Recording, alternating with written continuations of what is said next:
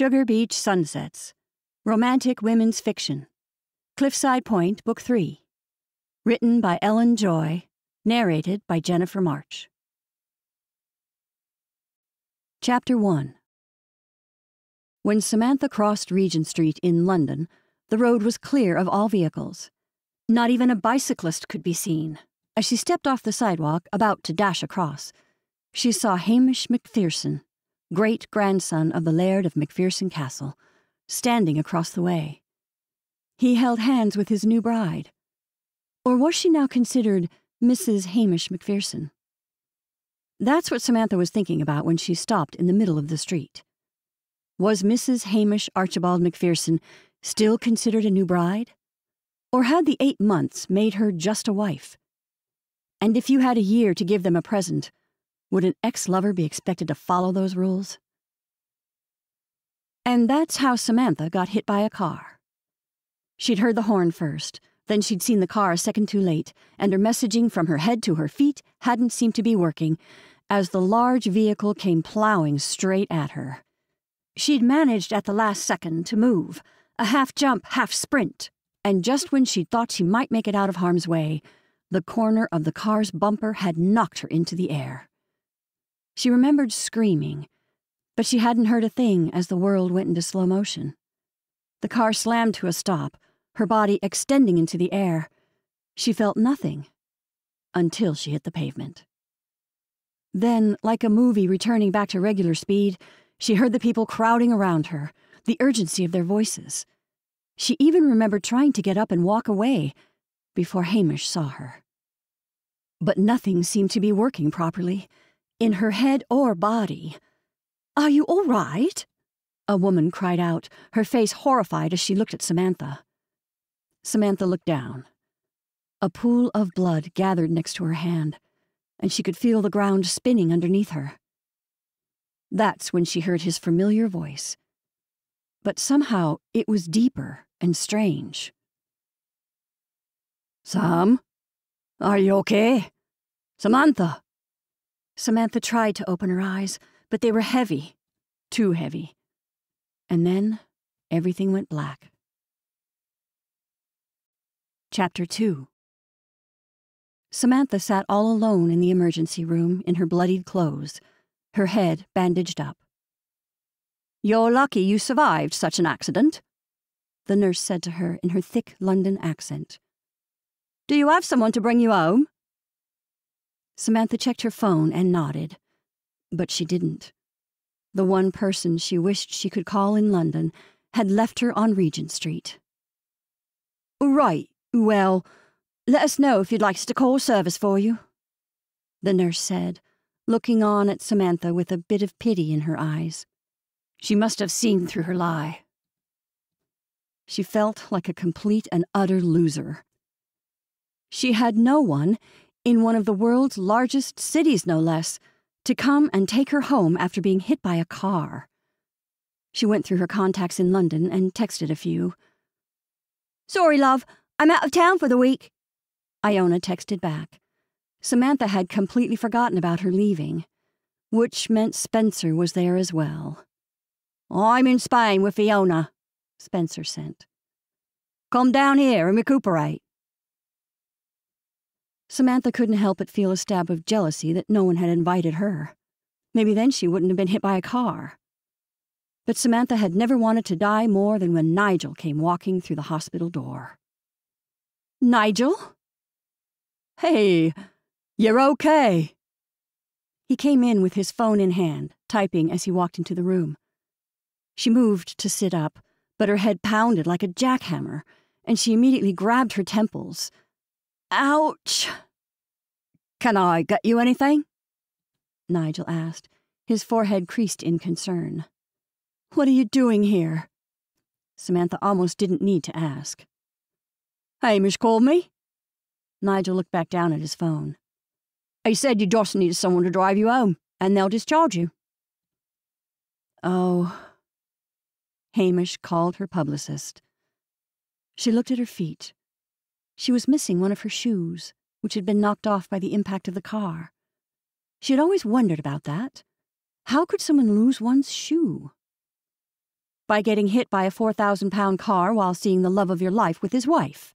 That was how. You look good for getting hit by a car, he said in his swanky voice. Samantha tried to talk, but her throat felt scratchy and dry, and she squinted to get a better look around. She groaned as an image flashed in her head of Hamish holding his Penelope Matthews McPherson's hand. What were you doing standing in the middle of Regent Street? Nigel asked.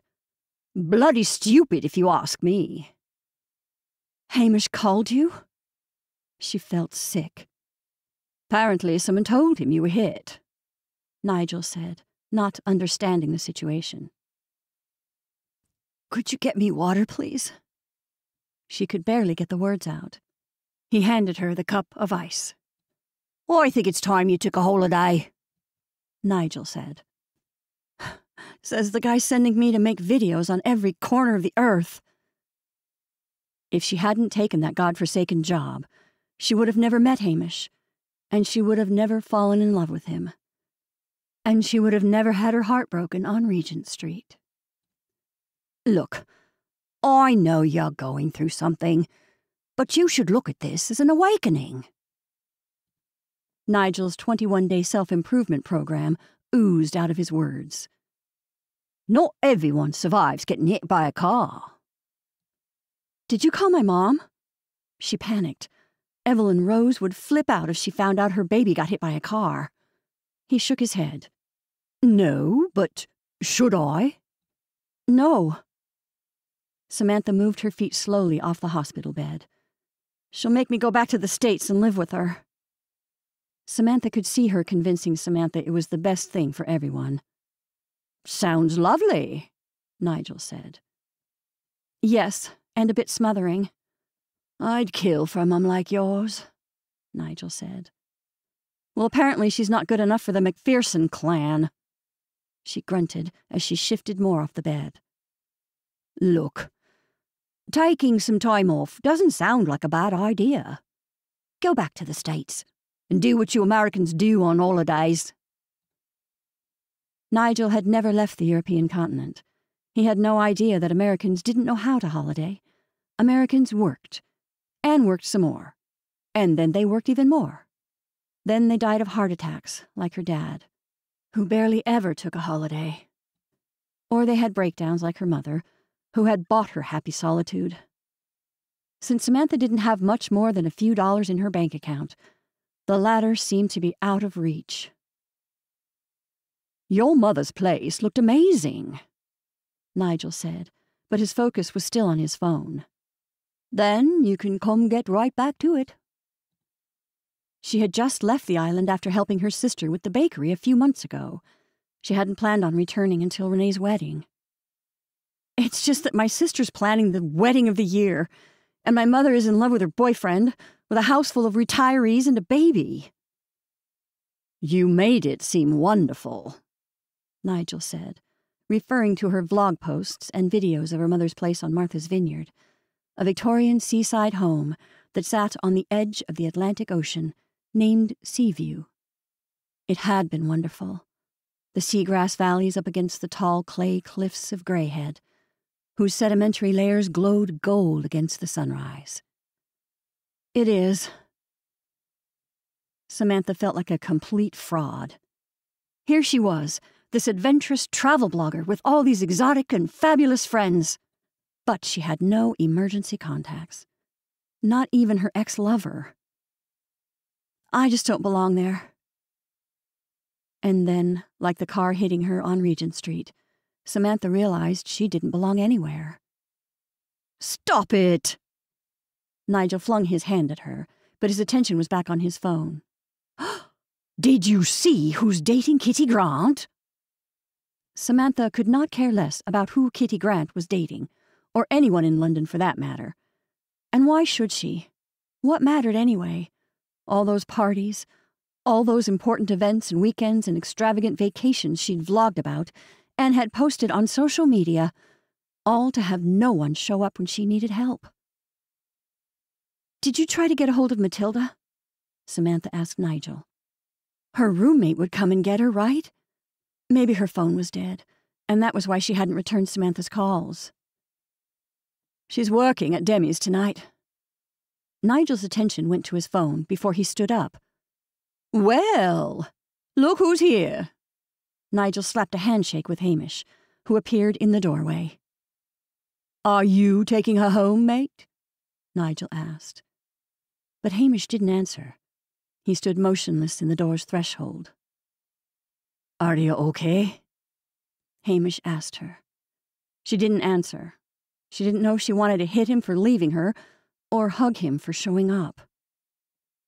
I'm sorry I didn't go with you to the hospital, he said, but she could barely hear him. I think you should leave, she said forcefully. She looked down at her one shoe. What were you doing on Regent Street? he asked. Her heart stopped.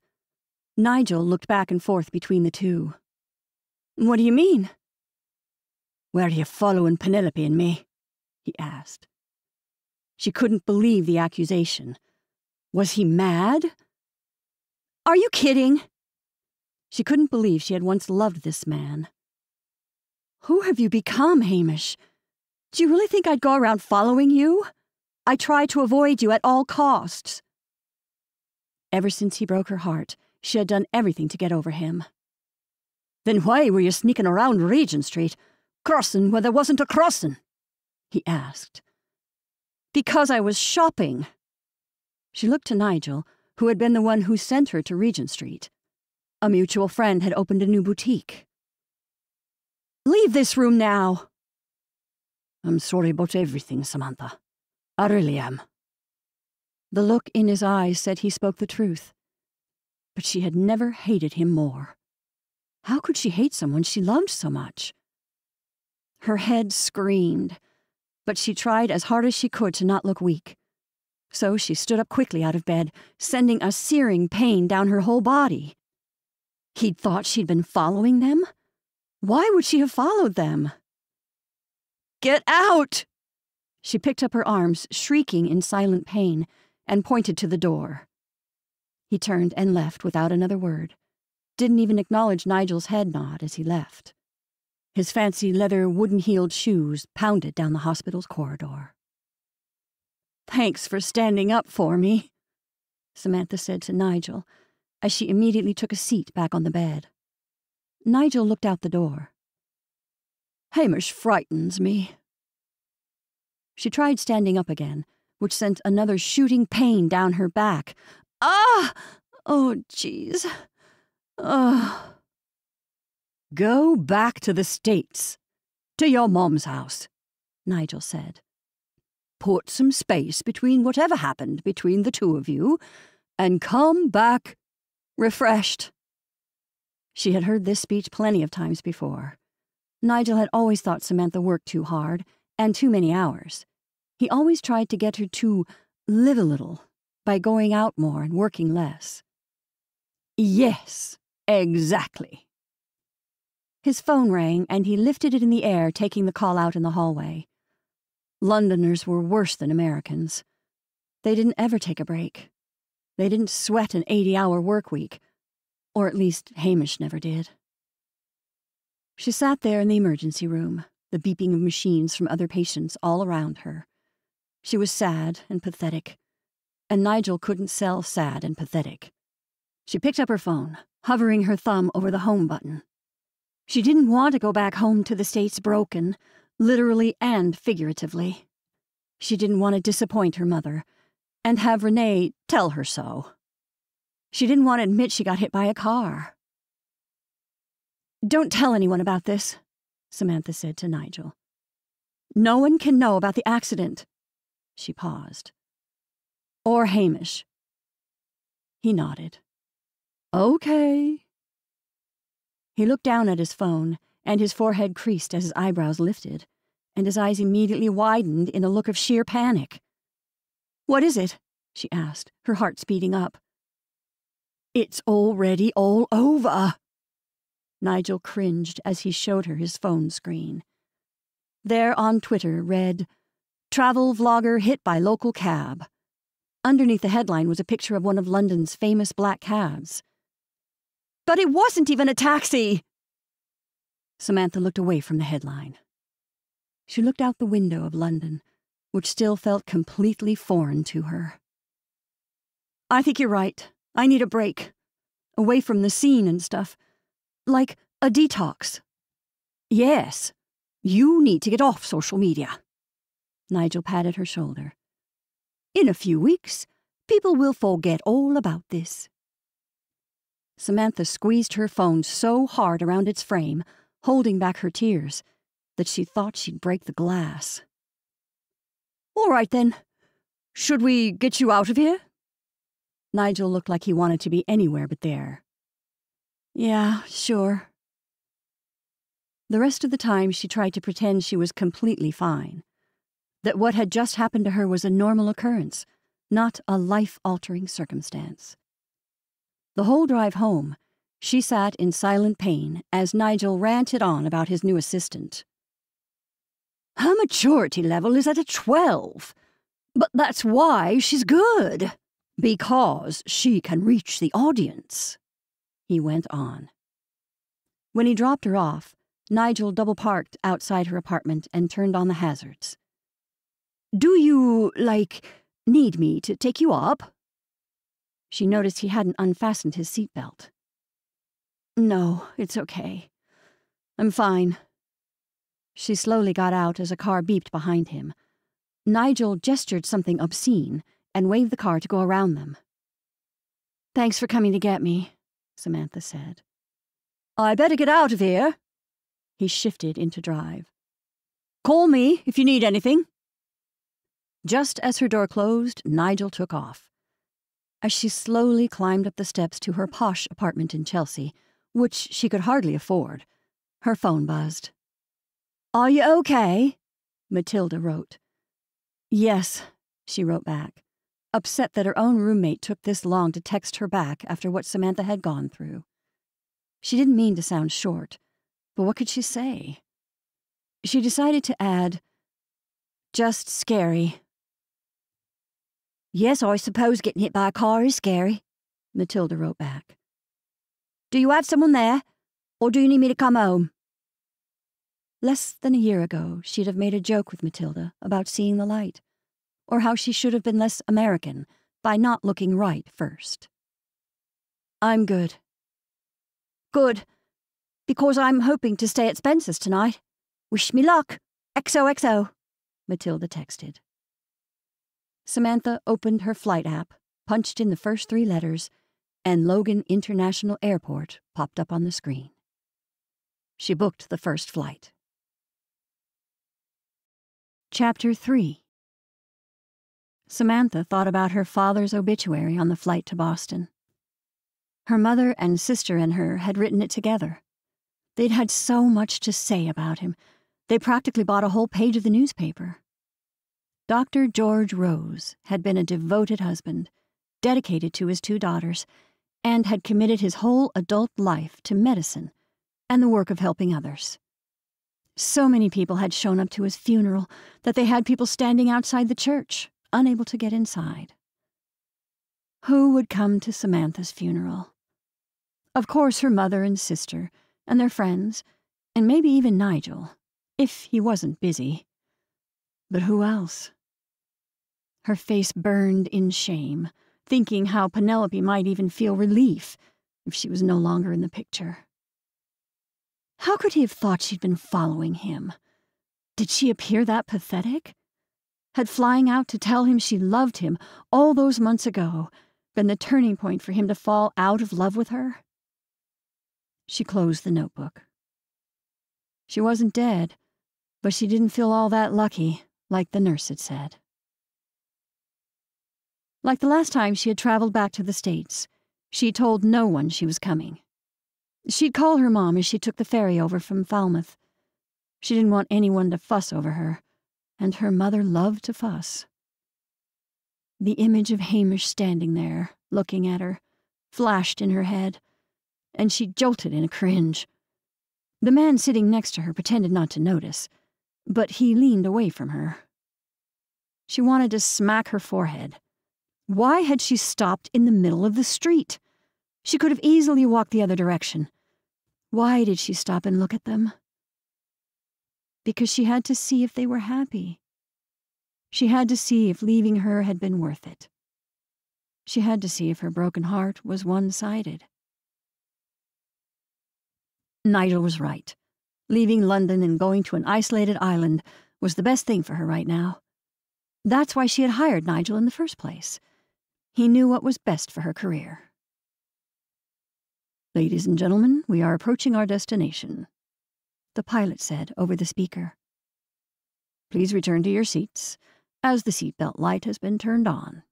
Please put your seats in the upright position. Flight attendants, prepare for landing. Samantha looked out the window at the streets of Boston buzzing in the early morning traffic rush. Like London, the city sat in a heavy gray fog next to the gray Atlantic Ocean. Even from above, she could feel the damp and cool air sneaking into the plane. Wasn't Boston nice during the summer? She noticed landmarks like the Charles River and the harbor ports near the airport. As the plane lowered, she grabbed hold of the armrests, watching as the waters of the Atlantic Ocean came closer and closer to the plane's belly. She held her breath as the plane suspended just a few feet off the ground, and then, with a slight bump, the pilot landed the plane. It took two and a half hours to reach Falmouth Harbor and board the ferry. She decided not to text her mom after all, and wait until she reached Martha's Vineyard. She'd pop into the bakery first, check the pulse with Renee, and then surprise Evelyn. This way, there would be absolutely no fuss. She went to take a selfie on the ferry by habit, but caught herself in the camera, the screen not filtering the greenish tint of her bruised face, and stopped. She thought about making a humorous video, jokingly degrading herself. Look, everyone, I got hit by a car. Time for a refresh in Martha's Vineyard, she could say, while she showed the cold gray sea that stretched to what looked like the end of the earth. But even as a joke, she sounded pathetic. How could he have gone to the hospital and say that to her? How could he switch it off so quickly when she was certain he'd never felt like that with Penelope? When the ferry reached Martha's Vineyard, she pulled out her leather jacket, which she had luckily packed at the last minute. It docked in the tiny harbor the locals called Eastport. As she stepped off the ferry, she could see her sister's bakery nestled in the middle of the other quaint shops along the main strip. She pulled her two suitcases through the mist that instantly frizzed her hair and fogged her glasses. Her head pounded as she shivered in the cold wetness, but she stopped in front of Books and Bread and didn't go in. Instead, she looked at the soft, warm glow coming from inside the bakery and bookstore. Each of the tables were full of customers, some sat eating pastries and having coffee, while others looked like they were holding meetings in groups. Others read alone in comfortable chairs by the gas fireplace. A few browsed the bookshelves lining the store. A line five customers deep stood in front of the counter. And that's when she saw Renee standing behind it, a baby strapped to her chest, bouncing up and down with a huge smile on her face. Samantha had never seen her sister happier. Not even with her ex husband Harry. Not even when their father was alive. She glowed like the fire inside. Her long blonde hair had been braided along one side and hung over her shoulder. She wore dangling earrings and a cute, fashionable outfit under her posh apron with books and bread stitched on it. She looked like she was completely in her element behind the counter, talking to customers, sharing her food with them. Samantha noticed the menu board displayed out front and a cute new coffee bar on the side. She pulled the door open and stepped in. Like a deer sensing a stranger in their midst, Renee's slender neck stretched over the crowd, and she locked eyes on her. As Renee's mouth dropped in surprise, she raced around the counter, forgetting the customer she was helping, and came at Samantha with her arms stretched out. George bounced in the baby carrier, his own eyes open in surprise. What are you doing here? Renee shrieked, not caring that the whole store could hear her. She thrusted her body and baby George at Samantha and embraced her. George blew his lips as Renee squeezed her into a deeper embrace. A mix of confectioner's sugar and baby powder filled the air around her. Samantha noticed everyone looking at them as Renee stared at her bruises. What happened to your face? Renee said as soon as she released her embrace. Apparently, the two days she'd stayed in her apartment hadn't been enough time for the coloring to fade. Oh, it's nothing. Samantha tapped her fingers against the bruises, as if they weren't tender anymore. You left your customers. Samantha pointed to the elderly couple standing at the front of the queue but then noticed a young man in the same style apron begin to help them. When did you get here? Renee asked, ushering her further into the store. Now. Samantha couldn't stop staring at the baby strapped to her sister's chest. She felt that familiar pull in her stomach that she'd started feeling at Christmas. The feeling that maybe she too would like to settle down and have a family. It didn't help that her nephew looked even more adorable than any of the Instagram photos her sister had posted. Samantha wished she was that aunt that whisked her nephew up in the air and this special relationship would immediately develop, a bond between the two of them. But he looked fragile and seemed unsure of her, with a puzzled look he had on his face while staring at her. Plus, she had on a very expensive leather jacket, and the drool coming from his mouth made her question whether she should hold him. She'd wait until later. Does Mom know you're here? Renee's smile widened with the confidence Samantha hadn't seen on her before. She couldn't help but notice how pretty her older sister looked. Samantha grabbed hold of her sister's hand and examined the engagement ring. The large diamond sat like a massive rock on her petite finger. Do you bake with it? Samantha had never remembered her sister wearing jewelry. Renee shook her head. Can you imagine if I lost a diamond in the dough? Renee began to unstrap the carrier and lifted the baby into Samantha's hesitant arms. What do I do with him? She asked as George looked at her with disinterest, gnawing on a piece of gnarled biscotti. You hold him and make sure he doesn't fall on his head, Renee said, but she stood close as she handed him off to Samantha. Samantha's whole body froze into panic as she held the wiggling child. You can hold him on your hip, Renee said, adjusting his legs around her waist, and his chubby little legs instantly squeezed her belly and back, like a set of pliers. She no longer feared he'd fall. In fact, she worried if she'd be able to breathe with his grip so tight around her torso. Samantha looked down at baby George his big blue eyes focused on the pendant hanging around her neck. Hat! George said, as Spit hit Samantha's face with his hard T. That means he likes it, Renee clarified. Oh, well, thank you. Samantha wished she had taken it off before arriving. Renee eyed the large blue sapphire teardrop. So what happened to you? Renee asked again. Oh, I fell, Samantha said, waving at Renee as though it was nothing, as though a car didn't knock off her shoe and almost run her over. Is Charlie here? Renee looked behind her but kept examining her suspiciously. He's in the kitchen. Let's go see him. Samantha held on to her nephew, but he suddenly squirmed to get out of her arms. Mama! People began to stare at the stranger holding their favorite pastry chef's child and making him cry. Let's follow, Mommy! Renee! Renee turned around and smiled at George's puckered out bottom lip and outstretched arms. You're fine, little man. That's Auntie Sammy. Samantha, she said, correcting her sister. She wasn't going back a decade. No way. George's whine soon turned into a hysterical screech, his arms flung more aggressively toward Renee.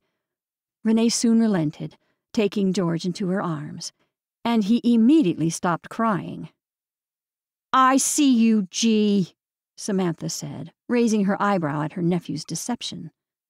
He buried his head into Renee's neck, resting perfectly in her arms. Come on back and see all the final renovations, Renee said. She stopped at the counter and asked the young man helping customers, Sean, you okay on your own for a minute? Yes, boss, the young man said, and turned his attention back to the line of customers. Renee, this place is booming. Samantha noticed even more people walking into the store. Well, we're busy right now, but I don't know about booming. Renee placed her hand on a wooden swinging door and pushed it open. They stepped into a modern, yet strangely antiquated French country kitchen. Black and white tiled floors, white marble counters, copper pots and pans hanging from the ceiling. This place looks amazing! Samantha pulled out her phone. She snapped pictures as Renee shared the details. I have the standing oven over there. Renee pointed to a large standing structure with a glass door.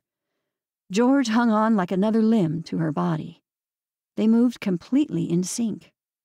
The two conventional ovens are over here. My sink? She placed her hands on the huge stainless steel double sink. Then she pointed to the ceiling. And your chandelier is out front. She opened the swinging door to see the chandelier that had hung in Hamish's country house in the Highlands. It had been the first thing Mrs. Hamish McPherson removed from the ancient stone house on the loch. To Penelope, it was just a past relic. But to Emily, Hamish's mother, it had been her family's history. Samantha couldn't believe he no longer wanted it, so she bought it for her sister's bakery and shipped it directly to the island. Samantha had always loved the piece when it hung in his parents' large stairwell. She'd felt like a princess in the 500 year old castle in the Scottish Highlands. It had been over the top, like only aristocracy did so well, yet sophisticated, just like Emily. Now, looking back, Emily had been the first reason she had fallen in love with Hamish. She had adored his mother. She wondered if Penelope McPherson knew the glass chandelier had been made by a famous Scottish artist whose work included churches in Edinburgh and Glasgow. She doubted Penelope cared but it did look perfect hanging in the store. This place is incredible, Samantha said, stepping back into the kitchen. She looked around the space, and that's when she saw Charlie's head behind a glass wall. She didn't even hesitate, but walked straight to his office and opened the door. Jazz played in the room as he sat, feet up on the desk, typing on his computer. Samantha, he said, kicking off the desk and placing his computer down. What are you doing back? She embraced her mother's boyfriend right as he came to her. He looked rested and well. Does your mother know you're here? he asked. But it was rhetorical at this point. Of course, Evelyn didn't know. I'm here to surprise her, she lied. But it was the only thing she could think of that didn't sound as pathetic as the truth. That she had almost died, her career was in shambles, and she had no real connections with anyone besides her ex boyfriend's dead mother. Yeah, surprising her mother sounded a lot better. Welcome back, he said, smiling as he ushered her out to the store with Renee. Did you see all that your sister has done? The place did look incredible. Wide 12 inch honey pine floors, floor to ceiling windows, views of the harbor, shelves of books, along with Emily's chandelier. It looked.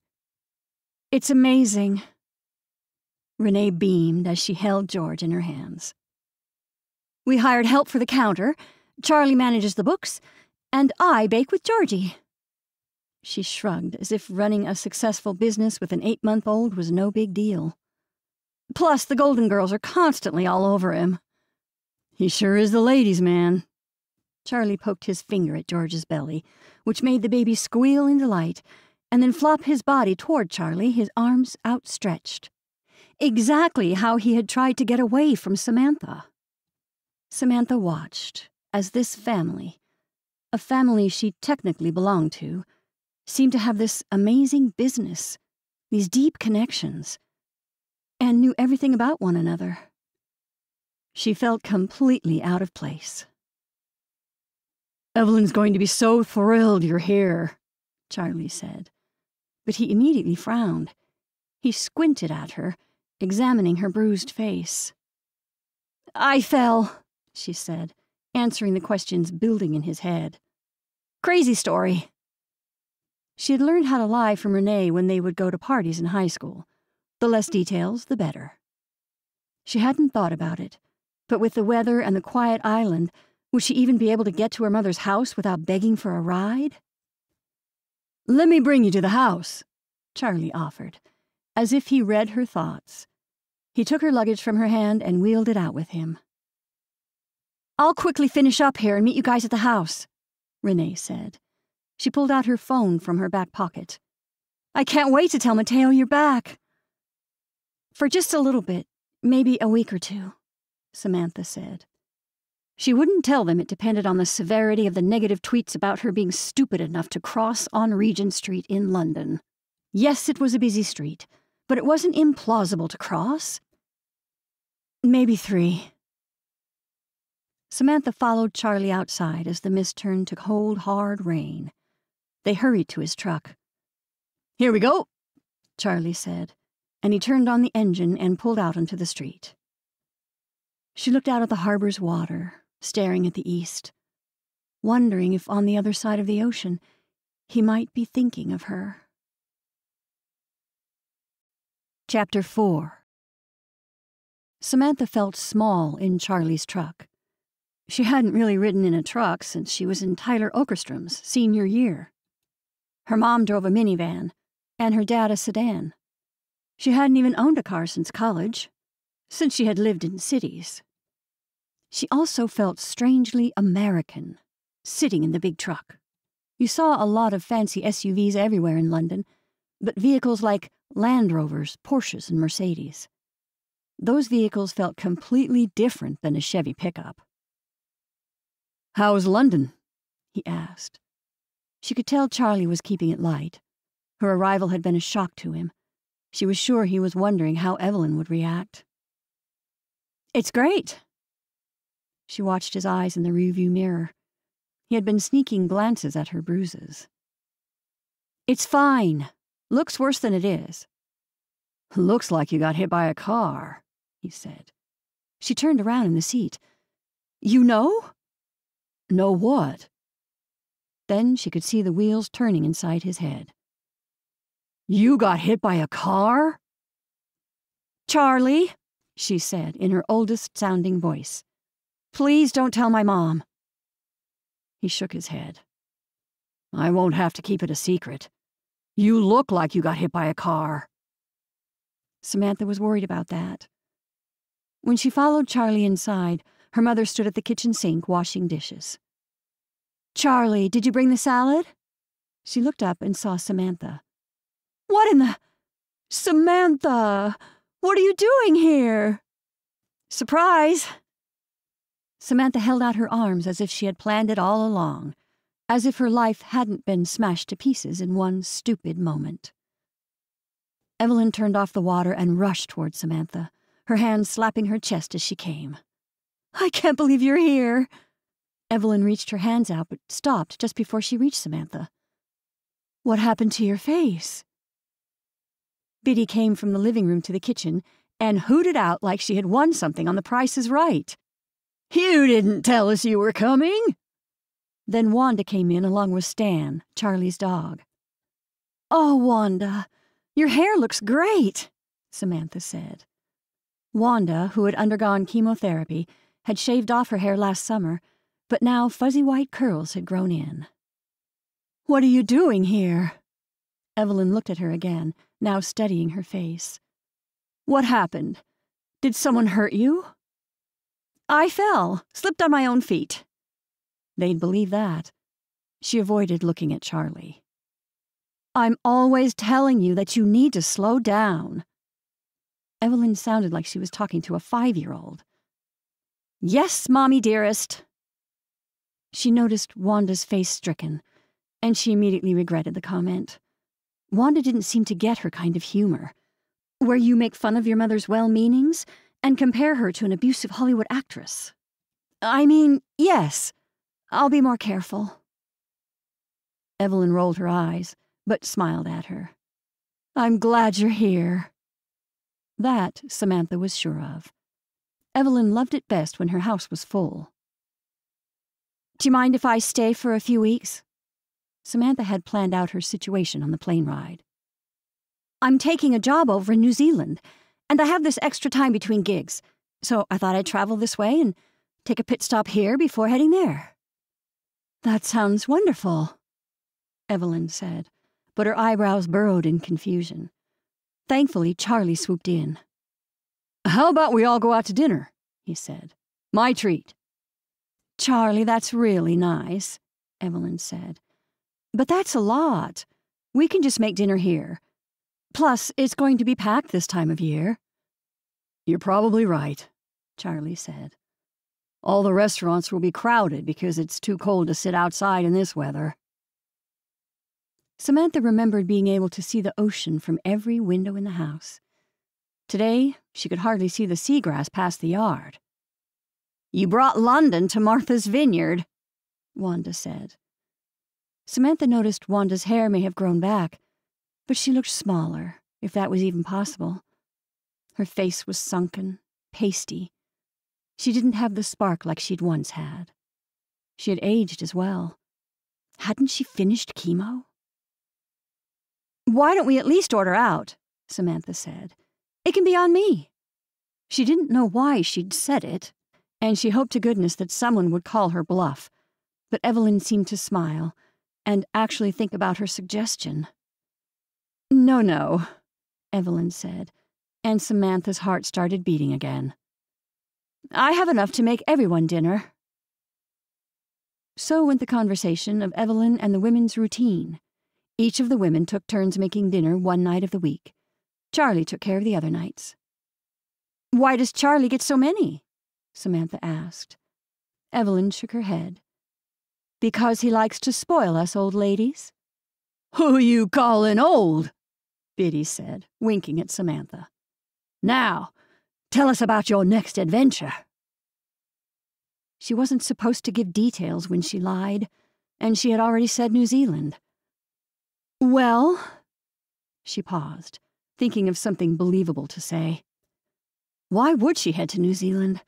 Why would her travel blog go back again? I'm going to Christchurch this time. I just can't get enough of that place.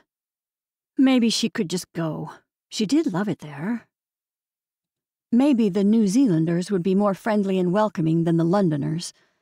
Maybe someone would pick her up at the hospital. She looked at her phone. No more messages after the flood of goodbyes and that they hoped she felt better. No one questioned why she would pack up and leave town. No one even really made sure she was okay. Her obituary would have nothing to say.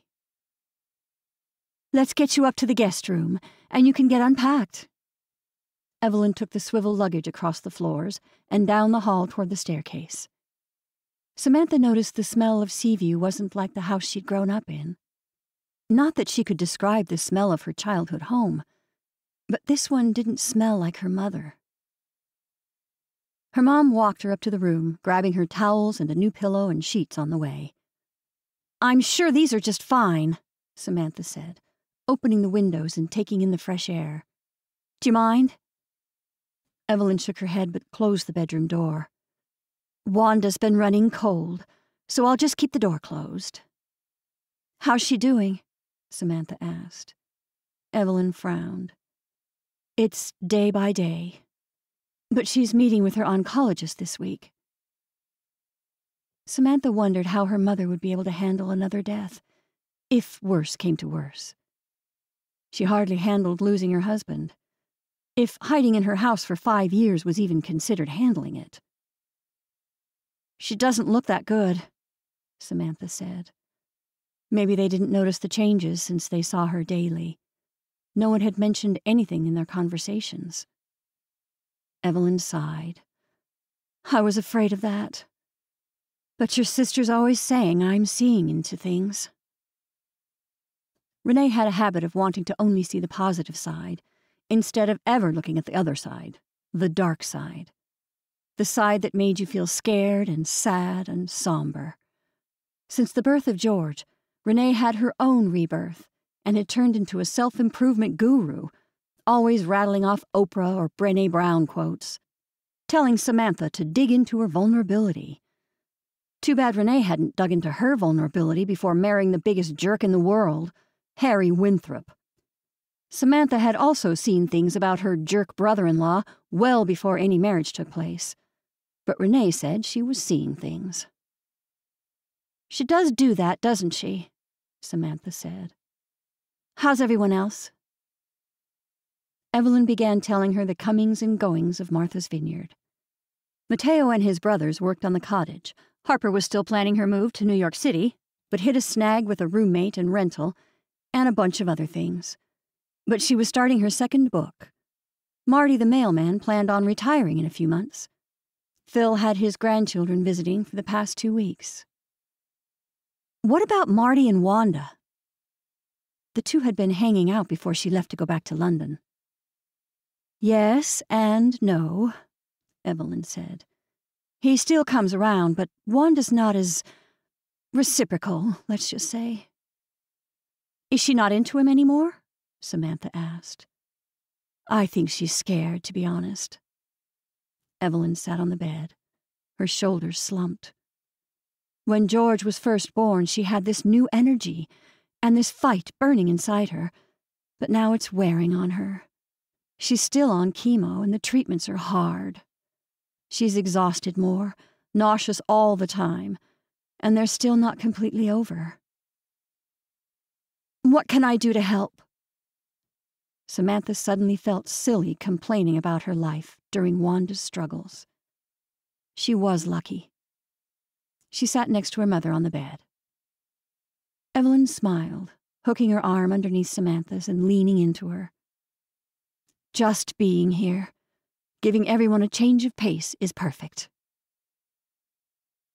And just like that, she couldn't help but wonder about what the perfect prodigal daughter had been doing. Samantha knew Renee had spent a lot of time taking care of Wanda, making sure she was eating well, taking her to her appointments, spending time with her and George. The list went on and on. She knew because every time she talked to her mom on the phone, she'd relay all of the information about the perfect daughter the one who had come back home to live by their mother, the one who had helped her mother let go of her pain, the one who made her so proud. Evelyn still didn't understand what Samantha even did. What did Samantha do at this point? What if her influencer career was over, just like that? Why did it look bad to get hit by a car? Because no one cool got hit by a car and had it plastered all over social media. She lifted her phone. Can't live without that thing, can you? Evelyn said, with a tone not unfamiliar. Even in Samantha's twenties, it reminded her of when she was fifteen. I was just checking to see if I got any messages, Samantha said defensively, because her mother was righteously right. Samantha couldn't live without her phone. She was constantly checking it, making sure her hearts and likes and retweets were moving up. She refreshed if the homepage appeared similar, even though nothing new had come up with her last refresh. It's my career, basically. Samantha's ego wouldn't let it go. That's how I earn money. But even I stop writing, Evelyn said. Samantha wondered if Evelyn ever discouraged Renee with her dreams. I'm fine. But if Samantha told the truth, which was that she wasn't at all fine, Evelyn would encourage Samantha to slow down, take a step back from what she was doing and reevaluate. She'd point out her sister's own troubles and how she rose above them. Maybe this is a sign you need a break, Evelyn started. It's a sign I date idiots. A wave of anger rose so quickly as she spoke, she practically spit the words out at the end. Evelyn tilted her head. What do you mean? I mean, nothing.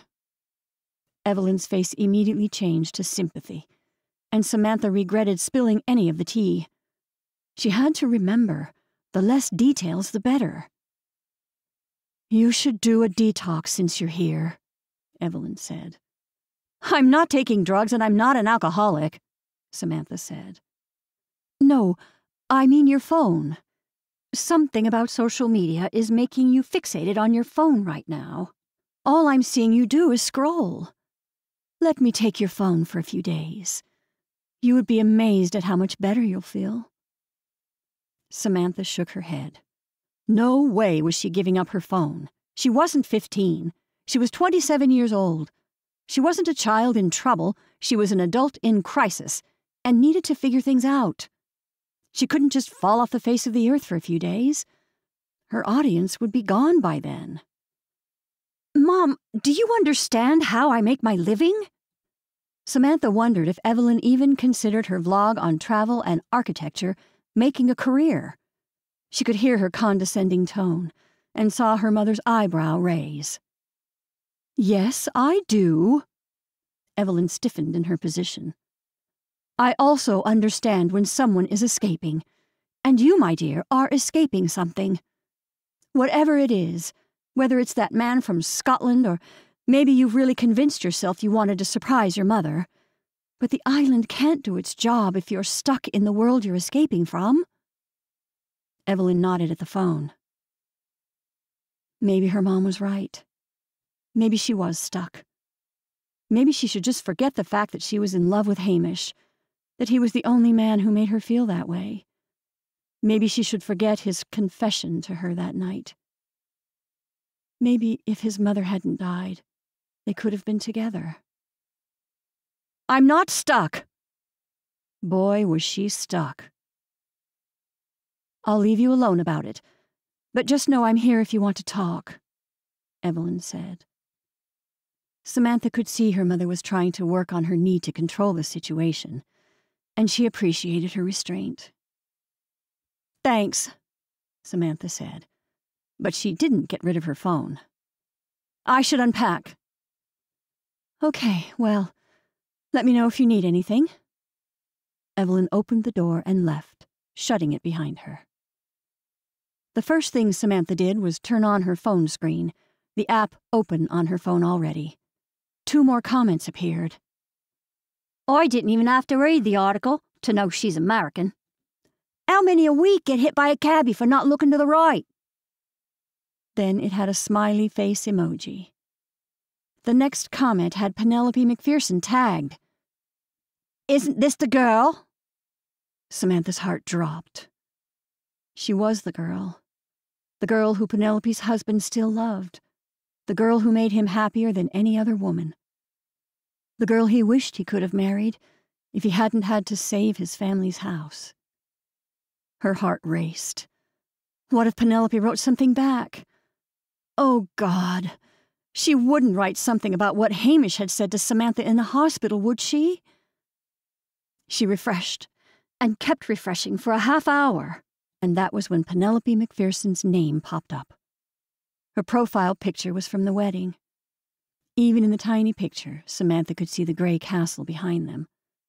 They would have married in the stone chapel on the property, the one where all the children of the McPherson clan had been christened, married, and buried. Samantha wondered what the wedding had looked like. Penelope's family had more money than God, so she imagined it had been like a fairy tale, with McPherson Castle as the setting, and the great Loch Laggan as the backdrop. She could imagine the haunting sounds of the bagpipes echoing across the loch as the procession had reached the chapel. She could even see Hamish in his best kilt, with his family's crest. She's completely nutters, Penelope wrote. Samantha shut the screen, her heart beating so hard in her chest that she could see it rising up and down. She took in a deep breath as her hands shook. She so badly wanted to write something, so badly wanted to tell the truth, so badly wanted to stick up for herself. She took a screenshot of it and sent it to Nigel. Help! She looked at the phone, waiting for an instant reply, going back to the app and checking the comments, the likes, the Oh my God, the shares! It was at a dozen. Another comment popped up. That's what happens when you sneak around after another woman's husband. Samantha felt sick. Her career was over. Chapter 5 Usually, Renee didn't ask a lot of questions. Samantha would tell her everything when she was ready to talk. And pushing Samantha to talk was like pushing a turtle to hurry. You got nowhere. As kids, Renee would frequently know exactly what Samantha wanted without her ever uttering a word. For a while, her parents would ask her to translate what Samantha was saying because they couldn't understand. Even up until middle school, Samantha only talked to a select few. But by high school, Samantha had changed overnight. No longer had she stayed quiet, but she could be heard entering a room, chatting away. As if something had clicked, Samantha had no trouble talking to anyone. Peers, the cool kids, older kids, Renee's friends, teachers, their parents' friends, and even strangers. Going from someone who couldn't even order her food at a restaurant to being the student getting in trouble for talking too much, the shift had been a breath of fresh air for their parents, who had worried about Samantha's social development. Whatever had clicked, all the anxiety and worry she'd had about talking to others had completely disappeared. Her shy, insecure little sister had become a strong, confident young woman. Samantha had instantly become popular. Everyone adored her. Renee's friends started calling her to hang out. Annoyed and awed, when Renee took off to Chicago, she had been glad to get out of Samantha's shadow. Even when she had visited this past summer, Renee had figured Mateo would have fallen for Samantha just like every other man. Her sister was gorgeous. Renee suddenly felt fat as she looked into the mirror of her closet, which she was also using as baby George's room until the wedding. She still hadn't lost the baby weight. She thought about the move into Mateo's house, or as he kept telling her, their house. She wanted it to be her house. It was a beautiful home. But could she move into a house he had bought, he had renovated, and he had lived in for years? Hadn't she learned from her divorce not to depend on anyone but herself? Ugh. The argument had rolled around in her head each morning since she'd agreed to move into his house after the wedding. Mateo kept saying it would be theirs. He'd even put it in writing if she wanted. But she had promised herself after Harry had left her that she'd never be dependent on another man. And here she was, a year later, marrying someone and moving into his house? Was that smart as a mother? The obvious fact was that Mateo was not Harry Winthrop. Mateo wanted to adopt her son, not run away from him. Mateo wanted to provide and protect the two of them, whereas Harry had just paid them off. No, Mateo wasn't Harry. But she couldn't help but look at history to see she was doing the exact thing she had done with Harry. Move in, bring nothing to the table. Sure, she had books and bread, which had been doing better than she could have ever expected. But what if something were to happen unexpectedly? What if she couldn't pay her way? Could she rely on Mateo? Would he continue to support her, even if she didn't bring anything to the relationship except her baggage? She sighed, looking at her wardrobe.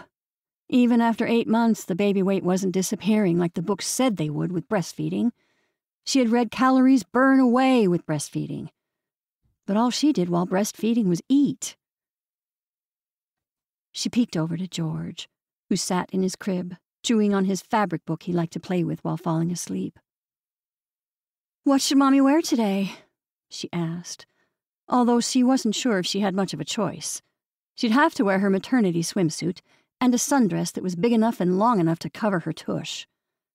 Today, the crew was having a beach day, it would be one of the first full days off since opening the store with Charlie. She had the store covered with help. Charlie promised to check in, but otherwise, she wasn't going to worry about a thing. The store could manage itself without her. She hoped. Oh, God. Could Lydia handle the counter while opening up the store? She grabbed her phone and texted Lydia a reminder to turn the coffee on right when she arrived. Okay, little man, you ready for some breakfast? she asked. She picked George up out of his crib and held him on her hip as she walked downstairs to the kitchen. As she reached the first floor, she could hear the buzzing of the ladies coming home from their morning walk. Good morning, Biddy said as they walked in, her arms outstretched to George. When did this pumpkin pie wake up this morning?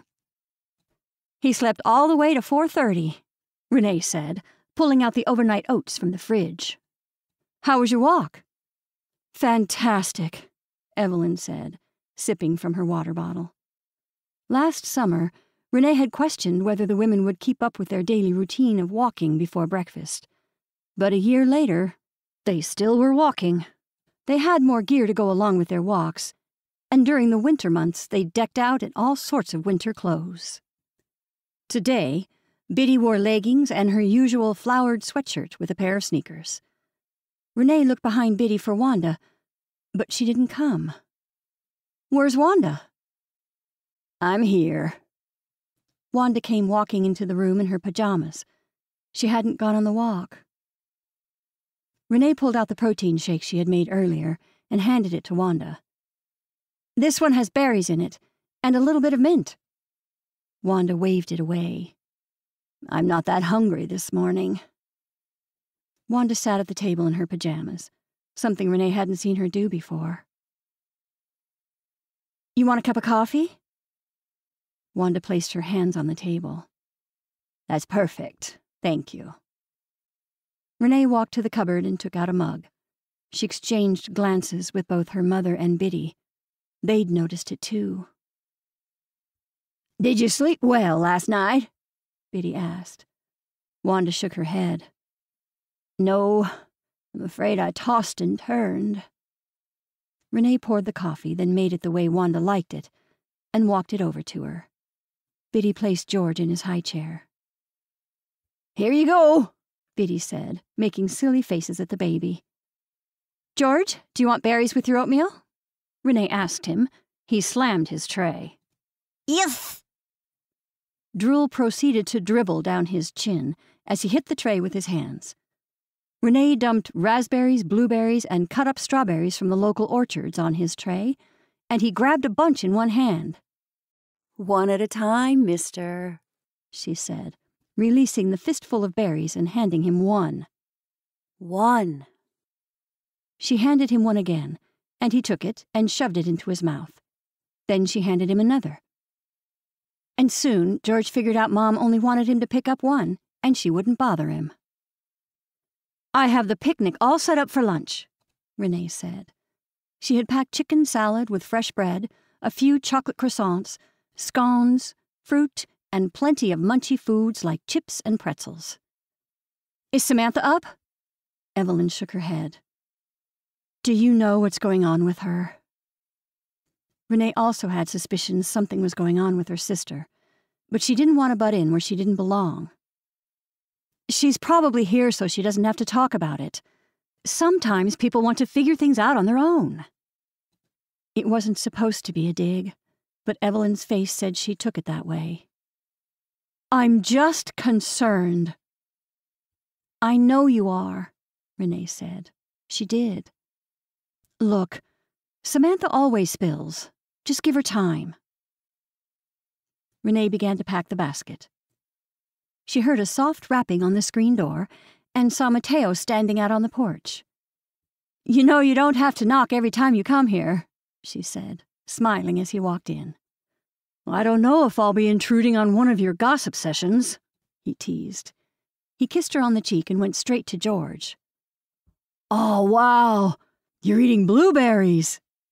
George pounded his tray as Mateo sat down. If. A babble came next as George discussed the intricacies of eating berries with Mateo, all in baby talk. That's really interesting, little man, Mateo said to him, making Renee and the rest of the women swoon even more for the handsome contractor who had stolen Renee's heart. You working on the cottage today? she asked him. Just this, the morning, then headed over to the new place up the road. Mateo turned and said to Wanda, Do you want me to bring out the wooden lounger for your back? I don't think I'm going to join everyone today, Wanda said, her hands still placed on the table. She still hadn't touched her coffee. I think I'm going to go back to bed and take a nap. Mateo shot Renee a look. You okay, Wanda? Biddy asked. You want me to call your doctor? We could go to the walk in, Evelyn suggested. No, no, no. Wanda shook her head a couple times. I'm fine, just tired. Couldn't sleep last night, is all. She smiled at everyone. Some days it just catches up with me. Do you want anything while we're at the beach? Renee asked. No, I'm fine, thank you. She didn't move from her seat, her eyes looking out the window and not on them. You sure you don't want to take a nap by the water, under the umbrella? Biddy asked. I'm fine, Wanda said, a bit less patient. I'd like to spend some time alone. They didn't push any more, but Renee couldn't help but worry. This was unusual, even for Wanda. Well, we'll give you some space and head to the beach soon, Evelyn said. Renee noticed her mom rub Wanda's back. Wanda didn't move, didn't add to the mix, didn't even say goodbye when they left, until George leaned over in Renee's arms and reached out toward her. Hot! George said it with a hard T sound at the end. He reached out his hand, his index finger pointing at Wanda. Hot! She's going to take a nap, Renee said to George. He was seriously a genius and a psychologist. He always knew when to act extremely adorable at just the right times. Wanda smiled at him. Don't worry. I'll come to the beach later. Hot! Yes, the sand will be hot, but I'll wear shoes, Wanda said. This seemed to satisfy George, and he nodded at Wanda. Night night. Night night, Wanda said back. But a frown formed as George turned away, ready to go to the beach. Wanda looked defeated, and Renee had never seen Wanda defeated.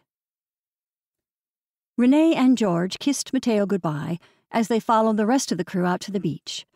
Julia waved as soon she saw Renee and everyone coming. Julia, who was married to Jose, Mateo's brother, had become one of Renee's closest friends over the past few months. She and her kids were already set up and ready to play. Sand shovels, pails, trucks, buckets, more heavy duty shovels for digging bigger holes. Her children had it all. George loved his soon to be cousins. He loved watching everybody play. He even let Julia hold him and often tried to share some of his toys with the boys. When any of Julia's three children gave George attention, he was in heaven. He wanted to be a big kid, too.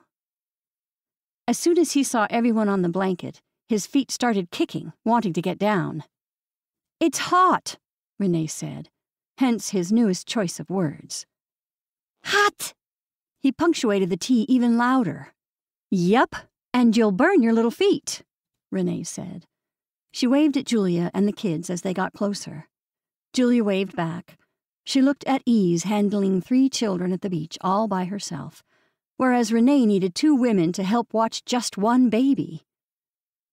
I heard Samantha's back in town, Julia said, as the women adjusted their umbrellas into the sand. She is, Renee said. She put George on the blanket and unloaded a bag of his toys. Hot! He pointed to a shovel. Do you want Jojo's shovel? Julia asked, leaning over her blanket to the toys. Yes. George clapped as Julia handed it over. How long is she in town? Julia asked the women. We don't know, Evelyn said. Anyone who wasn't her daughter, or who hadn't heard that tone being used on them, would think Evelyn had just made a comment. But that was more than a comment. Evelyn was annoyed. And Renee was glad she wasn't the one who had caused her annoyance. Well, I'm glad to hear she's back, Julia said. All the kids started playing in the sand next to George, digging holes and placing wet sand towers around George, who smashed each one in a fit of giggles. On the side, Biddy and her mom discussed Wanda as Julia and Renee listened.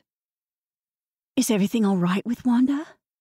Julia whispered to Renee as they walked to the water's edge with the kids to fill up buckets. Renee shrugged, holding George by his hands and dipping his toes into the foamy waves. She's just been more tired than usual and kind of sad. I remember when my dad got cancer, Julia said. He fell into a bad depression. Renee nodded. That's exactly what she was worried about. She's been so positive all this time. I just don't want her to lose that. It's hard, day in and day out, Julia said. Feeling lousy all the time. Renee nodded, looking back at Biddy and her mom, kibitzing now. She was glad they had each other, and Wanda had all of them. And she was lucky she had Julia, who had turned out to be a wonderful friend. Even luckier that Julia would become Renee's sister in law when she married Mateo. You want to invite Samantha to dinner tonight? Julia asked. Sure, Renee said, thinking about how nice Julia was to even offer. Their weekly dinner at Jose and Julia's house had been something she looked forward to. I'm not sure she'll want to come, with traveling and stuff. She's probably still pretty jet lagged. Renee snuck a glance back at her mother. She was just about out of earshot. I think she came here because something happened in London, Renee said in a low voice. But she hasn't said what it is yet. Julia whispered. Is she in some kind of trouble? According to Samantha's vlog, her life was fabulous. Samantha traveled the world on someone else's dime spent time in fabulous locations, and met amazing people. Nothing would indicate something was wrong. But something didn't sit well with Renee. Maybe it was her sister's intuition, but something was up with Samantha. Maybe she's just here for vacation. I can never tell with Samantha. Renee looked out at the water. There weren't too many others on the beach, even though it was a beautiful day. Sugar Beach sat privately along the Atlantic Ocean, a soft, pale, sandy beach with plenty of space for families to play and spread out on. The water could be rough at times, but mostly had gentle waves coming onto the shore. On one end sat Gray Head Cliffs, and at the other end of the beach was the Wharf Hotel. Evelyn's Beach sat at the further end, near Gray Cliffs, among the grassy hills beyond the beach. When Renee first arrived in Martha's Vineyard, alone and pregnant, she never thought she'd heal from what her ex husband had done to her. But the island did mysterious things. And just like everyone said, she was able to move on and let go. Everything came together when she chose the island. She got back into baking, she started a business, she prepared to become a mother, she fell in love. The island had not only healed her, but allowed her to grow and expand her circle to a wide community. A year later, Renee felt full. This place did that to people. One need only look at her mom to see that. How the island could heal what Wanda was going through was her biggest concern. No matter what was going on with Samantha, she knew her sister well enough to know she'd be okay. Samantha always worked things out on her own, like when she was too shy to talk. When Renee had gone to school and Samantha had to find friends on her own, guess who had decided to talk? When Samantha wanted to travel the world, and everyone said she was crazy, she'd shown them how to do it, not only in style, but total class as well. Is Mateo working at the Mitchell house today? Julia asked. Renee nodded, excited about Mateo's newest and biggest job yet. An actor from Hollywood had bought one of the few farms on Martha's Vineyard and wanted to renovate it all. The house, the barns, the farmland, everything would be updated and modernized. This had been a recommendation from someone on the island that Mateo had worked with during the winter. People noticed Mateo and his brother's work. He had quickly gained notoriety when he'd renovated Charlie's bookstore into books and bread. The work had been done impeccably, holding the true character of the Victorian architecture of the buildings, but updated inside to rival any modern bakery.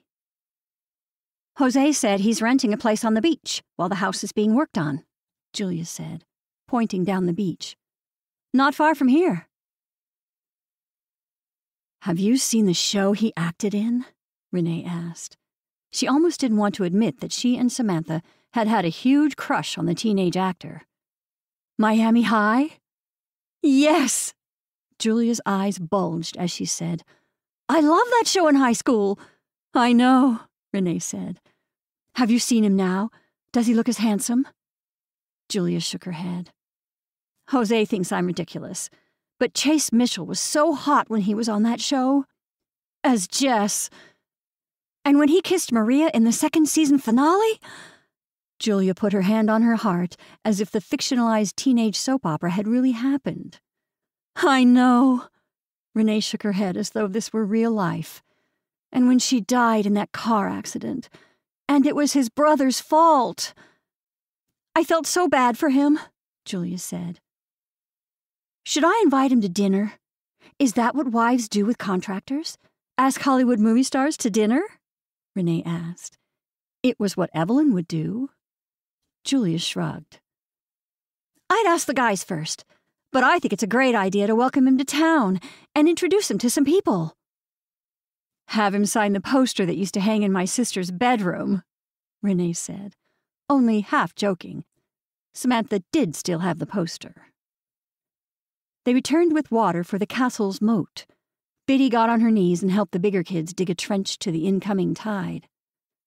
Julia took one of the shovels and started moving the sand into George's bucket, packing the wet sand down with her hand. George copied her, smashing his shovel in the sand, then instantly put it in his mouth. Oh no! Renee pulled out the shovel, George's face twisted by the grit. Ew! Sand is yucky, Renee said, reaching over to the towel Evelyn had already extended to her. She wiped George's tongue. Hot! He pointed his finger to his tongue. Yucky, she said back, but his serious face and concern of the sand made her giggle. She couldn't help herself. She took George in her arms and started kissing all over his face, sending him into a fit of giggles as she continued to wipe out the sand from his mouth. God, did she love her baby! She looked out at the women sitting with her on the beach. God, she loved her life. She thought of everything that had happened over the past year Mateo, the bakery, working with Charlie, living with the women, being close again with her mom, finding a friendship with Julia, the wedding planning, becoming a mother, and now Samantha's arrival. Everything was coming together. Chapter 6 Samantha lay in the darkness of her room, all the curtains closed. The windows were open to hear the waves. Hardly any air flowed through, but when it did, light would flicker across the walls. She didn't want to get up, even though she had technically slept all night. She listened as everyone got ready to go to the beach. Then it was silent after they left. She looked down at her phone again, staring at the screen. She had the comments practically memorized at that point. There hadn't been any new comments in the past two hours, but knowing her luck, it would go viral. Lunatic American stalking an honorable man who just wanted to save his family's legacy. Hamish had told her that he'd never loved Penelope. He'd told her so many times. If only Emily had lived. Then he would have married Samantha. They would have saved McPherson Castle together, and they would have all ridden off into the Scottish Highland sunset. If only Emily had lived. It was in college that Samantha had created her vlog, when she had studied abroad in Spain. Every chance she could, she had escaped on a train or bus or begged for a ride and traveled throughout Europe on barely any money at all. She'd made videos to show her friends but other people started following her, and then more people. She did everything for her vlog. She was her own web designer and brand designer and scriptwriter and assistant and travel agent and manager. But she paid Nigel for PR. He was a friend of a friend who had convinced her he could make her even bigger, help her reach wider audiences. And with the promise she'd reach millions, she had decided to hire him. And luckily, he'd been right. He'd also promised that if negative publicity were to come her way, he would be able to spin it so it came back rosy. But he wasn't spinning her story now. He hadn't even returned her phone calls or texts she had sent throughout the night, as comments kept coming about her nutty behavior and how creepy and stalkerish it was for a vlogger to fall in love with her client who was married. She wished she could hate Hamish, call him and tell him how hurt she was. Tell him off for going along with this ridiculous story. He knew she wasn't nutty or a stalker, right? Traveling had always been so much fun. Going to people's homes and seeing how others lived had been interesting, especially after her vlog had taken off on Instagram. People everywhere had started following her to magnificent houses all over the world. That was the theme. She traveled to these exotic and fabulous homes and spent a holiday talking about their place with them. After she became even more popular, high end hotels, bed and breakfasts, and the best Airbnbs all started asking her to travel to them, paying her way and stay. She started making enough to find a place to rent in London. She'd put out an ad for a female roommate, and Matilda had worn an outfit she'd wanted to borrow, and brought homemade biscuits. She had decided that London would be her home base city, while she traveled the world, living vicariously through the wealthy 1%. But now, London felt too small. Hamish only lived a few blocks away, in the house he'd bought after Emily had died, where Penelope wanted to live because she loved to walk in the private park. The same park where he had broken up with Samantha. If I marry Penelope, I'll be able to save the house, he told Samantha as they sat on a bench. Her heart had stopped dead in her chest. It just can't work. He had said it as if that was as good of an explanation as any. My mother left me with nothing. I can't keep the house if I don't marry her. Hamish, it's a house, she'd said, but she'd known it was more than that. It was everything to him. And he'd been right. He'd have lost it all if he stayed with Samantha. She had nothing, absolutely nothing to offer. But she had still felt betrayed. How could he have just gone back to Penelope without talking to Samantha? Their year together over just like that? Shouldn't she have had a say in the matter that would change her life forever? Then a sick realization had flashed in her mind. We're getting married. His voice had cracked then. That's when she had gotten up and walked away. She had thought the day he broke up with her on that park bench had been the worst day of her life.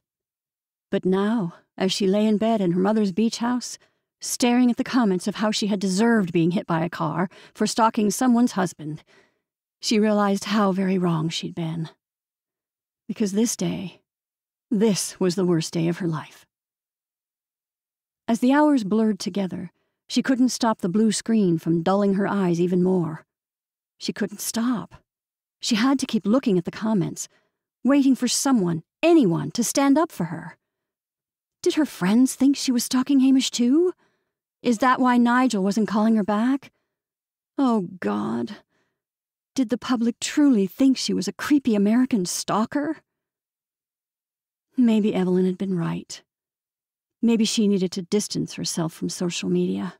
Take a break. Take a holiday, like Nigel had suggested. Let the island heal her. She opened her phone's photos and went directly to her favorite the one of Hamish staring out at the loch during the last weekend they had spent together. It had been the happiest she'd ever seen him. Right before Emily had gotten into the accident. Before everything had changed. Knock, knock, Evelyn said from the other side of her bedroom door. Come in. She tried to sound peppy. It's eleven, Evelyn said, walking into the dark room. Just like when Samantha had been a teenager sleeping in, she started opening the shades. I like them closed. Samantha sat up in bed, rubbing her eyes with her hands. Evelyn's face twisted. It's a beautiful beach day, and you're missing it. Her mom pulled open another curtain, and the sun hit Samantha's face, stinging her eyes. She grabbed her pillow and covered her head. I want to stay here, she mumbled from under her pillow. You need to get some sunshine on that face, and for some of that salty air to penetrate your lungs. Evelyn patted her leg. I'm enjoying this bed very much, thank you. I bet they don't have beautiful days like this in London, Evelyn said. Well, at least not frequently. Samantha looked at the perfectly clear blue sky. Her mother wasn't going to let up until she got out to the beach. I'm going to shower my jet lag off first and have some breakfast.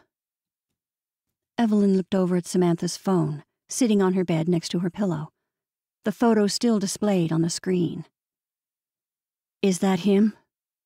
Evelyn pointed at the photo. Samantha gave a solitary nod, not moving. Evelyn didn't move either as if waiting for Samantha's permission, but Samantha had no intentions of handing it over. The screen went black before anyone moved. Well, we're down at the beach with George, Evelyn said, as if the exchange hadn't happened. Join us. A baby always helps someone get out of their funk. George doesn't even like me, Samantha said. She suddenly felt ridiculous that she was upset that her eight month old nephew wasn't interested in his auntie. But nonetheless, she was going to argue this if it distracted Evelyn from Hamish's photograph. He doesn't know you, Evelyn said. Besides, there's Biddy and Julia. Julia, Samantha groaned to herself. If she had to hear one more fabulous thing about Renee's amazing new life, that's when she would go nutty. What about Wanda? Didn't they do everything together? She's taking a rest, Evelyn said, but her tone had changed, and her eyes slanted down. Is she okay? Samantha asked, suddenly concerned. She didn't know Wanda that well, but she did know how hard it had been for her. Yes, she's fine. Just tired. Evelyn focused on a piece of fuzz on the comforter. Look at that. It's goose feather.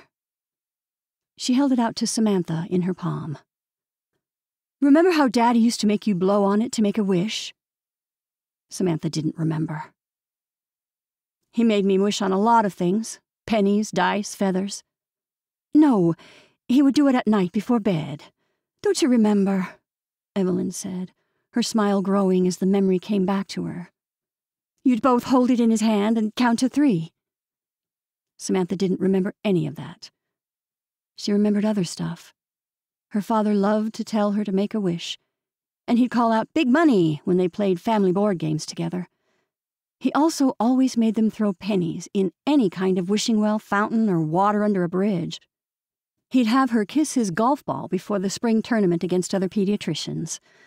He'd say a prayer every time he got in the car with them, and he had always tucked her in at night. Then she realized why she didn't remember this. You're thinking of Renee and Daddy. Am I? Evelyn looked bewildered at the mix up. Are you sure?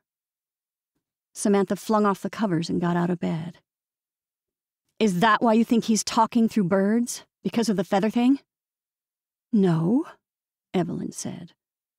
Doubt all you want, but your father talks to me every morning. She wanted to say something back, but it only come out as being snide. And she didn't want to hurt her mother's feelings on the second day she had arrived. She had no one else, after all. So she didn't mention the idea that maybe Evelyn saw into things, and that her father wasn't a flying seagull telling her to date Charlie. You know he loved birds, Evelyn said, not leaving her room. Samantha pulled out a drawer and grabbed a suit so I'll just get cleaned up. But you will come down? Yes, I'll be there. Samantha groaned all the way to the bathroom, clutching her phone in her hand. As soon as she closed the bathroom door, she turned on the shower, but sat on the toilet seat, staring at the phone, panicking about whether there were any new comments. The device was killing her softly. She pushed the sobs down, and they scraped and tore through her chest as she waited for her mother to leave her room. When she heard her mother close the door and the footsteps down the hall, Samantha let go. She sobbed the whole shower. That was when she heard a knock. I'm coming, she shouted through the bathroom door. Samantha? She heard a soft woman's voice say. Wanda? She had forgotten that Wanda had stayed to rest. Are you all right? Oh, God. She'd heard Samantha sobbing in the shower. How would she keep this under wraps? Her mother was going to find out now, no question about it. Yes, I'm fine, she said with as much gusto as she could muster, but she hiccuped the last of the word fine. Then she heard silence. Nothing. She listened, frozen in the shower. Still nothing. She grabbed her towel, dried off, and got in her swimsuit. When she opened the door to leave the bathroom, there on her bed sat Wanda. Oh, you're here! She practically jumped back, not expecting Wanda to be waiting for her. She suddenly felt strange and awkward. Are you all right? Wanda asked again. I thought I heard someone crying. Samantha stood frozen, unsure of what to do. She stood in the middle of the doorway, scared of this 90 pound retiree from Palm Springs, and unable to lie. Please don't tell my mother, were the first words that came out of her mouth. Why not? Wanda asked, but not in a condescending tone. It was a real question, as if she really wanted to understand Samantha's reasoning. Because she already doesn't understand my job, Samantha said, hoping this might clear things up. This has something to do with your job? Wanda asked. She looked suspicious. Um, Samantha bit her bottom lip. No, sort of. Sounds like a broken heart, Wanda said. Tears sprung to her eyes, and Wanda's figure blurred, but she could see her pat the spot next to her on the bed. What happened? I married someone else. She could barely get the words out as she cried hard. Wanda didn't stop her, didn't do more than grab her hand. The two of them must have sat for at least 30 minutes, holding hands, letting Samantha cry. When Samantha's sobs calmed and she regained her breath, Wanda squeezed her hand and said, Let's go to the beach. You're coming too? Samantha heaved in a deep breath. Yes, I should get some fresh air. Wanda said. Thank you. Then Samantha made a face. You won't tell my mom, will you? It's not my story to tell, Wanda said. But it instantly made Samantha feel guilty for not being open with Evelyn.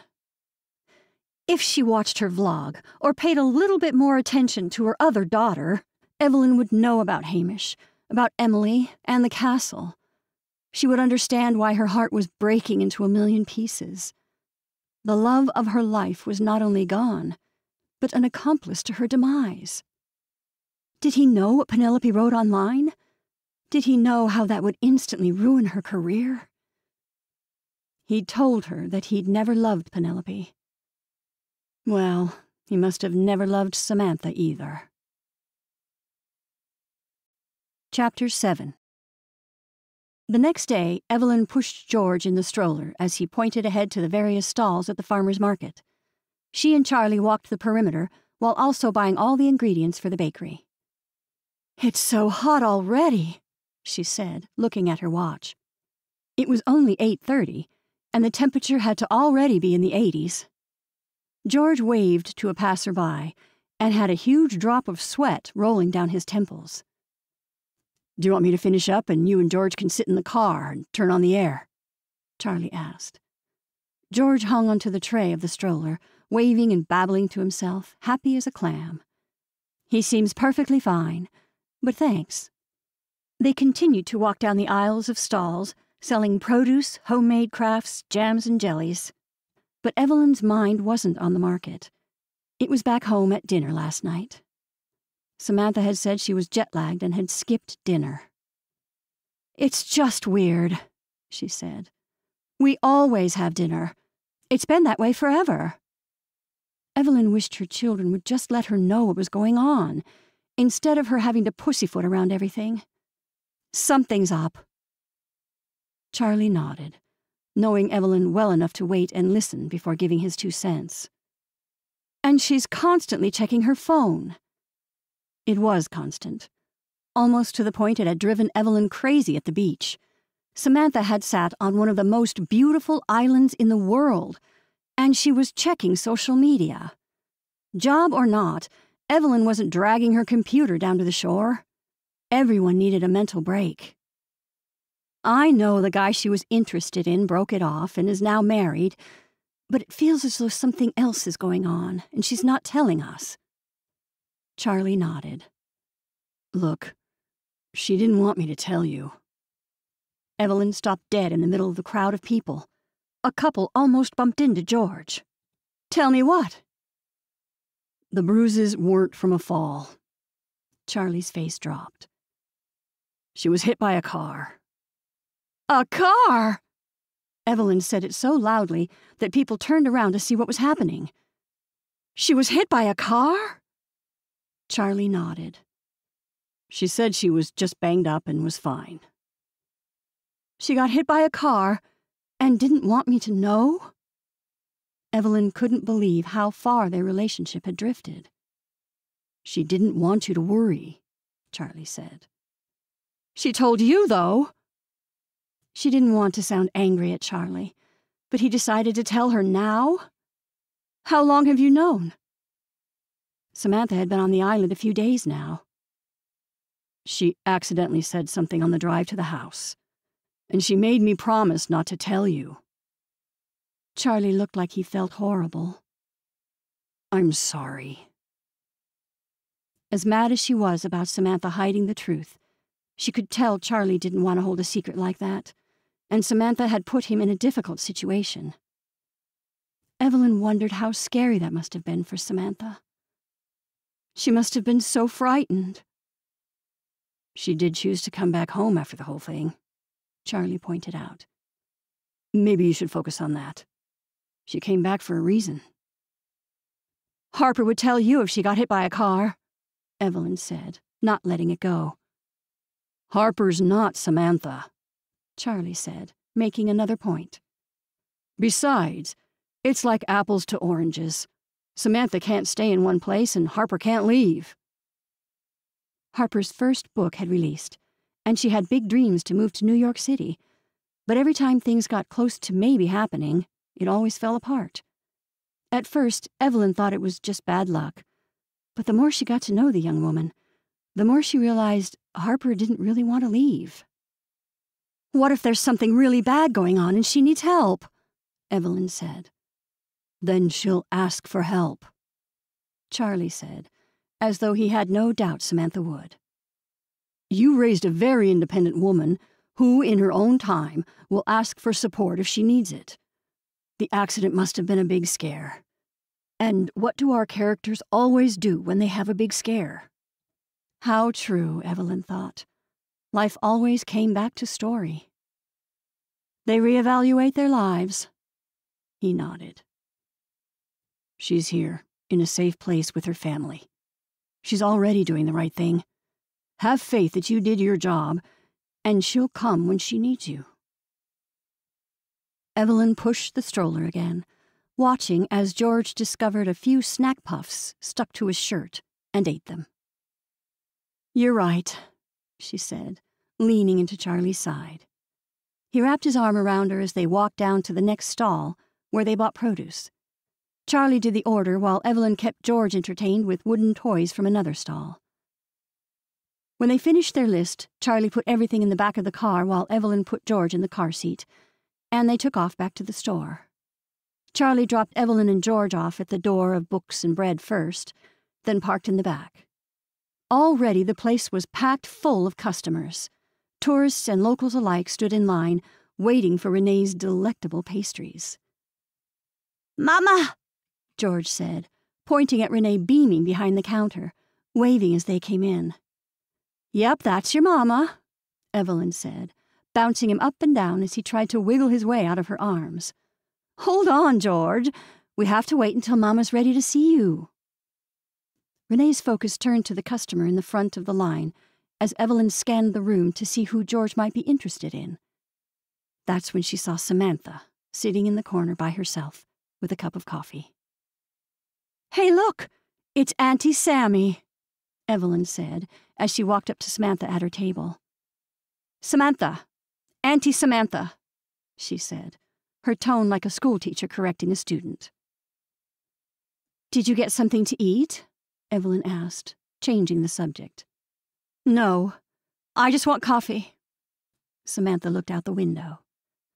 Evelyn noticed her phone sat on the table. How'd you sleep? Horribly, Samantha said. George continued to wiggle, and Evelyn pulled the other chair at Samantha's table out to sit. Do you want a special treat? George pointed to the counter. Mama, hats. Yes, you can't go back there with Mommy, but I can get you something if you want to be a big boy and sit with your Auntie Samantha. George immediately shook his head, not liking the idea. Hats! You're right. I can't go behind the counter, but I can wait in line. Do you want to wait in line with Nana, or do you want to stay with Auntie Samantha? Evelyn looked down at the little boy, who didn't seem to ever be apprehensive to strangers, until Samantha's arrival. Hats! He pointed at Evelyn, squeezing his arms suddenly around her neck. Okay, George, let's get a treat, Evelyn said, trying not to notice Samantha's scowl. But it was too late. Samantha shifted in her chair and said, See, I told you he doesn't like me. He's a baby, Samantha, Evelyn said. She almost said something about the car, but Charlie walked into the store from the kitchen. She wouldn't say something now. She'd wait until a good time, so whatever was up with Samantha wouldn't come out at Charlie. I didn't know you were coming to the store this morning, Evelyn said, changing the subject. Samantha shrugged, pressing the button to open the home screen on her phone.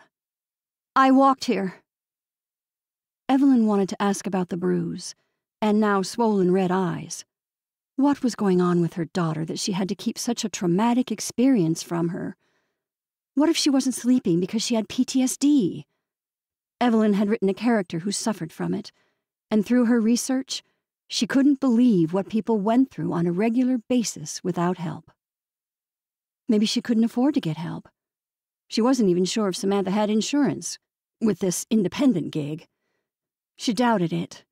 But didn't she get free health insurance in England? Samantha could hardly remember to pay her car insurance a few years ago. God, she hoped she had insurance through the government.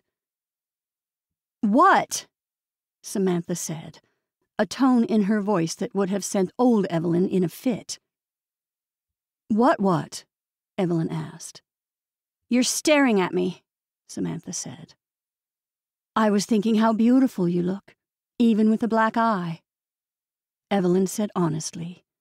Her daughter was a gorgeous young lady. Both her daughters had turned out stunning. George would often tease about fighting off suitors, but the girls never really paid too much attention to men until later in high school, but mostly for proms and double dates. Thanks. Evelyn gritted her jaw. So, hum.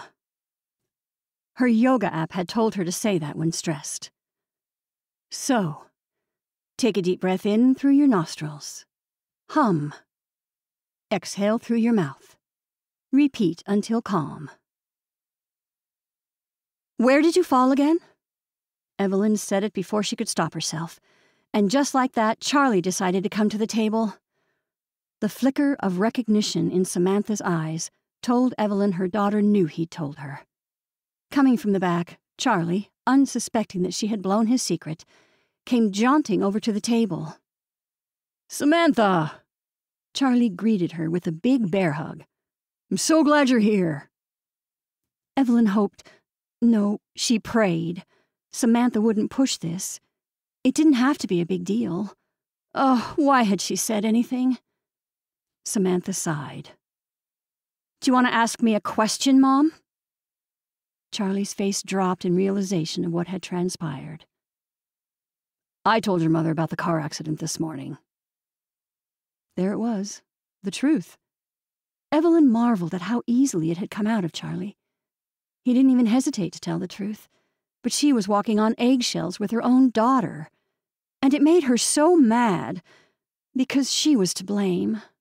At some point in her child rearing, she had not given her children the comfort they needed to be open and honest with her. Please don't be mad at Charlie. He was only concerned, Evelyn said. I'm not mad. I just didn't want you to worry, Samantha said. And it wasn't the reason I came here, if that's what you're worried about. I'm not worried, she said. But Charlie gave her his look. She wasn't being honest. I am worried. I can't help it. You come back out of the blue, bruised and battered. I wasn't sure if a man hurt you. Samantha shook her head. God, no. I'm hiding out because I got hit by a car in the middle of London. My story is all over social media.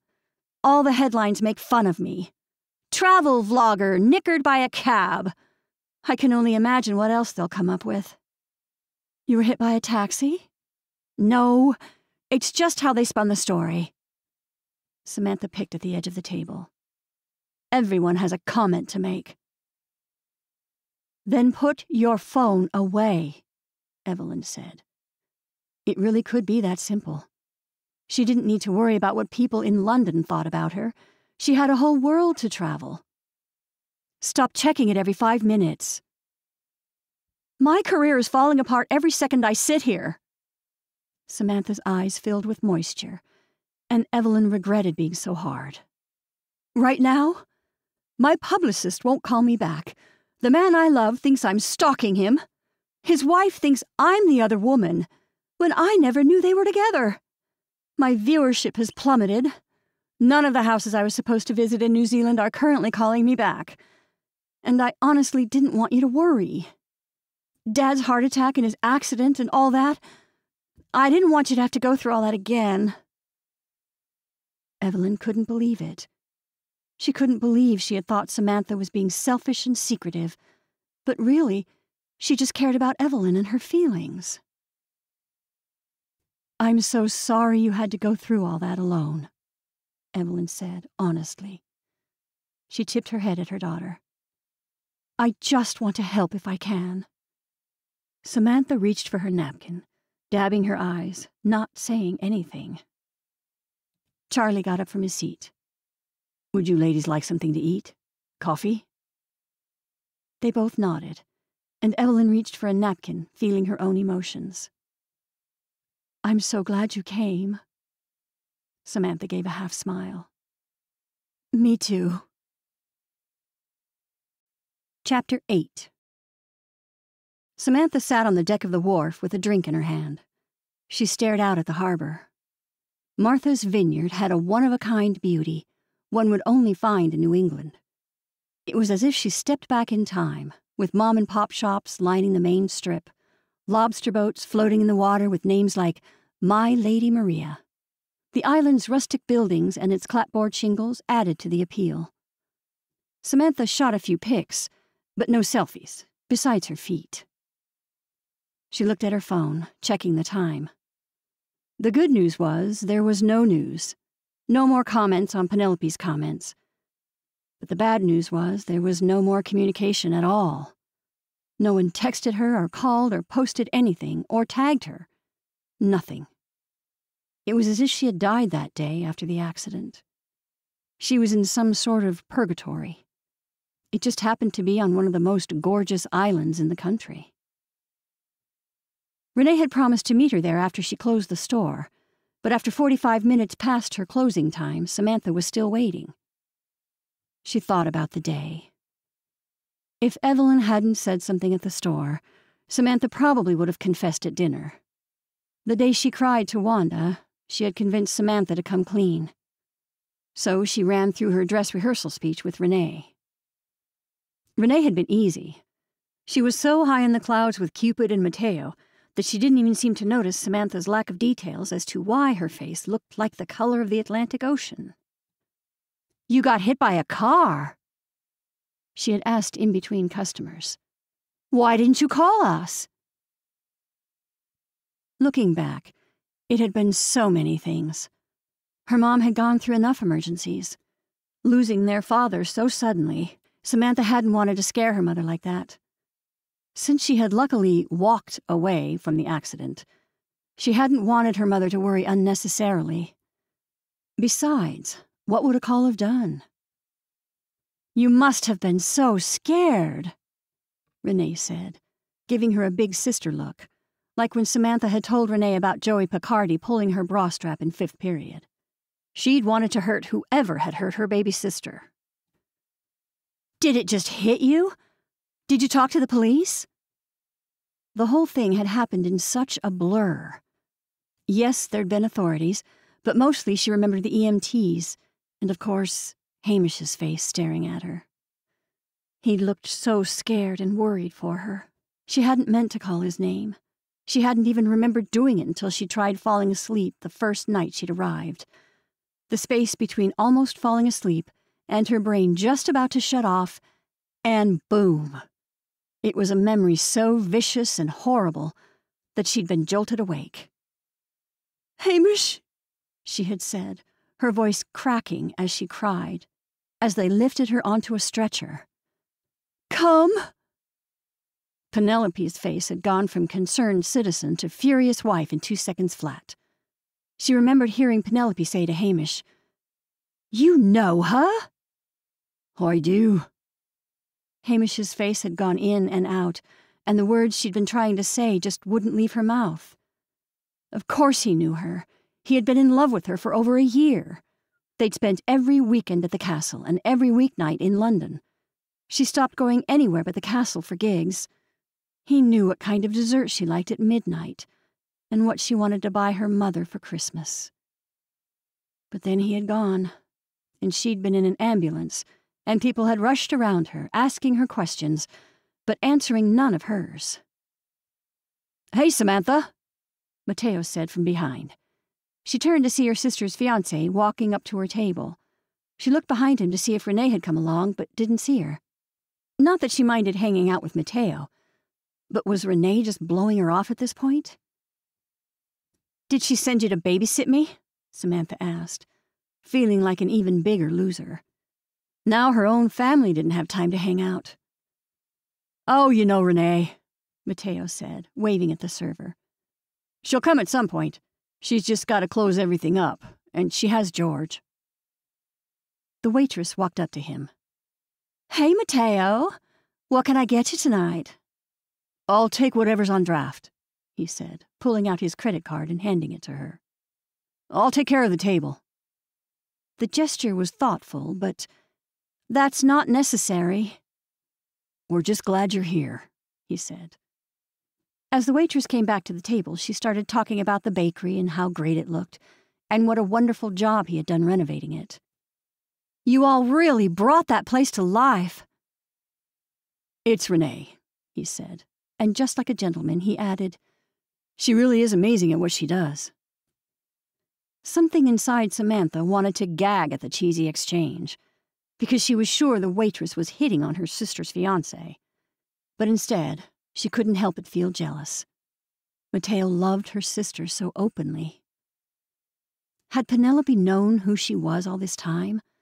Or had Hamish kept Samantha from her, too? I'm Samantha, she said, extending her hand out to the waitress.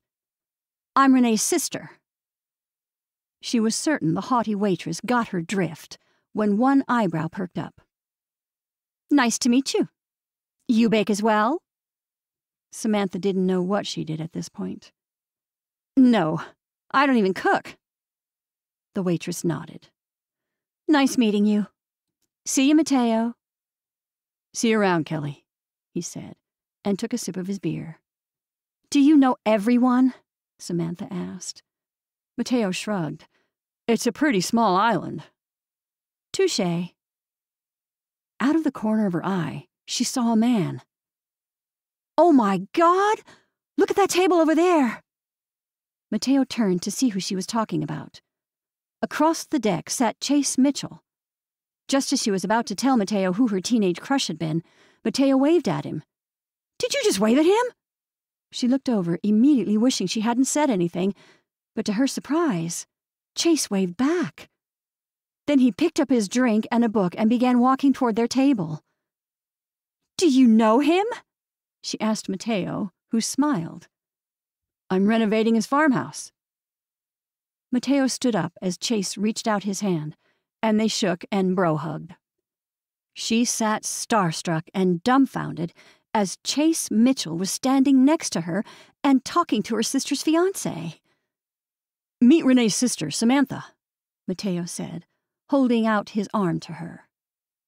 Chase reached out his hand, and at first she wasn't sure if she should take his, but like a doofus, she wiped her sweaty palm on her shorts and shook his. Sorry, it's just so hot outside. She pulled back, dying of embarrassment. I loved you in Miami High. He snorted. Thanks. Even though every signal coming from him, his body cues radiating that he didn't want to speak about his major television years, she couldn't help but want him to know she wasn't a weirdo. She wasn't a stalker or some nut job. I mean, I was like five, so. His forehead wrinkled as he looked at her. Great, thanks. He looked at Mateo and said, Good seeing you, Mateo. Mateo, who didn't seem to notice that she was making a total dork out of herself, shook Chase's hand and said his goodbyes. I'm so sorry, she said as he left.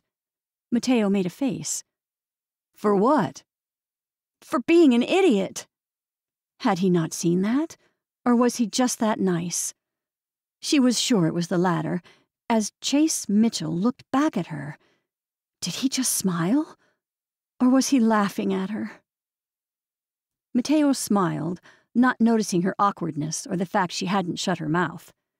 She'd met Chase Mitchell, the biggest teenage heartthrob of her time, whose poster still hung up in her bedroom back home in Minnesota. Or was this home now? London was no longer her home, that was for sure. She hadn't been back to Minnesota in so long. Not in at least two years. Had it been longer than that? Where was home for her? God, she thought, as she looked over at the attractive man who lounged at the wharf on a Wednesday night. Is he alone? she asked Mateo. Mateo looked over to his table and shrugged. Looks like it. There was no doubt. He was reading a book with only one table setting. Should we invite him over to join us? Mateo asked, about to pop out of his seat. Samantha made a face, then looked back at Chase. I don't know. Do you think he wants to be by himself? I think I might have scared him. Come on. He's a really nice guy, he said, jumping off his high stool. Mateo didn't even wait for her to answer, but walked over to him. She watched as a conversation started. Did you see Chase Mitchell? hissed Renee, leaning over her shoulder trying to catch a glimpse. Samantha jumped, almost falling out of her seat. Where did you come from? Samantha hadn't even seen Renee walk into the hotel. I came through the back. George was in a baby carrier on Renee's chest again. His limbs hung limply as she stretched for a better look. I sell some of my pastries and bread for their service here. Samantha noticed her nephew's tiny head bob up and down with every movement. Is he sleeping? He loves sleeping in this thing. Renee took Mateo's chair, but only half sat, half leaned on it. She waved to Kelly, the waitress. I'll take a glass of red. Look at that, Samantha said, as Mateo and Chase started walking over to the table. Have you met him yet? Samantha asked Renee. No, but Mateo and his brothers say he's wicked cool, Renee said. Samantha let out a laugh. Did you just say wicked? Yes. Renee shot her a look as the men came closer. Now shut up, before I tell him about the poster still hanging in your room. You wouldn't! Samantha's mouth dropped. But sometimes you must fight fire with fire. She leaned back in her stool as the men approached the table. Mateo, have I ever told you the story of when Renee got locked out of our parents' cabin? Hi, Chase, Renee said, holding out her hand. It's so nice to finally meet you. Nice to meet you, too, Chase said. He held his book under his arm and his beer in his hand. Samantha ignored him as he sat in the chair next to her. Her heart started beating fast as he sat there, and she wondered if he could feel her vibes going crazy. She wished more than anything to pull out her phone and snap a selfie. So I heard you bought a farmhouse on the island, Samantha said. He nodded. Yep. Mateo's really doing a great job gutting the place and rebuilding it. I heard it's a timber framed house, Samantha added. Mateo had explained the renovation last night at dinner. In college, she had taken classes for architecture, but for some reason she didn't think she could do it that she wasn't smart enough. Her high school math teachers had complained about how chatty she was and how she hadn't taken math seriously enough. But she loved math. She loved calculus and trigonometry and statistics. But her teachers never took her seriously and advised against architecture. So she took graphic design, kept talking in class, breezing through, and hadn't thought about math again until she read about Leonardo da Vinci in her art history class in London, where she'd mostly gone to drink at pubs and meet a British lord. But she also fell in love with architecture. That's why she did the traveling. That's why she had started her vlog. She loved the buildings, the structure, the reasons certain houses were built certain ways. Everything about the landscape, the space, fascinated her. It's fantastic you're keeping the original structure. Samantha could feel her chattiness rising. Now, as an adult, she understood the chattiness came from nerves and anxiety. Maybe you'll find a shoe in the walls. Chase stared at her. Oh, God. Now her nerd was coming out. She immediately thought of Hamish. He'd get it. Chase's eyebrows rose. Shoe? Back in the day, people would ward off evil witches and spirits by putting an old shoe, the older the better, inside the walls. Samantha couldn't stop at this point, even though his eyes were almost certainly going to glaze over, like every other guy, besides Hamish. One shoe? Chase asked. He took a sip of beer, looking up as if thinking this over in his head. Yes, usually in adults, Samantha took a sip of her own margarita. They wanted a smelly shoe to make the spirit stay away. Huh. Chase looked at George hanging over the baby carrier. He's a good sleeper. Yes, well, he worked all day, and it poops him out. Renee bounced him up and down as she sat there. Kelly came with the drinks, and Renee swooped up the glass of red. Thank you so much. Just when she'd said it, George stretched out his chunky baby legs and let one rip through his diaper. Renee's eyes widened as a smell permeated out from the sleeping baby. Oh, no. Renee looked down, and a green wetness spread from the middle of her shirt and down her pants. He just had a complete blowout and didn't even wake up. Chase looked impressed.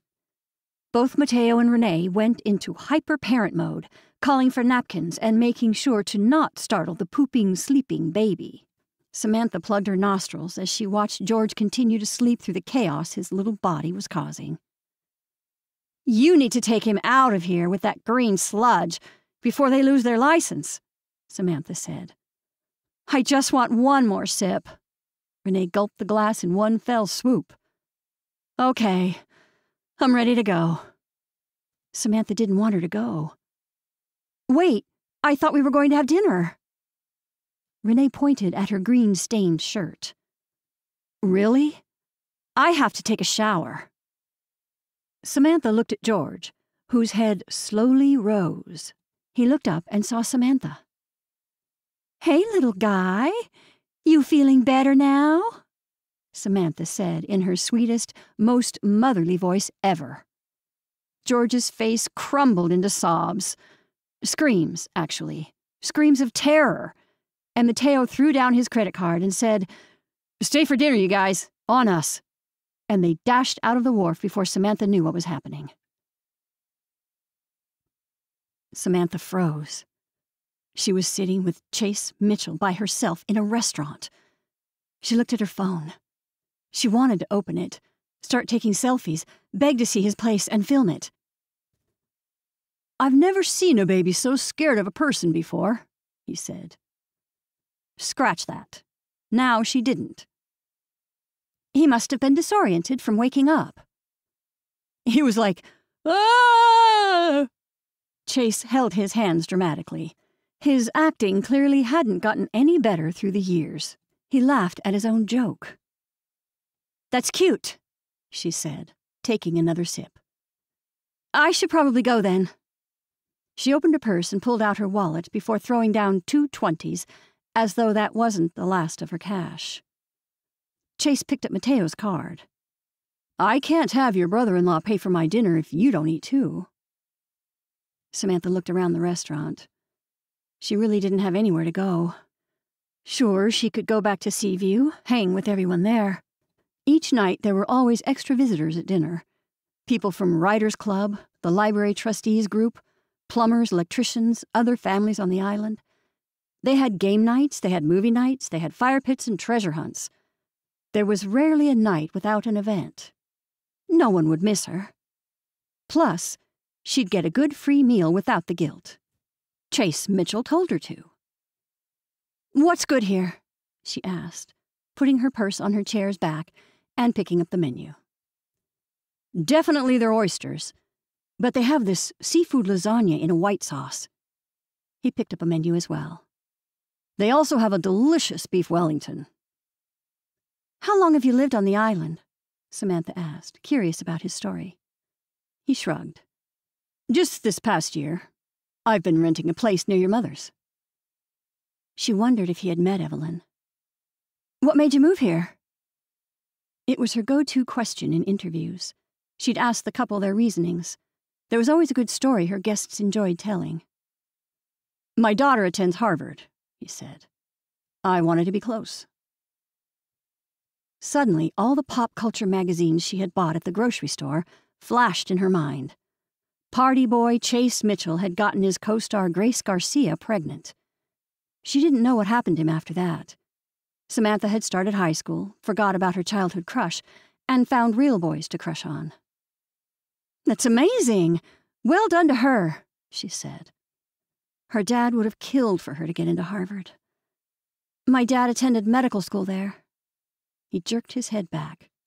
Wow. I hope Dahlia goes to medical school. Does she want to be a doctor? Samantha asked. He shook his head. No, she wants to do something like teach or join the Peace Corps, or, God forbid, go into politics. That's amazing. Yep. He took a sip of beer as though this did not impress him. She's pretty driven to save the world, but to be broke while doing it. She looked at the man who, on paper, appeared amazing. Hollywood superstar, daughter at Harvard, a farm on Martha's Vineyard that was most likely gorgeous. But something felt very normal, too. I think that's admirable, Samantha said. I don't care what she does for a career, he said, setting down the menu. I just know how hard it will be with little reward. She's helping people who are less advantaged, Samantha said. That's admirable. Well, maybe as a doctor she could help and earn money doing it, he said. She thought about how she was probably closer in age to his daughter than she was to him. How old had he been when he and Grace had a baby? It had made every news outlet in America. She remembered that. It had even reached the morning news shows. She had to assume it probably made world news at some point. Two wholesome child stars who had pretended to be much younger than their actual age. The show was cancelled after that. She couldn't remember if he had been in anything afterward, but she remembered seeing Grace Garcia in a lot of things. Then he asked the inevitable question What do you do for work? She exhaled. I have a documentary travel vlog about architecture. He sat back in his chair. Really? She nodded. Well, I did. You did? he asked, shifting in his seat and leaning closer to her. No, I'm taking a well deserved vacation. She spun her phone on the table. A well deserved, forced vacation. She looked at the book he had been reading while sitting by himself. You read Thoreau for fun? Samantha hadn't read any of it, preferring modern authors like Kristin Hannah or Jojo Moyes. Dahlia sends me her reading material when she finishes and makes me read it. Chase shrugged. Next is Josephine Brown. Samantha wasn't into the classical literature philosophy of Thoreau, but knew enough people who loved his work, like her father, for instance. I've never read anything from either. I went to school for graphic design. Graphic designers didn't sit around discussing the philosophy of small government and transcendentalism. They were both abolitionists, he said, patting the book with his hand. Both wrote and lectured against slavery. Josephine's father had been a runaway slave from Kentucky. Dahlia loved this class where she'd study these books and then travel all over to where these writers lived in Massachusetts. They're all connected to Harvard somehow. A flicker of pride lifted his shoulders. No one in my family has ever gone to college, so I'm living vicariously through her. Even after you left the show? she asked. He had been still young at that point. I was too embarrassed. He shrugged. Why? She didn't understand why a guy like him would be embarrassed about going to college. I loved watching Miami High. You and every other little kid in America. She could hear a slight resentment in his tone. I never even went to school. Or at least, not a real school, he said. Samantha had no idea what it must have been like to live through what Chase Mitchell had lived through. It was probably every kid's dream getting acting jobs for one of the biggest studios in Hollywood, instant stardom and fame.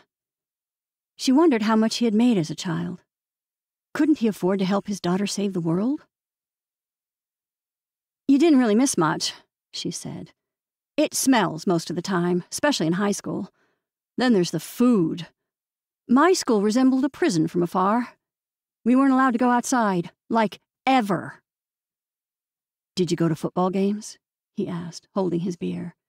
She smiled, thinking about being on the cheerleading squad. I went to them all. He nodded. I always wanted to go to one. I'll bet they have them here, she said. There had to be a high school team on the island. He shrugged. Harvard seems to have a good team this year. She had forgotten Ivy Leagues had games like that. She spun her phone and realized she hadn't seen his phone once. Do you visit your daughter a lot? She lets me come whenever I can, but she only comes home for holidays, he said. She loves school. Total nerd. Samantha could tell he thought his daughter was amazing and it made Chase Mitchell even hotter in real life than his bad boy character. So you bought a farm, Samantha said. Are you going to actually farm? He sat back in his stool, pushed his empty beer across the table, and sighed. My hope is to have some chickens, maybe. He shook his hand like a tambourine. We'll see. She gulped a drink from her margarita. What year? Excuse me?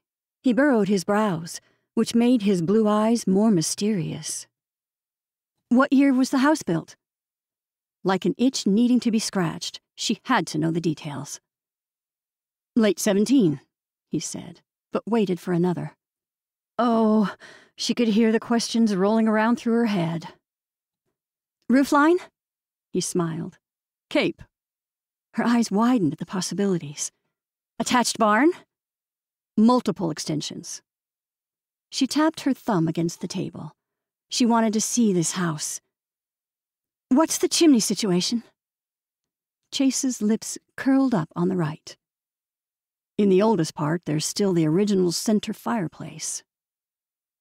She opened her mouth to say something, but forgot what she was going to say as Chase stared back at her, his eyes smoldering with heat. Was it hot in there? Want to get an Uber? he asked. Her heart suddenly plummeted to her stomach. What? We could go pack up the food, and I can show you my farm. He jammed his thumb behind him. Did you drive? Was this a pickup line? Was Chase Mitchell asking her back to his house to do more than look at a house? This is the kind of stuff she'd seen only on television. He nodded his head at his drink. I don't drink and drive. It'll be on every headline in the morning. She couldn't believe this was happening. Chase Mitchell was really inviting her back to his place? All right, she said, and drank the last of her margarita. I'd love to see your place. They hung out talking until their food was ready. Mr. Miami High turned out to be even better than his character. Everything about Chase Mitchell oozed graciousness and grandeur. The way he talked about his daughter, the ease of the conversation, even a few quips about the locals. She couldn't wait to see where this adventure would lead her. But she also second guessed herself the whole time waiting for the Uber. Here she was, about to go alone to a secluded farmhouse on a very quiet island. Most people here wore hearing aids, so they wouldn't hear her screams.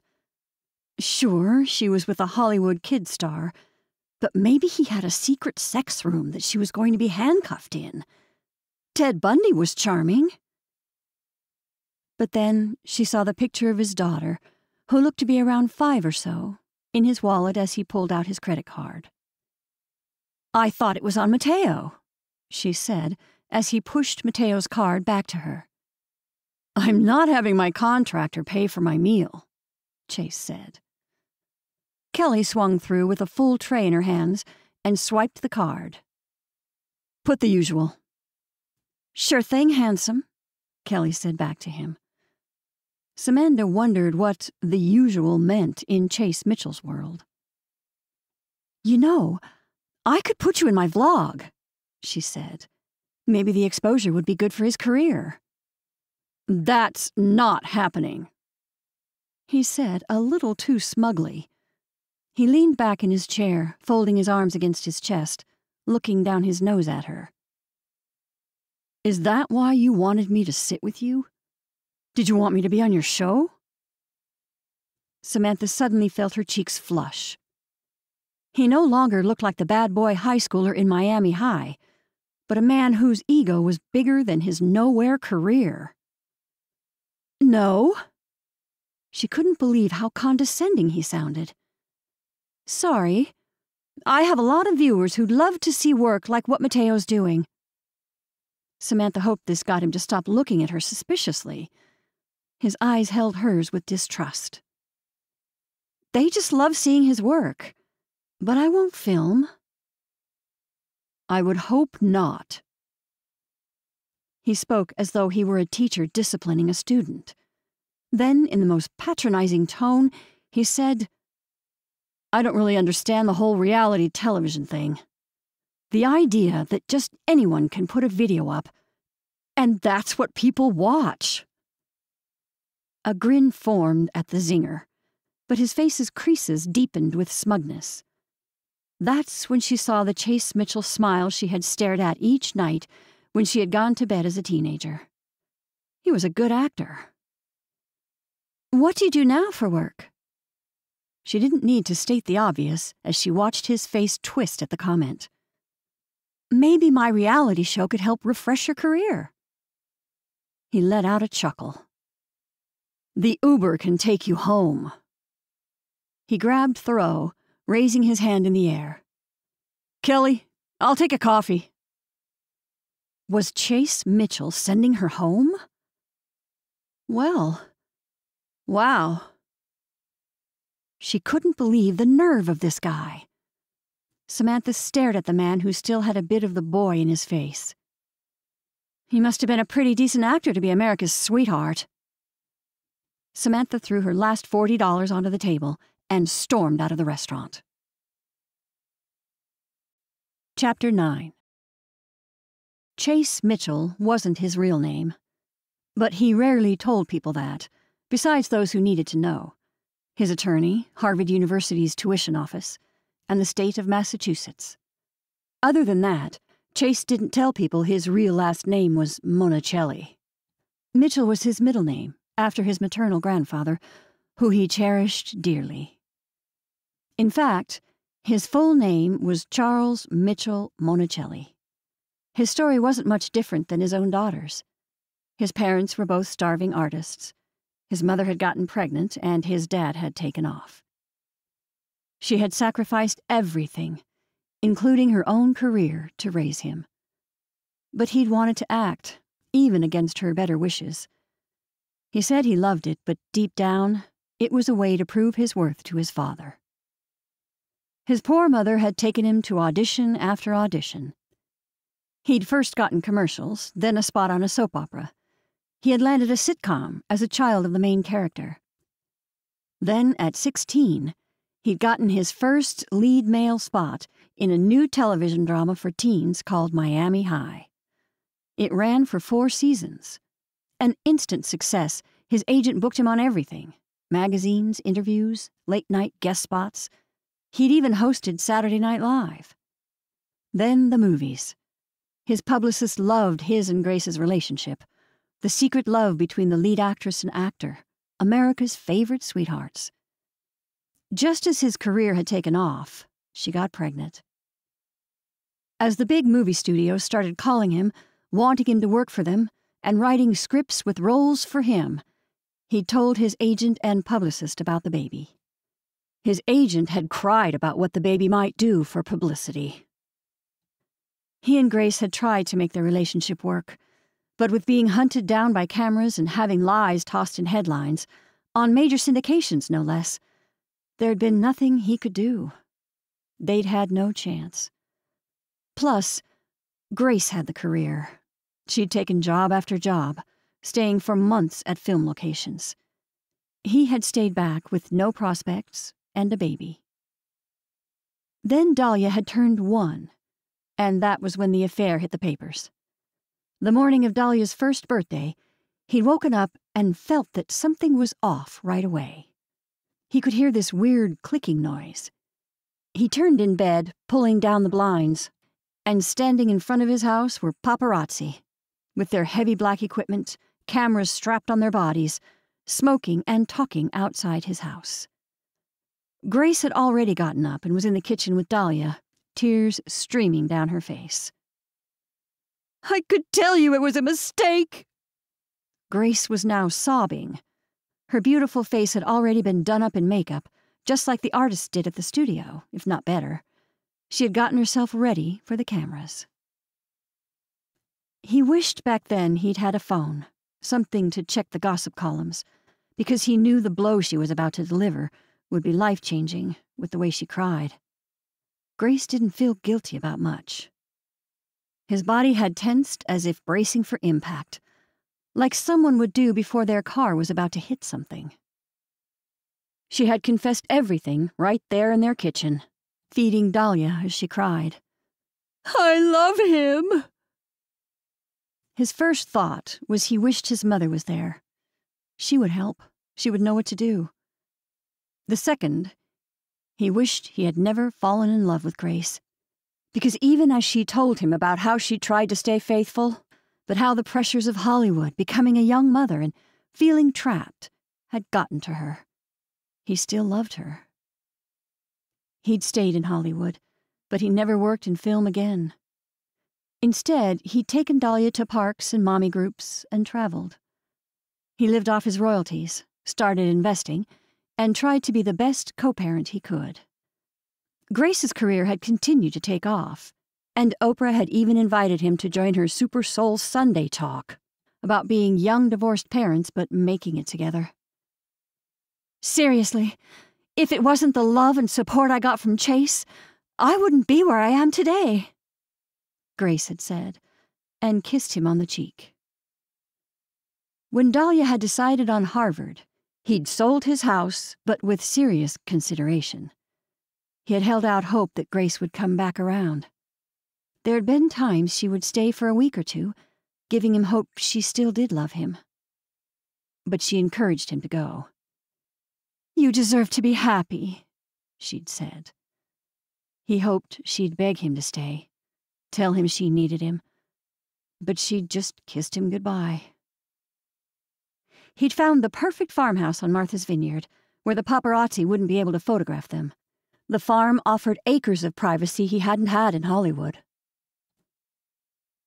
Maybe he had overreacted with Mateo's sister in law last night, he thought, as he took a run along the beach that morning, passing her mom's place. Most people don't understand the magnitude of what someone would do to get a good shot. There was nothing off limits for some of the people trying to earn money on one's reaction. Moving to Martha's Vineyard, away from the life of Hollywood, the fakeness was gone, his privacy back. He could sit by himself at a restaurant and no one gave two hoots. So when she talked about filming, the bristles on his neck rose. He opened his phone and typed her name in the search bar. He'd check out this architectural vlog. She had sounded a bit pompous, talking about a blog with videos. He knew she had a mother who did very well for herself. He had tried out for a role in her series on Netflix. That's when the article popped up. Travel vlogger run over by car. He scrolled down, letting the screen flow up, past other weird headlines. Then he saw the words like stalker, the other woman, and page six.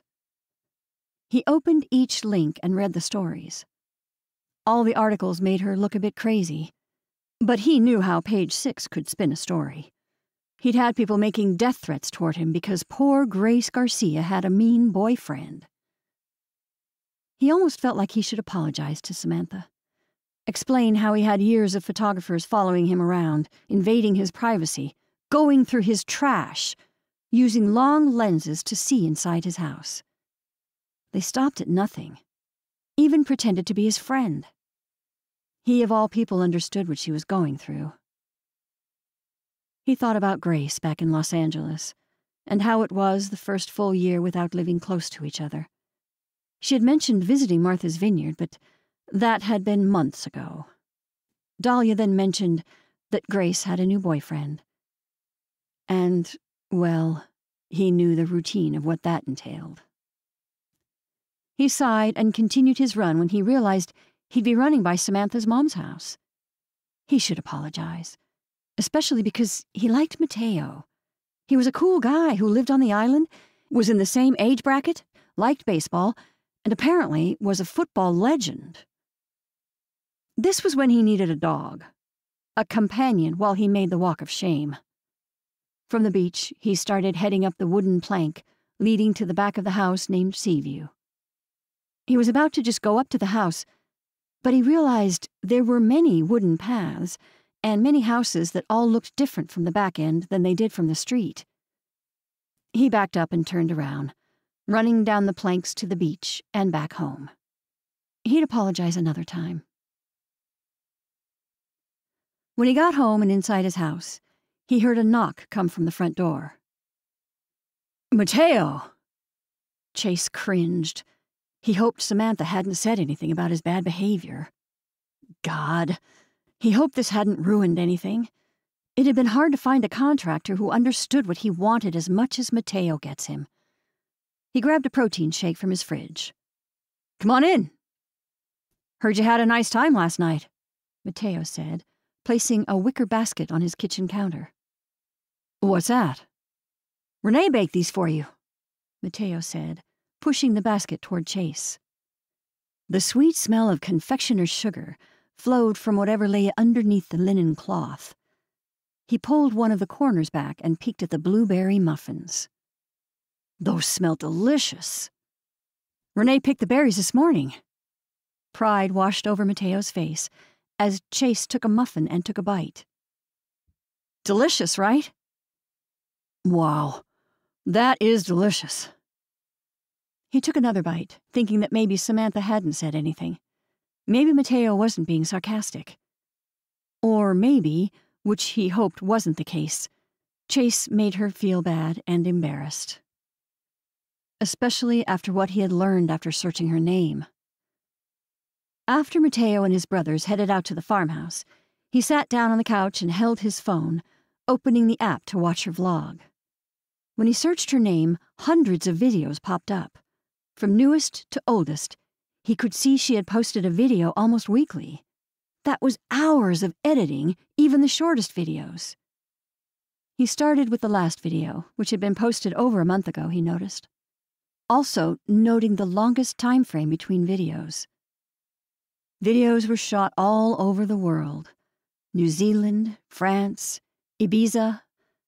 But she visited one over and over again a castle in Scotland. He could see why she wanted to video it. It was filmed more like This Old House versus the reality show Fixer Upper. She spent time explaining what made the house unique with its different architectural designs.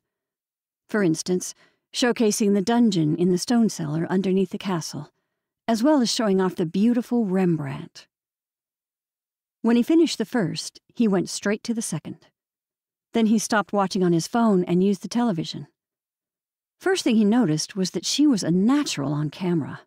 She moved and talked comfortably with the people and the camera itself, like a friend bringing you along on an adventure. She traveled everywhere houses on cliffs, apartments in Paris, cottages along the coast, and villas in Saint Tropez. The second thing he noticed was that she sounded extremely knowledgeable about every house she visited. She didn't just know stuff, she knew it all.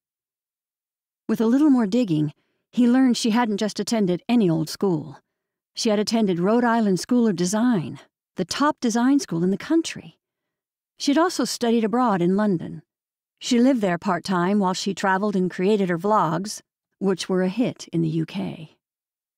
Then, after a dozen or so videos, he started noticing the same man appearing in them. For one season, she stayed at the castle in the Highlands, going through their renovations. It looked like a go big or go broke story. Samantha had stayed at the castle with the owner, an attractive middle aged woman, and her 30 year old son, who lived in London most of the time. They were renovating it into a wedding venue. At first, he thought it would be an underdog story, but then it evolved into a story of saving an old town. Everyone in town was included. Samantha filmed the staff at the house the gilly, the maids, the cook, and the farm manager. She interviewed residents, people who used the land for recreation. The son Hamish had been friends with them all. Samantha showed everyone, including the village coming together to make this castle work and bring in the tourists they all needed to make the town survive. Then a new video showed with Samantha in the thumbnail picture. When he started to play the video, he could tell by her eyes and her voice that she had been crying. Today is a devastating day for McPherson Castle, her chest shuddered a breath.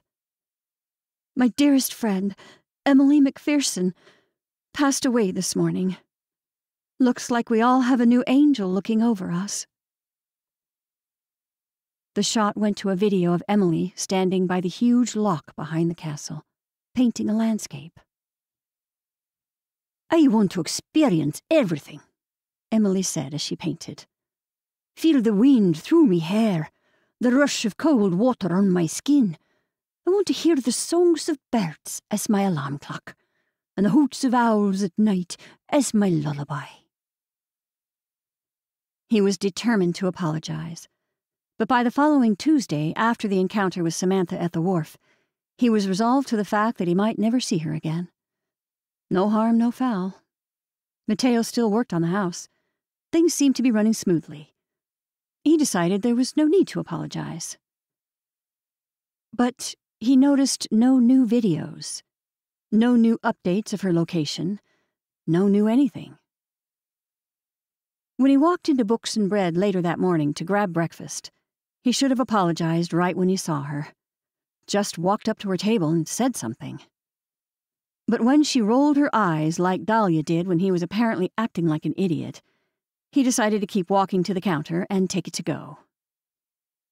As he stood in line, he could tell she was ignoring him, even felt her distaste for him, like a sourness from a distance.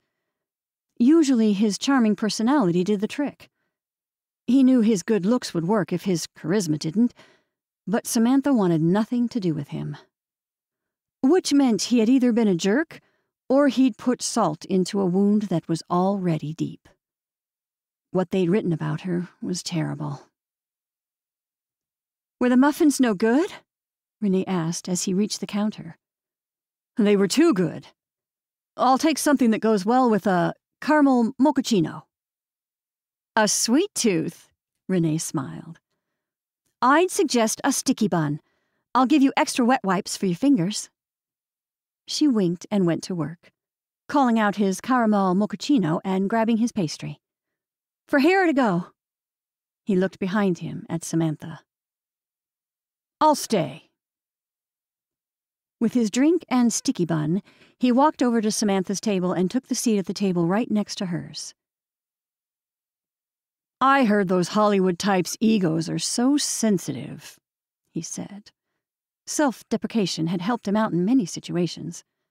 She gave a half smile. Well, I heard when you mock someone's career when your own career is in the garbage, it doesn't help matters. I'm sorry if I was a jerk. If. She looked out the window, rolling her eyes again. He grinded his teeth. He reminded himself that he had been a jerk. I'm sorry. He turned away, picking up a fork and knife, and tried to figure out the best way to attack the sticky bun as its caramel glistened in the morning sun glare from outside. You pick it up and eat it, Samantha said, her attention suddenly on him. He held up his hands. I have a thing about getting my fingers sticky. That's a shame, because you really can't experience it without just digging in. Samantha had an empty plate sitting on her table, with a clean fork and knife next to it. Once the fork and knife pop those air bubbles, you lose out on the true taste. Just when he thought about carrying on a conversation, she added, Plus, I doubt anyone's itching to take your photograph while you're licking your fingers. Maybe only when you get hit by a car. He had meant to sound funny, but hearing the words come out of his mouth, he immediately regretted them. He dropped his fork and knife and turned around to face her, his hands in surrender. Her mouth dropped wide open. I am so sorry. You looked me up. Her eyes darted around. Did you Google me? Well, you told me about your high audience vlog, he said, defending himself. I was curious. I can't believe you looked me up. Samantha did not look happy. That's weird. Is it? He assumed she'd probably done the same thing and had looked him up. Who didn't look people up these days? Her crossed leg bobbed up and down as she looked him over. You would enjoy the car incident. I didn't enjoy the car incident. He couldn't believe she'd gone there. He felt bad for her. It's the exact reason I freaked out on you that night. She sat back in her chair, her eyes narrowing at him as if she didn't believe a word that came out of his mouth. People write to get clicks and likes and follows. They'll take a serious situation like getting hit by a car and make it into something totally different. He looked back at the sticky bun and decided to listen to her, to show he could be cool and not always a jerk. Her face softened a bit, and he noticed a moisture in her eyes. But her jaw tightened again. I wasn't stalking him. I just happened to be shopping. It's a very famous street to shop. And I didn't even get hit by a taxi. I don't even know where that came from. He nodded. That must have been an awful experience. She looked up, her eyes showing a vulnerability, and suddenly, all he wanted to do was reach out and touch her soft face and tell her it would be all right. She quickly looked away, playing with her fork. It's still awful. She exhaled out a long, hard breath. When I was in Hollywood, they'd write terrible things about me and my marriage, Chase said. So much was written about him. Stuff that was completely untrue. His bad boy persona had ended up biting him in the butt, as his mother would have said. She had been right all along. Reputation was everything to people. No one had believed Grace, America's sweetheart, would have cheated on her husband of less than a year. No one had believed she'd fallen into the arms of another man when her husband was home alone taking care of their baby. Samantha shifted in her seat and looked at something behind him. Look, I'm supposed to be nice and not bother you. He turned around to see what she was looking at and saw Renee coming to the table. You're not bothering me, he said. Was he bothering her? My sister is afraid that I'll blow Mateo's gig with you. Samantha put on a big smile suddenly. Hey, sis. Hey, how's the sticky bun? Renee asked. He looked down at the uneaten bun. I was told I should eat it with my hands. You eat it any way you like, Renee said, smiling at the both of them, but he noticed her give a look to Samantha, and Samantha reciprocating with another eye roll. Hands it is. He picked it up and saw her go for her phone with a smirk on her face. Are you seriously going to take my picture? She laughed and shook her head. You're way too easy. Renee shot another look to Samantha, and he decided to bite into the sticky bun. Heaven exploded in his mouth. A sweet and sugary goodness blended with an airy, doughy pastry. It was quite literally one of the best things he had ever tasted. That's delicious, he mumbled. You should see your face, Samantha said, pointing at his mouth. You're a mess. He grabbed a napkin, wiping off the bits of pastry. No one would recognize the Miami Star now, Samantha said. She still has your poster on her wall, Renee blurted out, pointing at her sister. Chase's smile grew as Samantha's mouth dropped at the comment. Samantha shot a look at her sister, a look that could kill.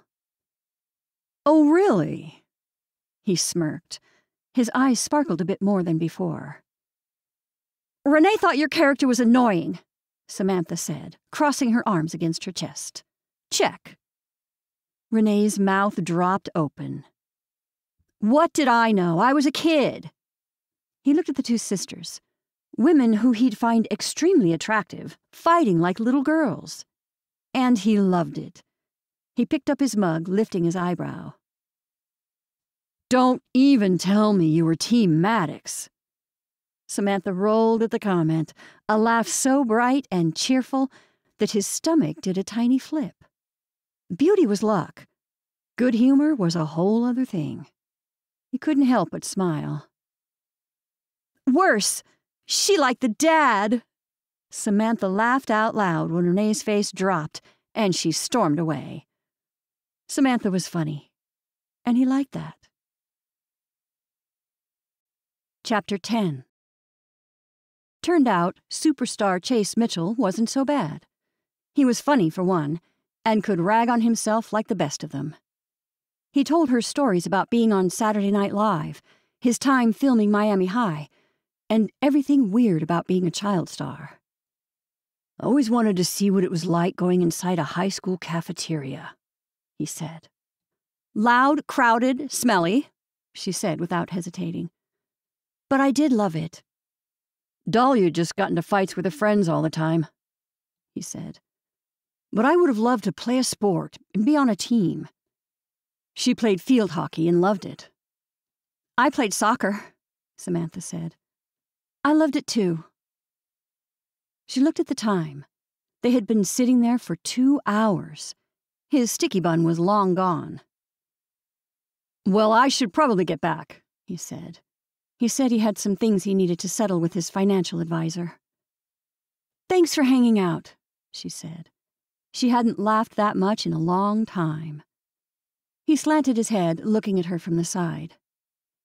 You want to come over? Check out the house? You could even film it if you'd like. She gave him a suspicious look. Are you serious? Sure, come. He shrugged, but she could tell this was big Real big. I promise I will not invade your privacy. You don't even need to be shown, she said, her words rattling out as her whole body ignited with excitement. Whatever's best for the shoot, Chase said. She couldn't read him. Was he feeling sorry for the girl who had gotten hit by the bus? Or was he actually interested in being a part of her work? I take my videos very seriously, she explained. The reality show comment had rubbed her the wrong way. It's art to me. He nodded and leaned his elbows against the table. Your videos are good. You're really talented. You act surprised, Samantha said. He shook his head. No. It's just that you have a lot of knowledge about it all. That surprised me, to be honest. So you thought I was stupid, is that it? Young, he said. Irritation ripped through her at the comment. She wanted to point out that he was the one wearing a hoodie and shorts, like all the kids wore these days, but she stopped herself. You realize you're only like nine years older than me. It's not like you're my dad or something. Though you'd be lucky, because he had a full gray head of hair. He bit his lower lip in what she declared as one of the sexiest things she had ever witnessed. Then he got out his wallet from his back pocket and pulled out a business card before handing it over between his index and middle finger. Let's talk to Mateo about things, and we can go over production, Chase said. Samantha looked at him. What? I know a few things. He shrugged, putting his wallet back into his pocket. What were you thinking? She never really thought much. She'd usually just go and discover. Her excitement would be genuine and unrehearsed. But would that not fly with Mr. Do Not Show My Life to the World guy? Let's do a lighting day, she said. She'd film throughout the time and use the footage. I like to use lighting as my lead. Lead? Actress. The lighting. You Roger Deakins? Samantha had no idea who Roger was, but she did know lighting was her specialty. It's one of my stars, for sure.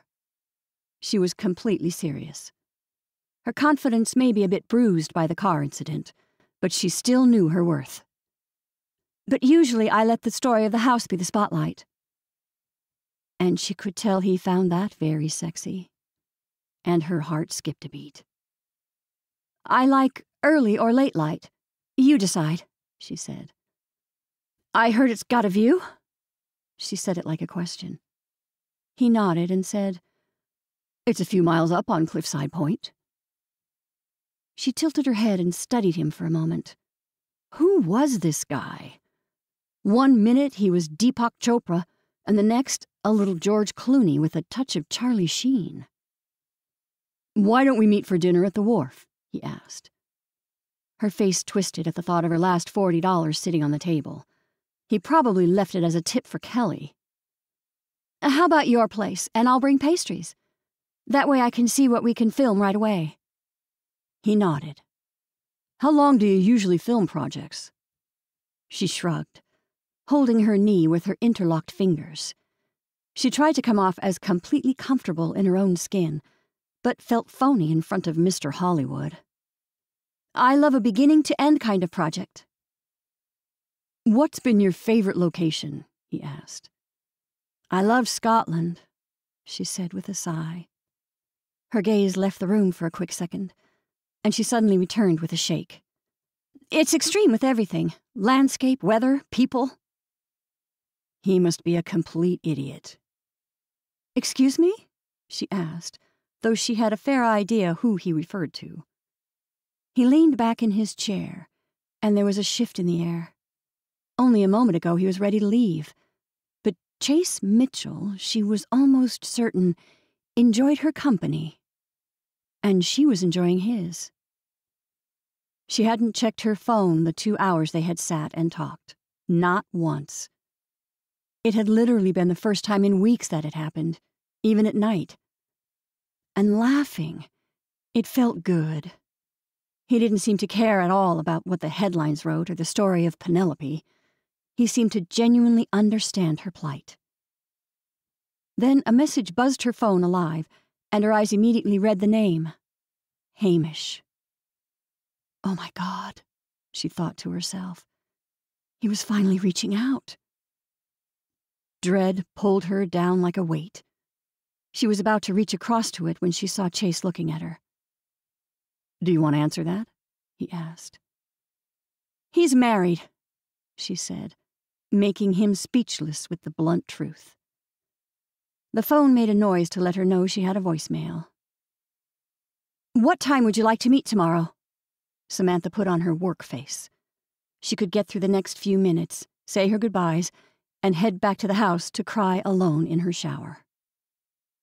Come for the sunrise, he said, getting up. He pulled out his wallet again. Oh, here. He threw two twenties down on the table. I'm not taking that, she said. Her pride wasn't completely destroyed. I'm not a broke actor, Chase said. Miami High is still huge on streaming. She pulled back the twenties, feeling slightly better about the situation. I'll bring pastries. I'll have coffee. He gave her a wave and picked up his things, leaving her at the table alone. She didn't look at her phone. Instead, she picked it up and dropped it into her purse. She'd say goodbye to Renee and walk the beach. Maybe take a detour if need be. When she reached the counter, baby George was strapped onto Renee's chest, wearing his angry face. Did you just wake from a nap? Samantha asked him. Creases formed as he made a deep, throaty grunt at her. He wants to give the pastries to the customers, and Mommy is saying no, Renee explained. Samantha wondered if all new mothers referred to themselves in the third person for the baby's sake, or to distance themselves from the annoyance that sometimes grew inside. I could take him, Samantha said, not sure why. The kid hated her. Before she could take back her offer, Renee was unstrapping the harness and throwing it around Samantha's shoulders. Wait, Samantha said as Renee clipped the front on. He hates me. He doesn't know you. Renee rested his backside against Samantha's belly and strapped the final harness around his chest, sealing them together. He looked at Renee and instantly started to cry. Oh, you better go before he gets upset, Renee said. Renee, he's crying already. What do you mean before he gets upset? A high pitched scream ejected from his lungs, something she had never quite heard before. Holy holiday balls! Where did he get lungs like that? Nice expression. Renee shook her head. Go to the beach. He loves watching the seagulls. Do you know, bird watching is considered a boring activity? Samantha said to her sister. Go! Have fun. Renee hugged them, squeezing George against her breasts. What if he gets hungry? she asked. Come back, or get milk out of the freezer at home. Renee acted like Samantha had watched George every day. Renee, I don't know anything about babies, Samantha pleaded. All I need is a little time to work, please. Renee gestured to the long line of customers. George had already stopped crying and was sucking on his thumb. Renee grabbed Samantha's arms quickly, pulled her to her face, kissed her on the cheek, and headed back to the counter without hearing the rest of Samantha's argument. She left with George strapped to her chest, her back already aching from the extra weight. Seems like you've been eating too much avocado. And pastries. She walked down Harbor Lane, trying to read Hamish's text as she went, but every time she slowed down, George would whine, and she feared the monster might come out again. The tiny village of Eastport reminded her of a Norman Rockwell. American flags hung on every store and porch. She walked by the park along the harbor, where it had tended pots of flowers and manicured lawns. She walked down to the memorial of those lost at sea. George's legs kicked as they moved. He seemed to be fine if she moved, but the second she slowed to read the text, he'd fuss. She walked past the tiny Ports Historical Society. Something delectable wafted from the kitchen of the wharf. She almost stopped in the candy shop, and realized Renee might not want her to give baby George candy. So she skipped it, instead, choosing to go inside the hardware store. How can I help you? A middle aged man said. He knelt on the floor, unloading a box onto the shelves. Just love a hardware store, she said. Mind if I walk around? He smiled. Not too many tourists come to visit my store, so sure. She smiled, not sure if she should correct him, but she didn't really know what she was considered on the island. Was she a tourist? Or did she hold a strange claim since her mother had a house here? Or was she just a transient outcast sent to another island? She was voted off the British island. She walked George up and down the aisles, just like her father would have done those Saturday mornings. Up and down the hardware aisle, looking for the perfect tool for his next project. He had started all kinds of projects a dollhouse for her and Renee, new shelving in the den, a back deck off the kitchen. Then he had ended up hiring a carpenter. Her mother always said it was a man's way of socializing, since their father hardly ever followed through on the dozens of projects throughout the years, but always went back to the hardware store. Supercalifragilisticexpialidocious, she began singing, just like her father would, holding her hand as they walked down the aisle. Even though the sound of it. George looked up and started jerking his legs up and down. Hot! Do you want a hammer? she said, pointing to the row of hammers of all different sizes and purposes. I think you'll have to wait. Hot! He'd yelled so hard that a baby blood vessel popped out of his little neck. Geez, okay. She looked around the store. There was only an old man and the front clerk. Oh, supercalifragilisticexpialidocious. By the time she and George hit the last aisle, she had moved on to Chim Chim Cheree, and the old man in the store had invited her and George back to the aisles another time. We gotta get them while they're young.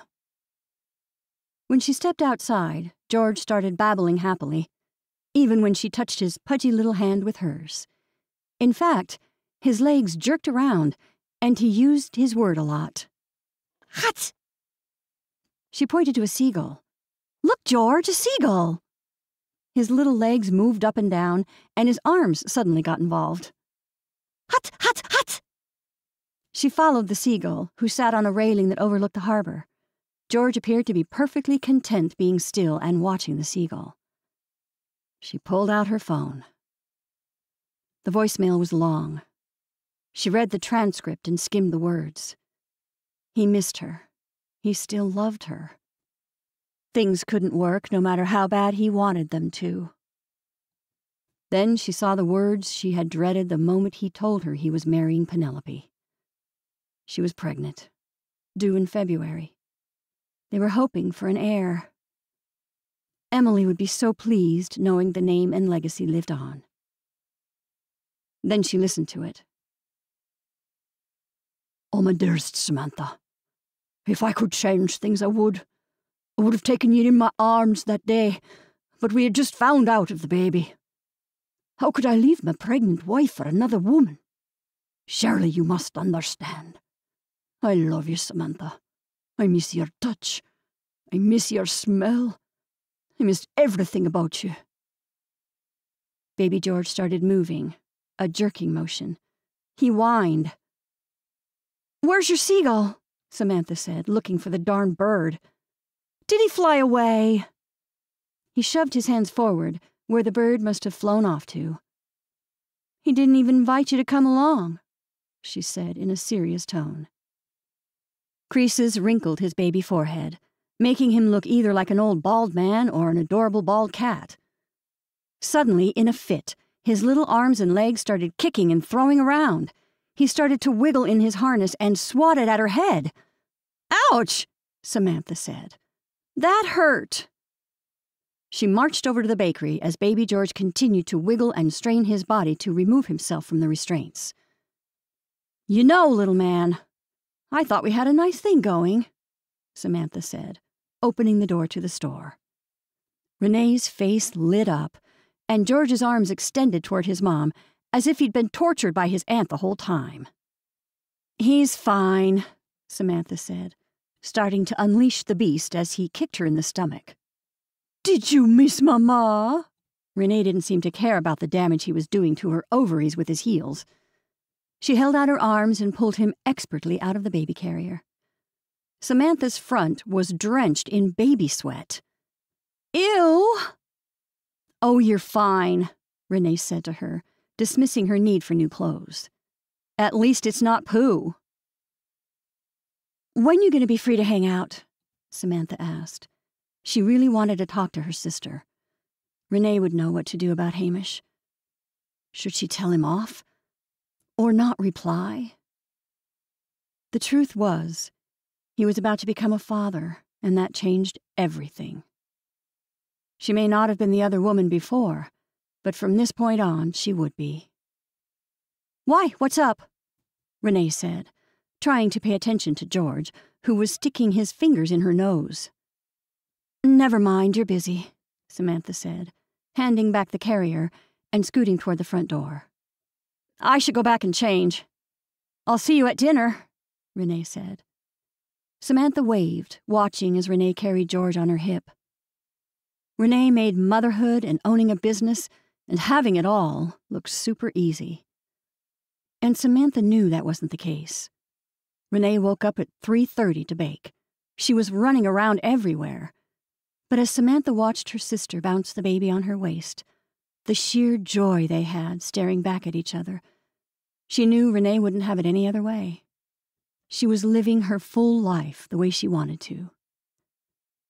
Samantha had dreams of living at the castle, not because it fulfilled the fairy tale dream for her inner girl, but because of the traditions, the legacies, and the rituals. She liked being part of something so much greater than her a history that would continue long past her. No one even knew her dad here. The only George they knew was a baby who hated his aunt. Chapter 11 You didn't see it, Renee said to Mateo as she wiped George's bottom with the baby wipe. You're right, Mateo said back, drying George's tush with a clean diaper.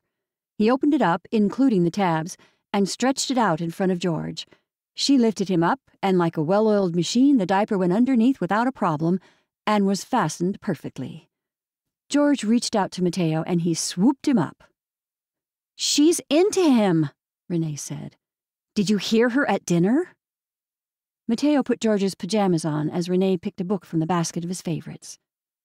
How about Goodnight Moon? That's such a weird one. Mateo said. She picked up another book, a Spanish lullaby that made her heart swoon when Mateo read it in his heavy accent. She couldn't understand much of it, but she loved hearing him speak Spanish. Mateo took the book and started right away, thickening his accent the way she liked. She placed George in her lap, squeezing him in delight as he clapped at Mateo. As she sat there on the floor, listening to Mateo act out the sounds of the Spanish animals, she realized how very blessed her life was. For George, Mateo was the father figure he would always know. Mateo not only turned out to be a great father, but also a great man to her. He treated her like a queen. I love you, she said to him, looking around the empty room that once housed all her and George's things. I can't wait to start this new chapter of our lives together. He leaned over and kissed her, as George grunted in between them. You want in on some love? she asked George. They both kissed him on the cheek. I love you both so much, Mateo said. I just want my sister to be happy, Renee said. Renee? Mateo went back to the book and held up the picture, starting to read again. You shouldn't get involved.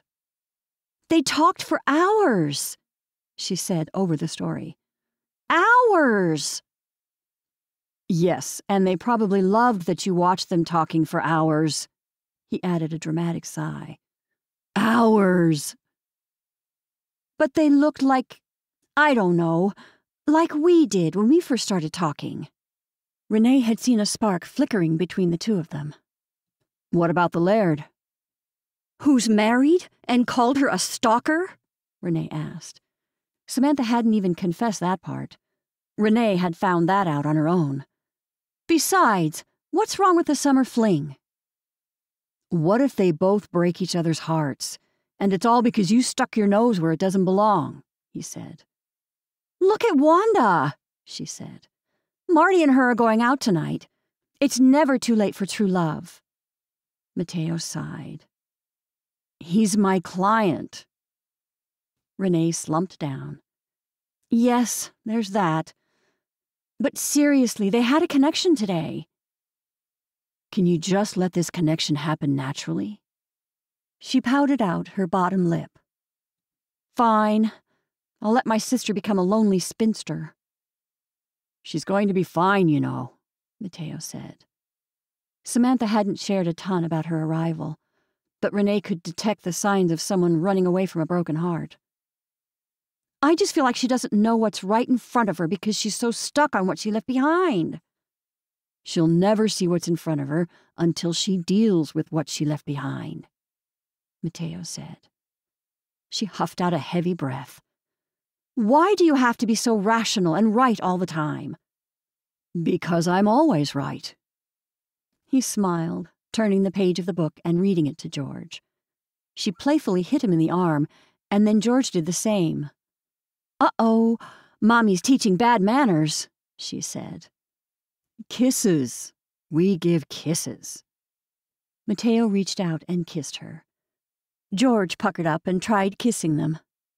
She had a stretching feeling in her heart, as though she couldn't possibly hold any more love. Life was so good. Why shouldn't she want her sister to have this? If she hadn't opened up to the idea of Mateo, she would be miserable and alone, wondering what she had done wrong that made her husband not love her and her child. She would be exactly where she was a year ago, devastated and destroyed. What if we just had him over for dinner here? she said. Renee! Mateo had a warning in his voice. Don't get involved. You, of all people, should know better. He was right, of course. She did know better. The women in the Rose family did not fare well with meddling, she could attest to that but they were also opinionated, determined, and stubborn. A perfect recipe for matchmaking. They're perfect together, she said to George, and Mateo sighed. I just know it. He kissed George's head and then leaned over and kissed her when the story was finished. I'll see you two in the morning, Mateo said. Biddy and my mom are taking Wanda to treatment, so Julia offered to watch George.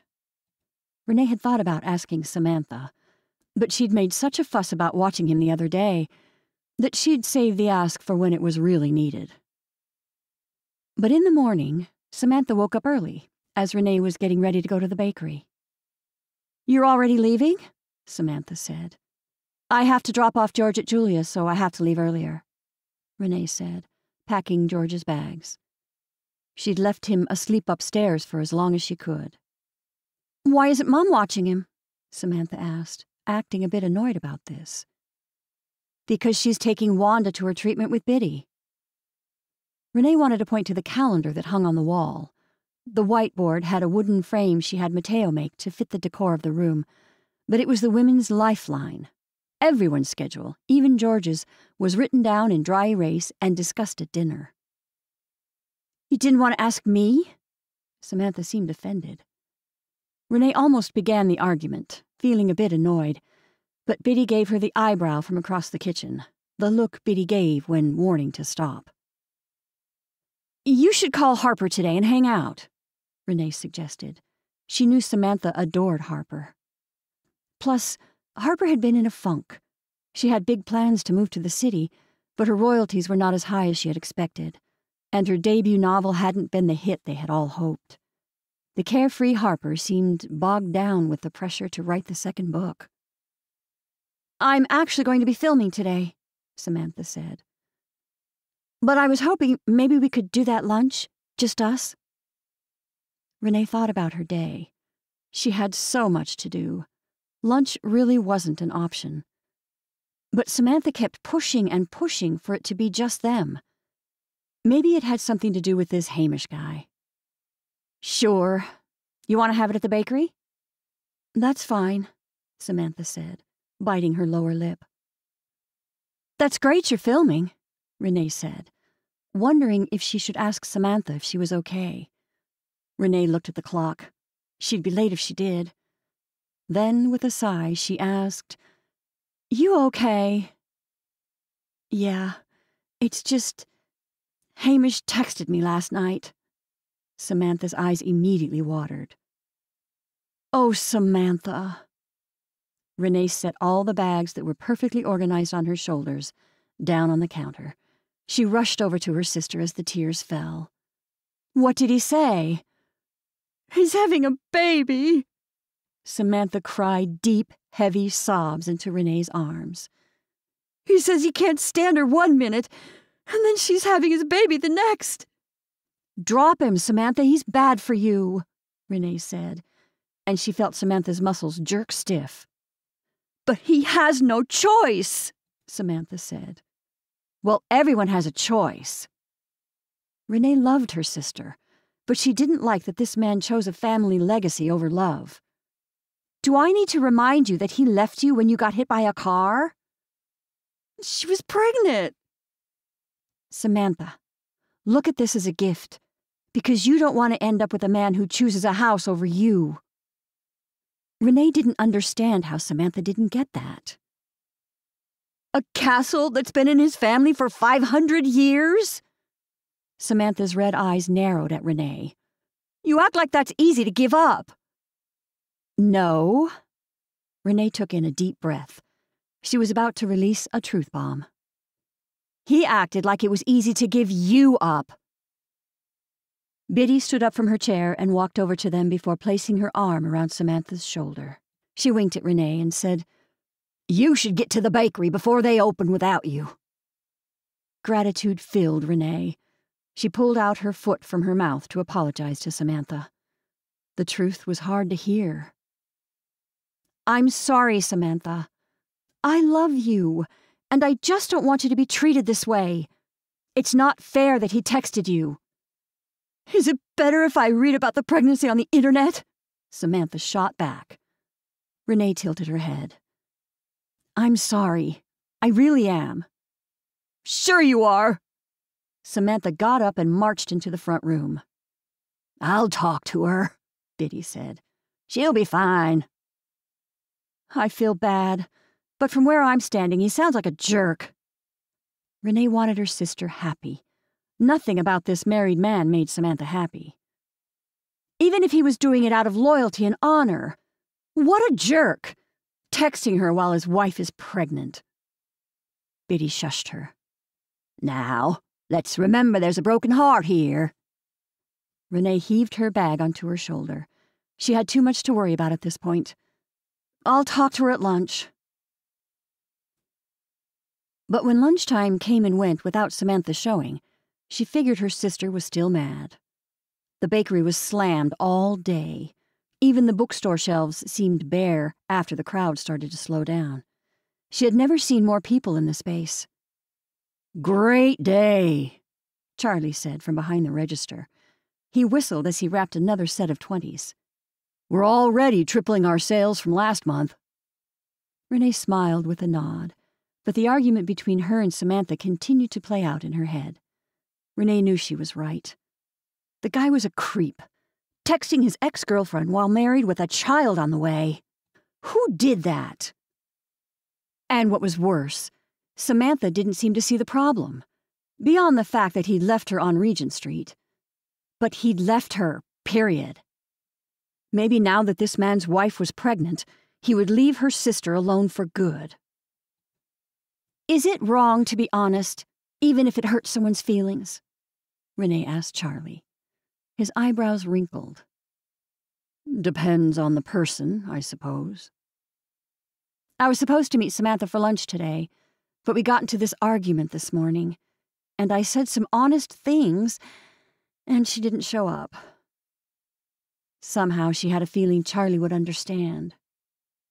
Ah, I see. Charlie shut the register drawer and leaned against the counter. Being honest is all about the delivery. I probably didn't deliver her truth at the best time. But Samantha would have sat around all day, sad and depressed, for a guy who sounds like a scumbag. Renee made a face. And now she's mad at me. Who's mad at you? Mateo asked, walking in from the back. Hey! Renee's sour mood instantly lifted the second she saw Mateo. Samantha. I told her to forget the Highlander, and she got upset. Well, she's not upset anymore, Mateo said, his lip curled in a smirk. Renee watched as Mateo held in a secret, which she knew he wouldn't be able to do for long. Mateo, do you know something we don't? She asked him as his smirk turned into a full blown smile. She's been at the farmhouse with Chase Mitchell all day, he blurted out. All day. You're only telling me this now? She looked at her phone. It's four. I was working, Mateo said to her. Sorry, but like, all day? Renee moved the conversation back on track. What was she doing there? She told me she was filming. She is. They've been walking around the whole house, talking about the sunlight, windows, exposure, shutters, I don't know. Anyway, she's going to do another series like she did with your mom's house and the bakery. Renee smiled, but guilt flooded her, and her feet felt stuck, like they were in sand after a wave pulled away from shore. That's great. Now she felt bad. Here Samantha was, helping Mateo's business with her videos, and Renee was throwing horrible truths in her face. I'm the biggest jerk ever, Renee said. What did you say? Mateo asked. Renee started twisting the tea towel hanging over her shoulder. Then she pulled it off and turned it in her hands. I may have given her a hard time about Hamish. She couldn't hold back. She flung her hands out, whipping the towel in the air, then hung her head, holding her temples. I just can't let it go. I'm sorry. It's a little personal for you, I think, Charlie said, standing off to the side. Renee froze and thought about it. Did she hate this man because of her own situation? No. Charlie didn't know the whole story, because Samantha did what she always did best. She only allowed the shine to show. She had a knack at keeping the rust and dirty side of her personality away from others. Her parents had thought she was a good girl, a straight A student, when in reality, the National Junior Honor Society member could take a beer bong better than any frat guy at Kappa Delta Pi. She'd go to the library to study, but go make out with Jordan Capsalis, the captain of the football team, instead. Samantha hadn't originally told Evelyn about Hamish or the car or her career's bust, because that didn't fit the narrative. Instead, she pretended everything was fine, met in secret to tell her story, and got mad when people told her the truth. Did she seem upset? Renee asked. Mateo shook his head, then winked at her. I think you're right. They seem to get along great. Maybe Renee should invite him to dinner. What if you invite him to your place and I can cook? Mateo tugged at the belt loop of her pants and pulled her into his arms, pressing her against him. You mean our house? You just have to wait three more months, she said. That's forever, he groaned. She may have wanted the dream wedding, but Mateo wanted the wedding night. Soon, Mr. Perez. He kissed her. Not soon enough. I'm standing right here, Charlie reminded them as they started kissing again. They didn't stop kissing until Renee playfully pushed Mateo away. So I'll see you at dinner. Dinner. He kissed her forehead. I'll ask Chase what's a good night to join us. She pointed to him. Perfect. She pulled out her phone and dialed Samantha's number, but it went directly to voicemail. Look, I'm a jerk, but I love you, and I just want to beat up anyone who breaks my baby sister's heart. She sighed into the receiver. But I should have kept my opinion to myself. I'm a big mouth, you know that. She paused, wishing she had kept her mouth shut earlier that morning. Now call me back. I heard you're hanging out with your lover boy from Miami High. But Samantha didn't call her back or show up for dinner. Chapter 12 Samantha wished she could have borrowed her mother's station wagon to drive over to Chase Mitchell's farmhouse, but the women needed it to go to the hospital for Wanda's treatment. There was no way she'd ask Renee for a ride after their argument that morning, so she texted Mateo. Could I get a ride to your job site with Chase Mitchell? She crossed her fingers, hoping he wouldn't be weird like Renee would be. Sure, I'll swing by in 15. Of all the things Renee accomplished in her life perfecting, her baking, her business, now she had the perfect boyfriend. Mateo not only had the looks and the brains, but he quite literally was the nicest guy. About 15 minutes later, Samantha saw headlights sweep across the floor, and she ran to the front door, when all of a sudden Harper came bounding up the front steps, and they almost bumped into each other. Hey, Harper said. Oh, Samantha looked at her watch. It was still dark out. I thought you were Mateo. Harper made a face. I hope I don't look like a six foot tall man. Sorry, no.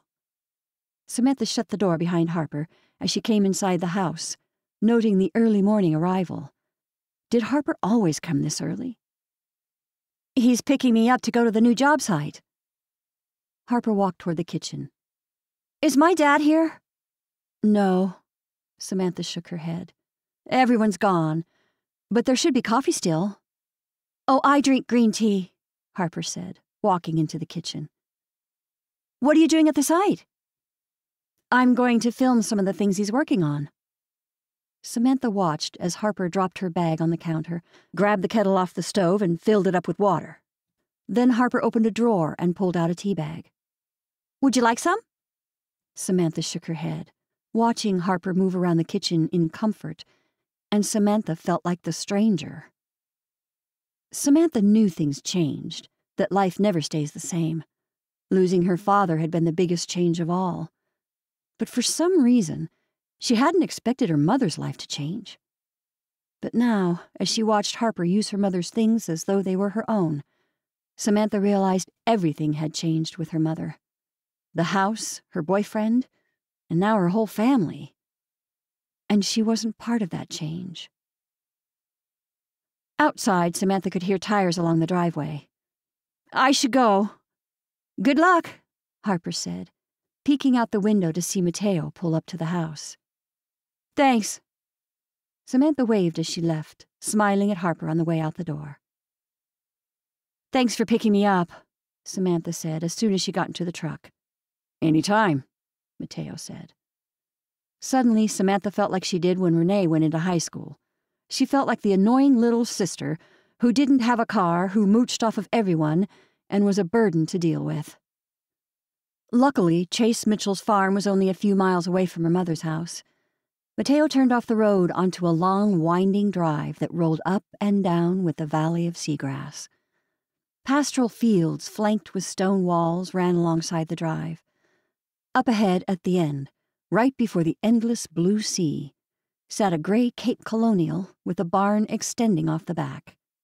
It was spectacular. Oh my God, she said, leaning into the dashboard to get a better look at the views. It's insane. The Cape portion of the gray clapboard house appeared to be the original house, and it seemed as though multiple additions had been made. It just kept going and going, like an English village house or a farmhouse in Provence, but this house extended into the sea. This place is amazing, she said as Mateo parked his truck. Wait until you see what he wants to do with it. Mateo raised his eyebrows. It's going to be insane. Chase met them outside and opened the passenger door for her. The men shook hands and made some small talk, as Samantha strolled off by herself, walking the drive in the morning dusk. You ready? Chase asked. She turned to see him in his usual hoodie and pants, which fit a bit too perfectly. He may be ten years older, but he was still very fit. She looked down to see he wore a pair of New Balance shoes, which she remembered were her father's favorite brand of running shoes. Is that an old Canon A1? Chase asked, reaching for the camera that hung around Samantha's neck, and swept it off. Here, check out my camera, Samantha said sarcastically. But something felt good about having Chase Mitchell, haughty of Hollywood, comfortable enough to jokingly take her camera from her neck and start taking pictures. I thought you said no filming, he asked her, hitting the buttons. I use it for lighting. She liked opening the filters, using the exposure. She really didn't know much about photography, but she could read a room with photographs, like still life in painting.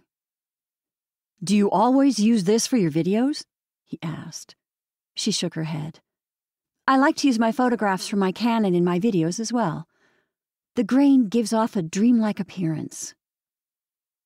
I noticed you had still shots, but I thought you just used a filter on your phone he said. He looked through the camera's viewfinder and pointed it on Samantha, who pretended to be unamused by his behavior. How old is this original structure? she asked. This part of the house was built in 1795. Chase handed back the camera and stuffed his hands into his pockets, walking her over to the part of the house she'd thought was the original, the Cape portion. She could see the familiar bronze plaque of National Register of Historic Places. She noted it was older than McPherson Castle.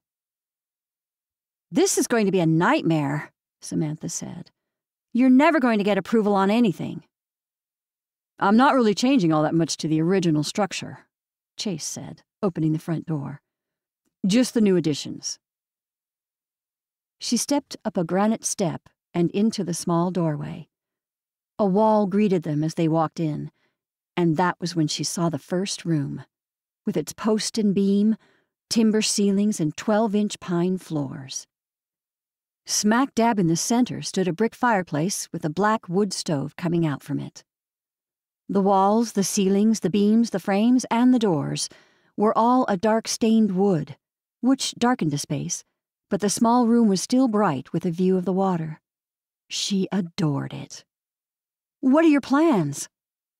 I'm going to keep this original part of the house as is. He held out his arms, turning in a circular motion. But the rest, well, that's not historical, and I'm modernizing. He walked her through what looked like a dining room, but it had no furniture other than a hutch, to an opening covered by a sheet of plastic. He pulled it back and gestured his arm toward the new space. After you. Samantha walked into what looked like a construction zone, not a 300 year old farmhouse. It felt like a completely new space, open and bright, windows everywhere, with lots of cabinetry. Are you making this the kitchen? He nodded. I'll be able to cook breakfast and see the sunrise. He stepped back and pointed down the length of the house. The whole back end of the house follows the sun. She looked through the kitchen, where they stood on the eastern side of the house. The dining room came next, then another entrance to another room, and then to another. What's the last room? She started walking down the separate spaces. A study that walks out to a screened in porch. The house seemed huge for one man and his daughter. Do you at least have a girlfriend?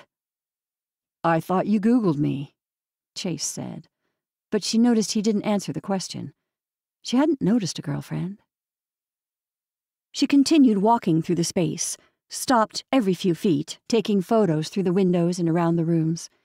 Each room had its own theme, with French doors that led out to its own unique garden. In one garden, it had nothing but rose bushes and greystone. The next garden had huge blue hydrangeas as a natural border.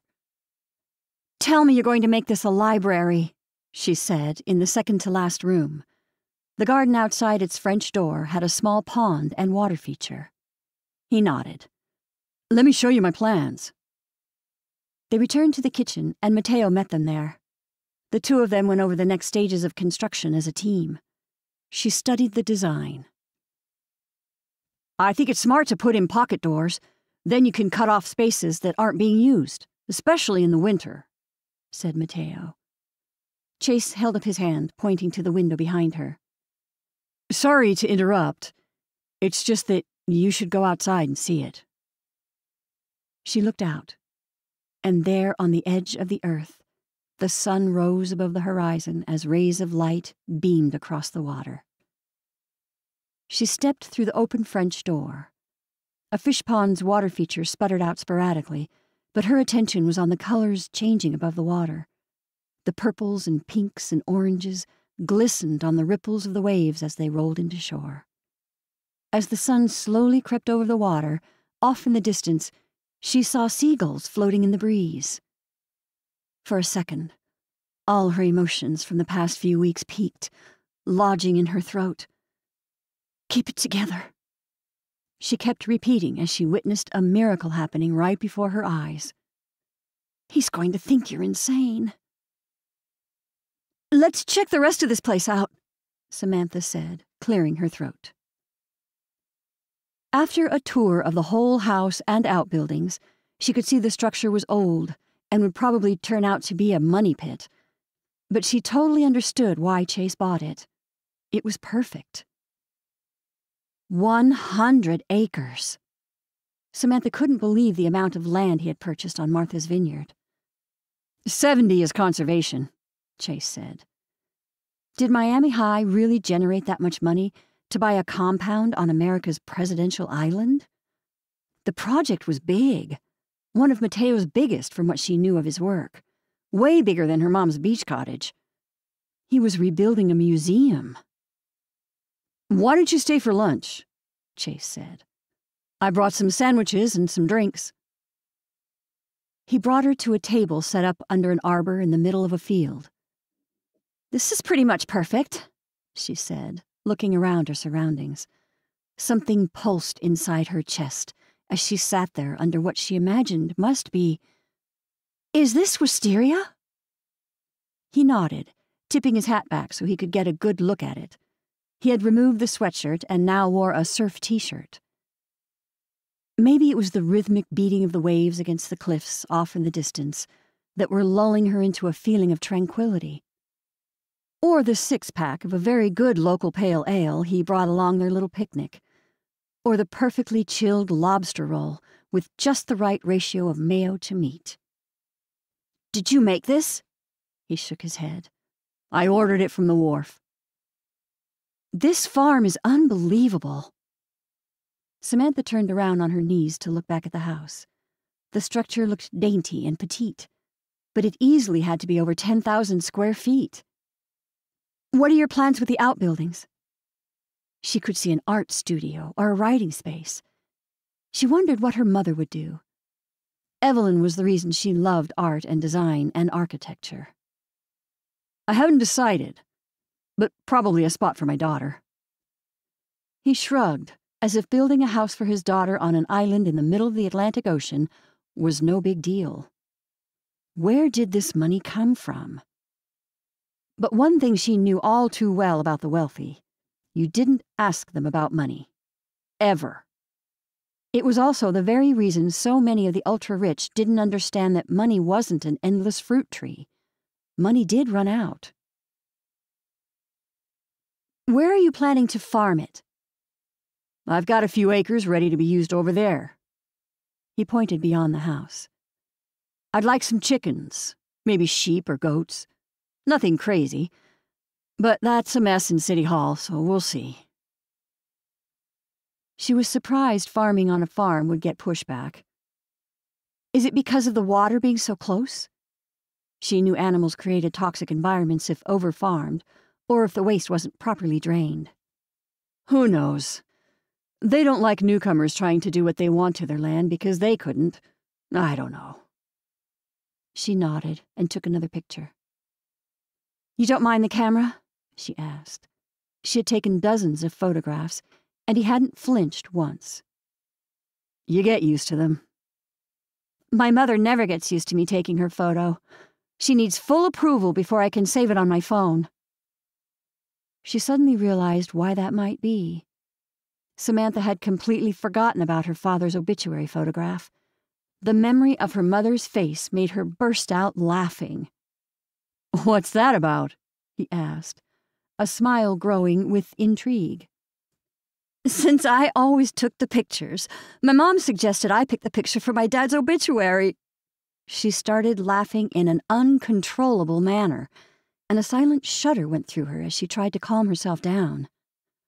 It's really not that funny. What is it?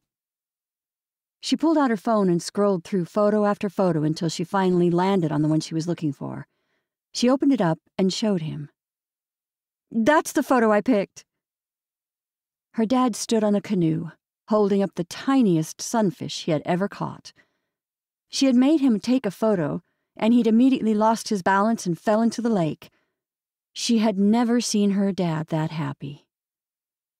But when her mom had seen the photo of him in his tight 80s shorts, with a tiny fish and a six pack of light beer in the background, she was not pleased. You made your father look ridiculous, she hadn't understood. He looked so happy. Fishing with his family on the lake had been great. Why choose a picture he'd been forced to smile in when you could feel his happiness radiating out of his body through that one? He looks really happy, Chase said. I know, right? She laughed, looking at it. He practically died because of that bloody sunfish. Where's that accent from? Chase asked Samantha.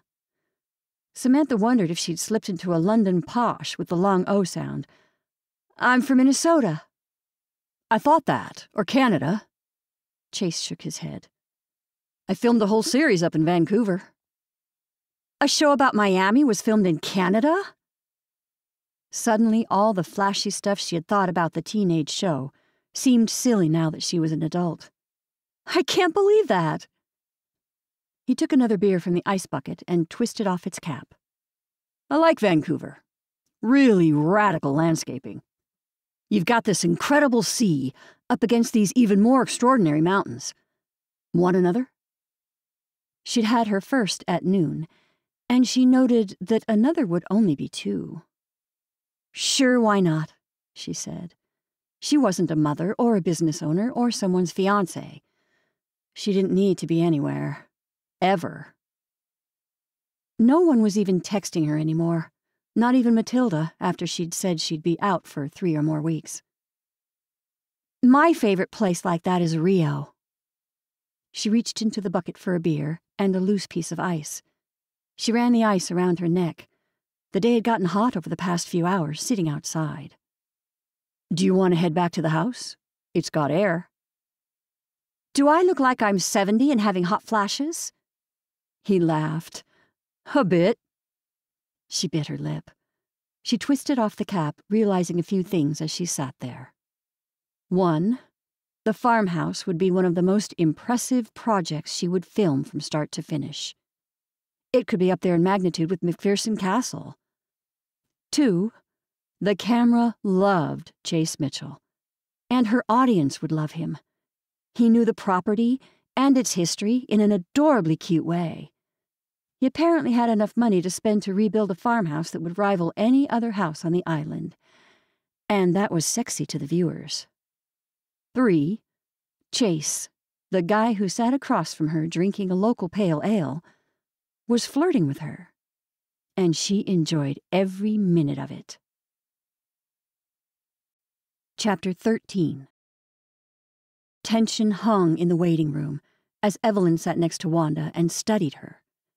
She looked tired and worn out. There had been a distance slowly building between them, and it suddenly became obvious, and Evelyn could no longer ignore it. You want to talk about what's going on with you and Marty? she asked Wanda. We broke up. Wanda's confession came out in a huff, as if Evelyn had annoyed her with the question. Biddy reached out for Wanda's hand from her chair. You okay? I'm fine. But Wanda's focus was on her nails. Her hand then went to her new fuzzy curls that had come in whiter than her signature red. We just want to make sure you're okay, Evelyn said, squeezing Wanda's folded hands. But Wanda was reserved, her hands cold. I'm fine, Wanda said for the fourth time that day. Wanda was fine when she slept in. She was fine when she didn't want to shower. She was fine when she skipped breakfast. Wanda being fine had been the reason Evelyn couldn't stop studying her, to make sure she was okay. The day had already been long. The ferry ride had made Wanda sick. They got stuck in rush hour traffic, along with construction. They almost missed Wanda's infusion. And now this? Wanda, I thought you enjoyed Marty, Evelyn said. She didn't understand. They broke up? I don't need a relationship right now, Wanda said, as if she had canceled a subscription and not an intimate friendship. She and Marty had become close, more than just friends. And the apathetic look on Wanda's face made Evelyn even more concerned. But why? As soon as Evelyn said the words, she saw Wanda's jaw tense. You know, Evelyn, sometimes I don't have to explain myself. Wanda had said it quickly, sharp, as though she'd had this rehearsed for a while now. Evelyn froze. She hadn't heard Wanda upset. Well, not really upset, especially directed toward her. I'm sorry, you're right. She held up her hands. I'm just concerned. This made Wanda huff. I appreciate you ladies, I do. But even an old woman can feel smothered. Biddy and Evelyn exchanged looks. Oh, sugar, we didn't mean to smother you. We just love you, you know that, Biddy said in her southern drawl. Sometimes I feel as though you treat me just like you all treat George, she said from her chair. Wanda adjusted in her seat. I can date who I want and break up when I want. Okay, Evelyn said. Evelyn looked around at the other patients, now involved in their conversation. She pulled out her book from her purse. She'd ignore the scene that had just happened and let Wanda come to them when she was ready. Something was going on with her friend, and Evelyn certainly wouldn't be wise to think she understood. Wanda, you can come back, the nurse said from the office door. Wanda took her purse and followed the nurse down the corridor not saying another word to the women. Evelyn turned to Biddy. What the heck did I say? She'll be okay, Biddy said, looking back down the corridor where Wanda had gone. I've seen this a lot with patients. I'm just surprised we haven't seen this yet. Evelyn bit her lip. I just hope she's not upset with me. She's not upset with you, Biddy said. It's like teenagers and their mothers. They know we'll always love them. This felt different, Evelyn said, worried. This felt like she was really mad at me. Biddy patted her knee. She's going through a lot. I wish she would meet with the therapist, Evelyn said. She had set up appointments for Wanda, but she had only attended a few sessions. There were different support groups they'd tried getting her to attend, but she didn't want to, and she seemed fine. But that's weird, right? Evelyn wanted to make sure she wasn't wrong on that. I thought things were fine between her and Marty. Biddy nodded. I sure did too. At times, these women felt like her closest and dearest friends. They were like soul sisters, brought together by serendipity to go through a new journey together. But then, like now, she realized they hadn't really known each other that long. What was a year in the scheme of life? I'll apologize when she comes back, Evelyn said. That might be best, Biddy said, making Evelyn feel worse instead of comforted. Am I smothering her? Evelyn asked. You mean well, Biddy began. Evelyn's heart sank. She couldn't help but feel bad. Oh. Oh, that's not a bad thing, Biddy said, turning her seat to face her. The familiar squeeze in Evelyn's throat made her look away from Biddy, because she was sure she was about to cry. I just wanted to help, she said, trying to not make it about her, but she didn't think she was Wanda's problem. I know you do, Biddy said, but she wasn't telling her it wasn't true, that she wasn't smothering, and she wasn't annoying. I'm worried about her, Evelyn said, holding on to the arm of the chair. We all are, Biddy said, patting her hand. Evelyn now studied Biddy.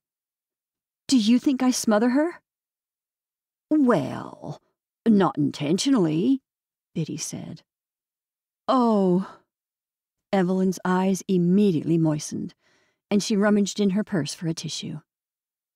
Oh, honey, it's fine. Well, obviously it isn't, seeing how mad everybody is, Evelyn said. Wanda's not mad at you. She's mad at the universe for giving her a raw deal, Biddy said. And if you smother people with love, so be it. Lord knows there's worse things to be accused of. Evelyn dotted her eyes, trying to keep her emotions at bay, but holding it together for Wanda and the girls wasn't easy. And now Wanda was mad at her? That didn't seem fair.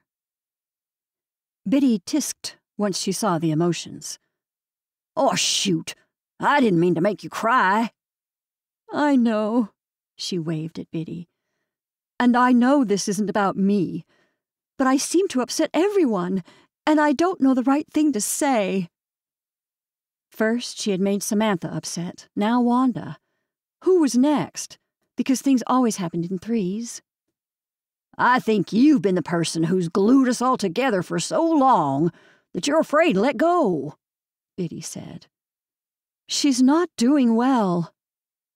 They've talked around it so many times, but no one has said what's really on their minds. Wanda wasn't getting better.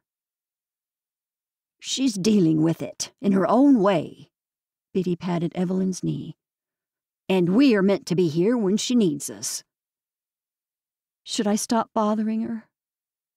Evelyn didn't even know what she'd been doing that got Wanda so upset. I wouldn't change a thing. Just maybe don't tell her to use the restroom so much. Biddy winked. I'm just worried. Evelyn was definitely worried. The signs kept piling on. Biddy nodded. The women grabbed each other's hands and held them, silent until Wanda's treatment was over. You want to hit any special spot before the ferry? Evelyn asked Wanda when she returned to the waiting room. Wanda shook her head. Evelyn had almost expected her to come out and apologize, because Wanda didn't like people upset, didn't like confrontation but she hardly made eye contact with either of them. No, I think I'd like to go straight home. Chapter 14 Samantha woke up before the sunrise the day after she'd had lunch at the farmhouse with Chase, which in June on Martha's Vineyard meant before 5 a.m. It also meant she had to be showered, blown out, dressed, done with makeup, her cue cards prepped and edited, all the while trying to help Renee with a cranky baby George. I think he's sick, Renee said. She packed up for the bakery, which she had reminded Samantha she was already late to. Samantha looked at the snot crusted baby and said, Do you need me to watch him? Please don't need me to watch him.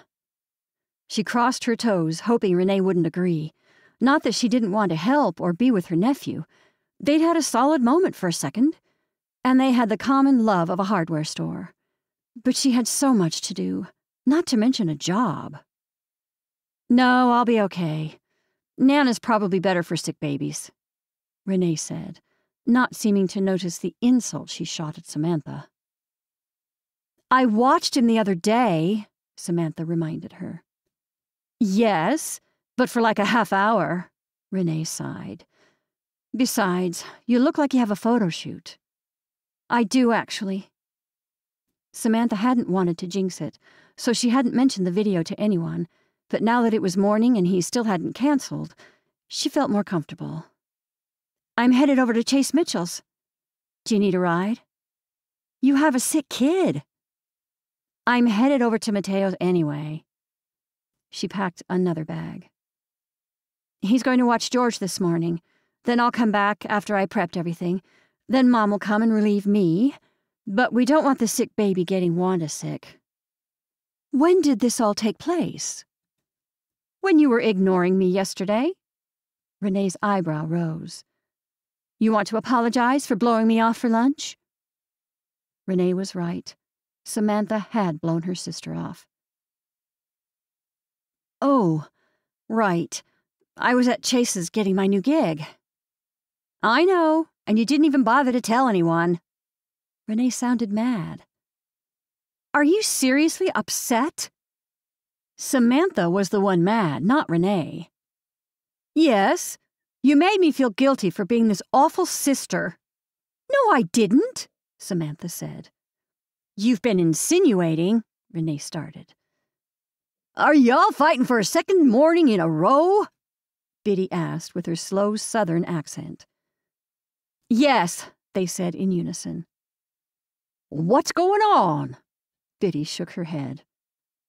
Now, I never had teenage daughters, but this is exactly what I imagined it would be like. Samantha and Renee both stopped fighting. We're sorry we bothered you, Samantha said to Biddy. You didn't bother me. Biddy walked over to them. Do you realize you have a relationship that is like no other? No man, no friendship, not even between you and your mother is this special. You two are the only people that know exactly what it's like for each other. I just hate to see something so silly like a slight remark or bruised feelings ruin that. I'd kill to have a sister to go through everything with childhood, marriages, babies, death of your parents. Death of her parents? Evelyn stood in the doorway of the kitchen. Oh, good morning, Biddy said. Where are you headed off to? Evelyn asked Samantha as she walked into the kitchen. Renee smiled and gave a wink. Samantha has a boyfriend. Samantha's mouth dropped. Oh my God, I do not! She began to argue with Renee, but her sister ran off to change George upstairs while Samantha explained her newest project. That's fantastic! Evelyn seemed to put on an overly excited take. No concerns, no nagging questions. Evelyn was acting unconditionally supportive. What's wrong? Samantha asked. Why would anything be wrong? Evelyn said in the upbeat fake tone again. Samantha checked the time. She had just a few more minutes before the sun would start to rise. Never mind. I'll be back later. Samantha picked up some of Renee's large pastry bins, along with her own stuff, and headed out the door, following George as he swung in his car seat. Thanks for the ride, Samantha said. You know I want you to be happy, right? Renee said. Of course. Samantha knew that. But you thought I just forgot about him. And it's not that easy, okay? I think about him all the time. My mind goes to memories of us together. The way I felt with him. The way he smelled. And I'm afraid I'm going to forget all that. Renee set George on the ground. She glanced at her nephew playing with a stuffed green monster. Shouldn't you put the baby in your car? I'm not going to leave him there. He'll start to cry if I put him in and do other stuff first. Renee sighed and turned to Samantha. Look, I just love you, and I want to protect you always. You're my little sister, and when a guy breaks your heart, I don't like him. Period. Samantha heaved out a long breath. I'm sorry, too. I've been a super brat not celebrating all that you've accomplished. I'm still a stupid, jealous little sister. Renee gave her a half smile, then picked George up in his car seat. You're going to throw your back out with him. Samantha got into the car, feeling like a child getting into her sister's minivan. Just don't forget me. Renee got in and started the engine. She sat there for a second, turning on the windshield wipers, clearing off the moisture built up from the night's humidity. Then don't always set off to go the furthest place from our life. An argument hung on the tip of Samantha's tongue, but she was too tired. She rolled down the window, watching the sky begin to lighten. Everything was hazy and gray.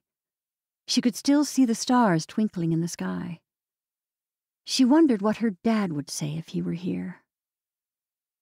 What's his time called? 516, Renee said, pulling out of the driveway. No, I mean, what's the time before sunrise called? Samantha hadn't thought about it before. Twilight, Renee said. I always thought there should be a better word for that time in the morning.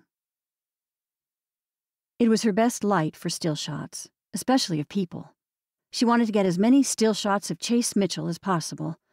Captured candids was what her professor had called them. Pictures where the subject had no idea they were being documented, and the photographer showed a story through images. She wanted Chase Mitchell's house's story to be about love. At lunch, she could tell he had fallen in love with the house. She had seen it time and time again, because she felt it too. When she tried to explain her love for houses to friends, they thought she was strange.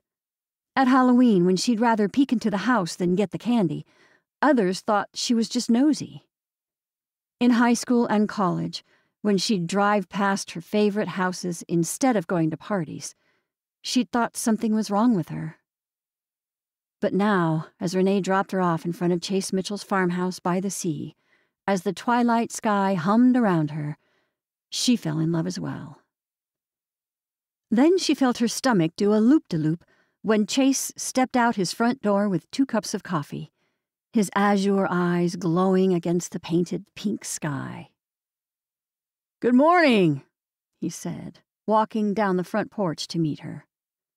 She immediately pulled out her phone and began filming. Renee jumped out of the front seat and handed over a plastic container. There are a few scones in here for you. I thought you guys could have a break. Would you like a cup of coffee for the road? Chase asked Renee, looking into the back seat. Aw, man. Is your little guy sick? Renee made a frowny face, which seemed childish to do in front of this A-lister, but Chase pouted out his lip as well, looking through the window. That's a bummer, man. Hope you feel better, Chase said, waving at George. George gave a sad wave to Chase, then gave Samantha an evil stare as she waved next. As Renee drove off, Samantha mumbled, He hates me. He's probably just a dude's dude, Chase said. My sister's kid is like that. He only likes guys and his mom. Talia gets so mad. He does like tools, Samantha said, remembering his little legs moving all around in the hammer section. Where in the garden do you want to begin? Chase asked. She had emailed her itinerary. Let's begin by the pergola, she had six shots she'd like to get before the sun rose above the horizon, and she had exactly two minutes to get them. He grabbed one of her two duffel bags, and they walked to the backyard under the green shade of the wisteria. She could only imagine what it looked like in bloom purple flowers hanging down from above, its scent mixed with the tangy, salty air. She missed a few minutes of perfect light while setting things up, but other than that, the whole day ran smoothly. Chase had dressed the part better than a costume designer would have. He wore a light blue long sleeve shirt that fit just perfectly over his very toned chest and arms. He paired the shirt with a pair of khakis that fit him snugly in the right places. She found herself taking pictures of him just to look at him. He really had this way of being natural in front of a camera. But Chase almost seemed more comfortable in front of a camera than a live person. Or was he just comfortable talking with her? Because instead of looking at the phone, he looked at her while answering her questions. The farm had been purchased in 1790, Chase said, as they walked into the original part of the house. Samantha had decided that it would be her favorite during the winter.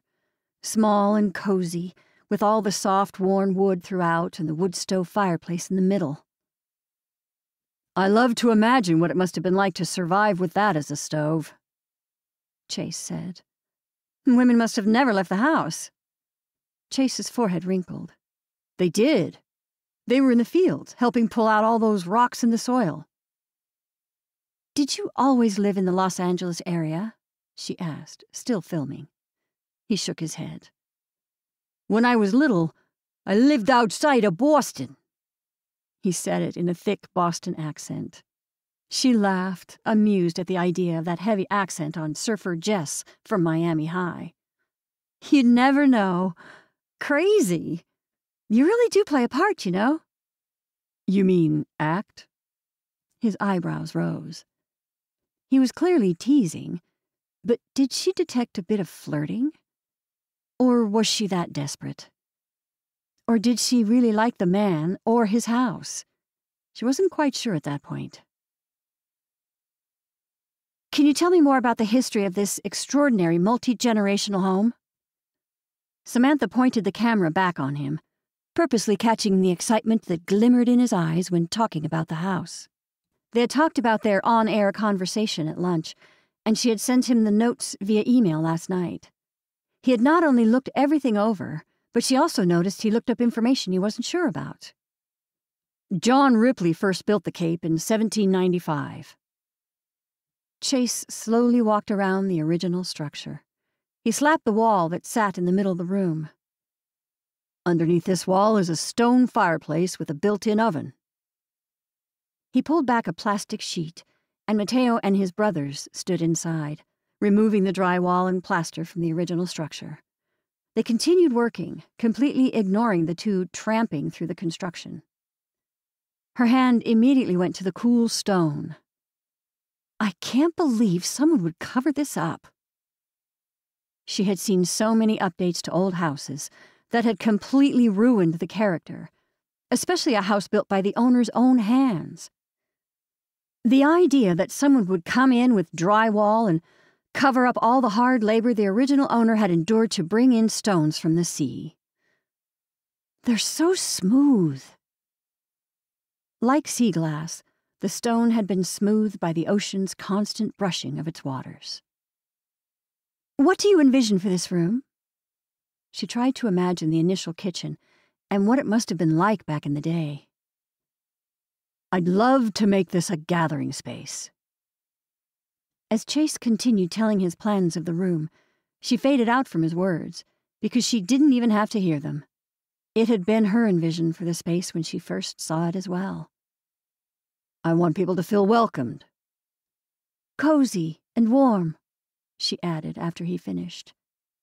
Yeah, you know, like on a snowy day. She interrupted him an exhilaration flooding through her.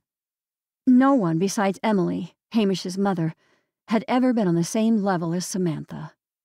But Chase was right there with her.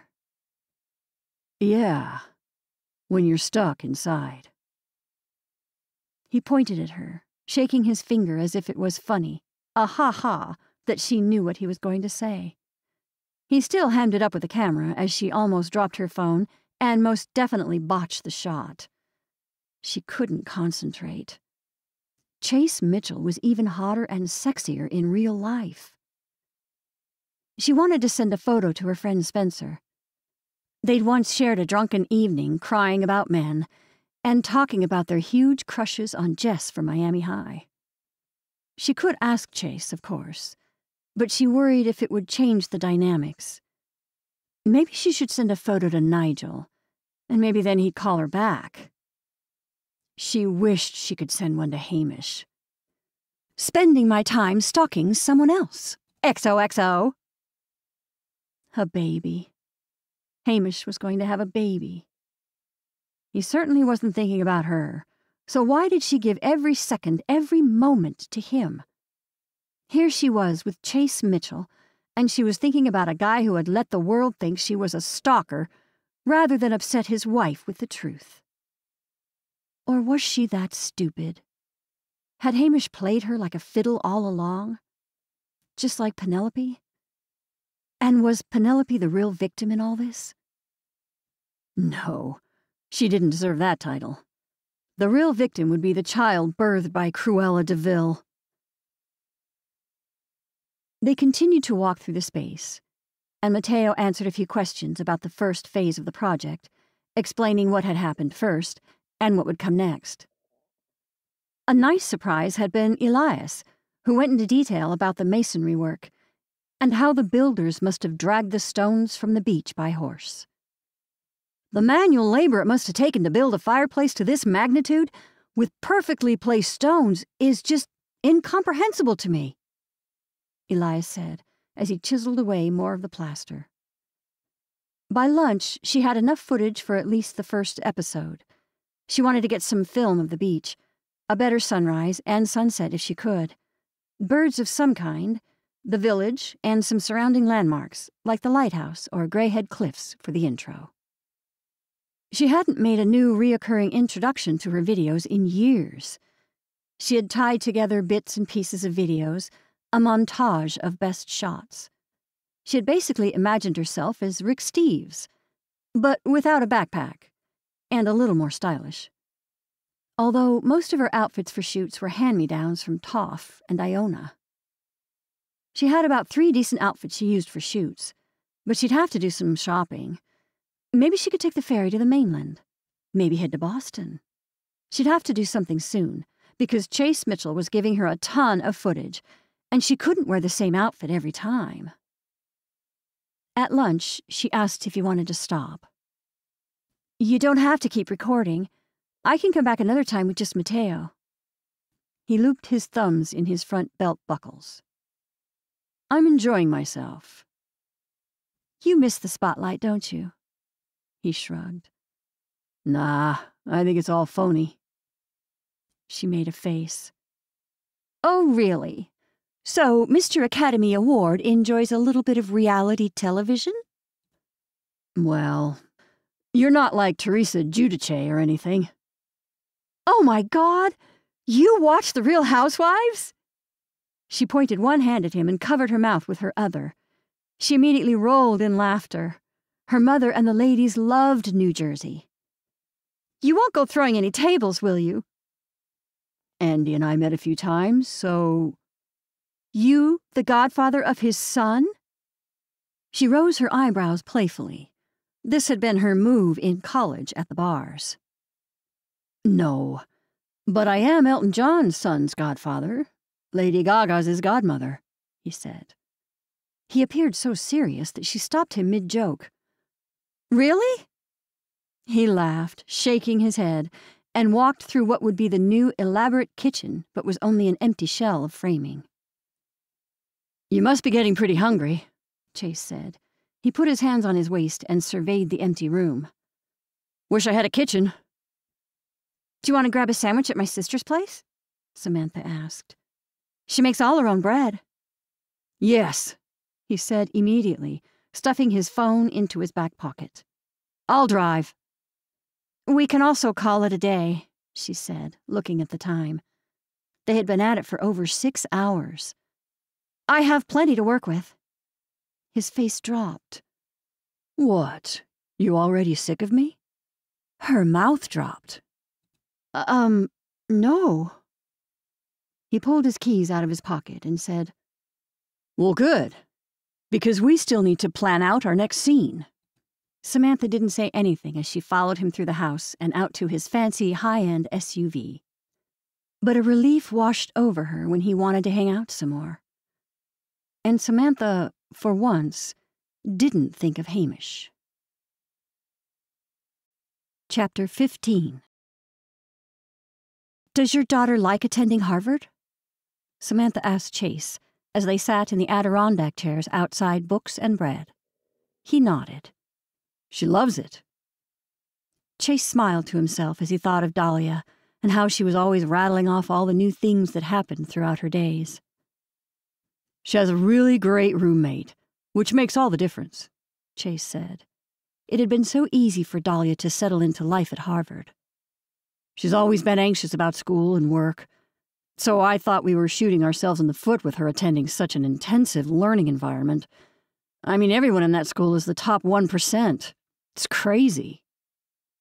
The last time he'd visited campus, he just stood in front of one of the many beautiful buildings and thought about all the great minds that had gone through those doors and sat in those classrooms and started their lives, just like his daughter was doing. Never in a million years did I think I'd raise a kid who would attend Harvard. He shook his head. She's definitely had advantages, don't get me wrong, but she earned her place as well. You should be really proud, Samantha said. I never even considered applying.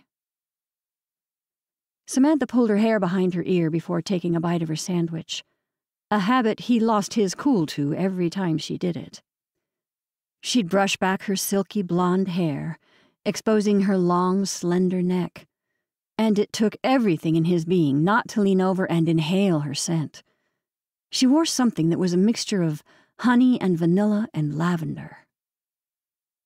He didn't want to be that moron actor who could only explain his feelings through roles he'd played. But he hadn't felt this way about a woman besides Grace, and it reminded him of a part he'd played years ago for a romantic comedy. The character hadn't realized he'd been missing something in his life until the heroine had shown up in his town. And here he was, sitting with this woman who had blown into Martha's vineyard like a nor'easter off the Atlantic, and he couldn't stop thinking about her. Never in a million years would he have thought he'd meet another person he'd develop feelings for. Sure, he had been with other women, but usually more as companions. He didn't have time to think about someone other than Dahlia. He didn't want to get mixed up in complicated relationships that just ended anyway. But here was this gorgeous, interesting, and exhilarating woman who had captured his complete attention. He was in trouble. Did you want to figure out tomorrow?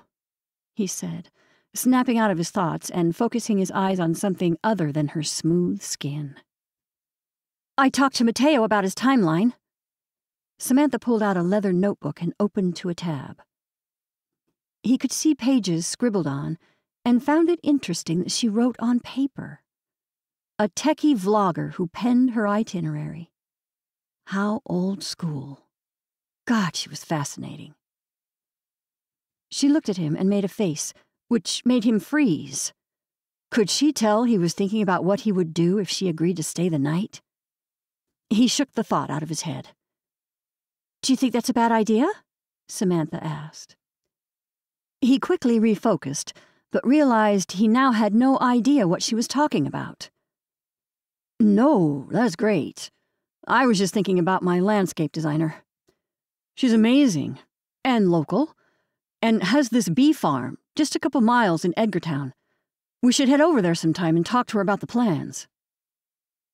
He watched her eyebrows wrinkle in thought, and he wondered if she could tell he was full of it. But a smile grew on her face. That's an amazing idea! She started to furiously write, even flipping to the next page. She pulled out her phone, opened her calendar, and bit her bottom lip.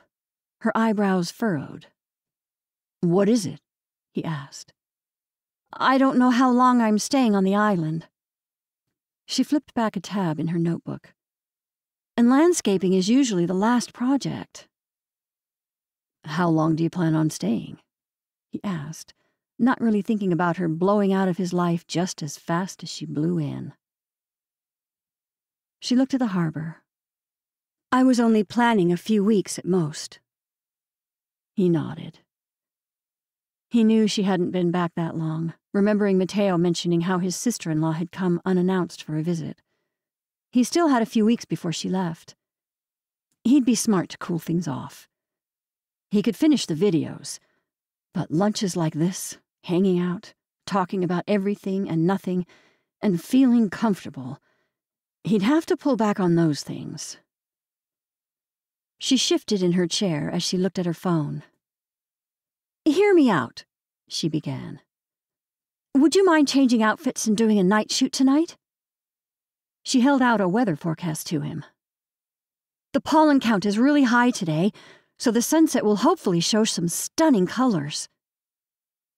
You could have gone to Harvard, he said, stunned by her knowledge of everything. I barely made it out of math by the end of high school, she said. It's the reason why I didn't pursue architecture. You'd be a great architect. He could see it. She had the passion for building, that was for sure. Although, you really have a knack with the camera. So do you, she said, and he swore she was giving him a look. Or was his ego still too inflated from his years in Tinseltown, where women always saw an opportunity when they figured out who he was, even as washed up as he was? What's with the guy from the castle? he asked, suddenly curious. He couldn't get what she hung on for. He didn't know the guy, obviously, but from what he knew of Samantha, he was a fool to leave her. Her face became serious. Hamish? Yeah, the one in the videos, he said. I mean, it's none of my business, but it is on your videos. I know, she said quickly. She looked away as if to think about discussing the topic with him, then turned back. She inhaled and let it out. He's married now and is expecting a baby sometime soon with his wife. He thought about the videos and how happy they had looked together. How the videos from Scotland ended so abruptly after his mother died. That hadn't been that long ago, had it? And the guy was already married with a kid? What happened? he asked, slightly wincing at his direct question. Samantha looked in the window of the store, as if to see if anyone else could see through and pick up on what they were talking about. She rested her elbow on the chair's arm, her chin in her palm. I don't honestly know. He could tell this had been an admission that bothered her, and he didn't push the subject any more. They went back to business, talking about the next few weeks she planned on staying. They went through their schedules and set times for shoots. Come after lunch, and we can set up a night shot for tonight, he said. He smiled at himself. He was enjoying this more than he thought. I'm going to have to run home to change when we get back, she said. I can walk back to my mom's house from here. That's silly. He picked up her plate with his. I'm gonna have to run back to my place to grab stuff as well. I'll just drive you. Why are you doing all this? she asked. The lines between her eyes creased. Doing what? he asked, cringing at how he behaved when he first met her. You've been out of the public eye for years. You didn't even consider it for a second when I first offered. So why are you working all day and night for me? Do you want, like, a restart to your career? Oh, God, no. Chase couldn't believe she'd think that. Not that I don't think your videos won't do well. It's just. No, I really don't want to go back to that life. Then why? Samantha seems suspicious. I mean, if you want to hide from the public eye? He sat there, gazing at her porcelain skin, in those mesmerizing pale blue eyes that matched the sky outside, smelling her sweet scent, and said, Because you're the most fascinating woman I've ever met. Her mouth dropped. Oh, um, well. Shoot, he just ruined a dang good thing. Sorry, I'm forward. No, she shook her head. It's fine. He set the plates down, wishing he could go back. I should have said the other part, which is that I think you're extremely talented, and I liked being part of this whole production. I like being behind the camera. Plus, I really love film and being part of a project, and filming something real, something that isn't so commercial. Do you say that to a lot of women? she asked. If I made you uncomfortable, he said, thinking about the way he'd said it. Had he sounded creepy? Her face dropped like she had seen a ghost. Did the age difference matter? You can totally bail on this if you want, or you can film on your own and I won't go to the house. I understand. Samantha didn't say anything at first, which made him feel like a complete tool sitting there, confessing his feelings. Then she said, No one's ever said I'm fascinating before. Seriously? He honestly couldn't believe that. Not even that prince? He was a laird, and no. She tilted her head, her hair falling just a bit in front of her face. I find you fascinating as well. He hadn't felt like a giddy teenager since he was a giddy teenager. He almost wanted to jump across the table and take her in his arms right then and there, but he cemented his body in the chair. He would be cool. Way to steal my word. Her mouth opened and she smiled, but with a bit of shock, and then, as if she couldn't get any sexier, she leaned across the table and rested her head in her hand and studied him. He could feel his chest pumping a hundred miles an hour. If it had been eighteen years ago, he'd already be kissing her. He leaned closer. God, he could smell the vanilla. His heart continued to pound inside his chest as she leaned further. Hey! Renee said from behind them. Samantha practically fell out of her seat. She jumped so high. Oh my goodness, you scared the living daylights out of me. Samantha's face blushed pink, which made him want to kiss her even more. How was lunch? Renee asked. Great. Samantha stood up and grabbed her purse. She looked at her phone, then quickly kissed her sister on the cheeks, then turned to face Chase. So I'll meet you at the farm in a couple of hours, dressed in a new outfit. She turned back to Renee. Take you for lunch. Then, before he could stop her, Samantha walked down the sidewalk, leaving him standing with Renee. How's George? he asked, watching Samantha cross the street. She didn't use the crosswalk. Renee shook her head, who also watched Samantha, then said, He's okay. He still has something going on, but he's acting fine. He nodded. Do you think he's teething? Probably, she said. I feel like that's like the catch all diarrhea, teething, cranky, teething, strange behavior, teething. Isn't sleeping? He nodded. I wish I could say it ends, but I still have sleepless nights with an 18 year old. You have an 18 year old? Renee looked as shocked as most people when they see a mid 30s man with an adult child. Most people think she's my girlfriend, his view was still on Samantha, who had now turned around on the street and started walking back toward the store again. Does she live on the island with you? Renee asked, genuinely polite and being friendly, he knew. But he needed to cut the questions off. He needed to go after Samantha. No, she attends school. He picked up the plates and napkins, preparing to leave the table in a dash.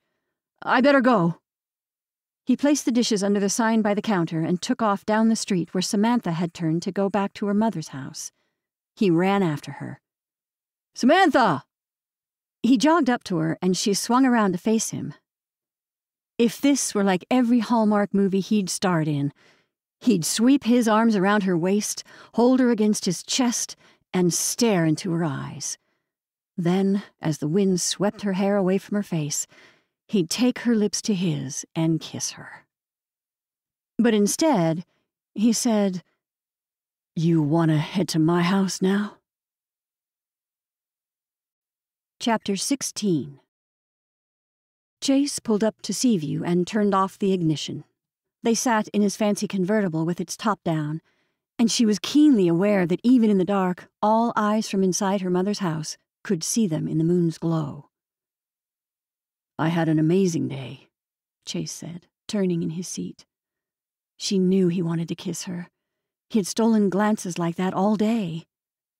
She thought he was going to kiss her on the street when he ran after her, or at some point as they spend the rest of the day filming and writing scripts. Me too. She bit her bottom lip, holding her smile back. She could feel her mother and her friends. She so badly wanted him to kiss her. She slid her hand across the console and intertwined her fingers with his.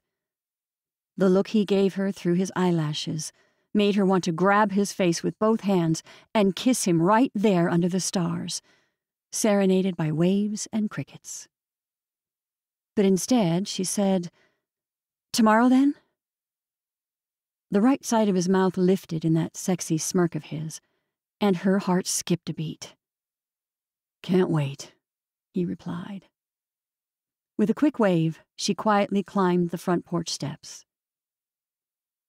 You must have had a good time, Biddy said from the porch's swing. Oh! Samantha shouted out, dropping her phone onto the porch's floor. Her hand went to her chest. She hadn't seen Biddy sitting there in the shadows. You scared me. I'm sorry. I should have said something when you got out of his car.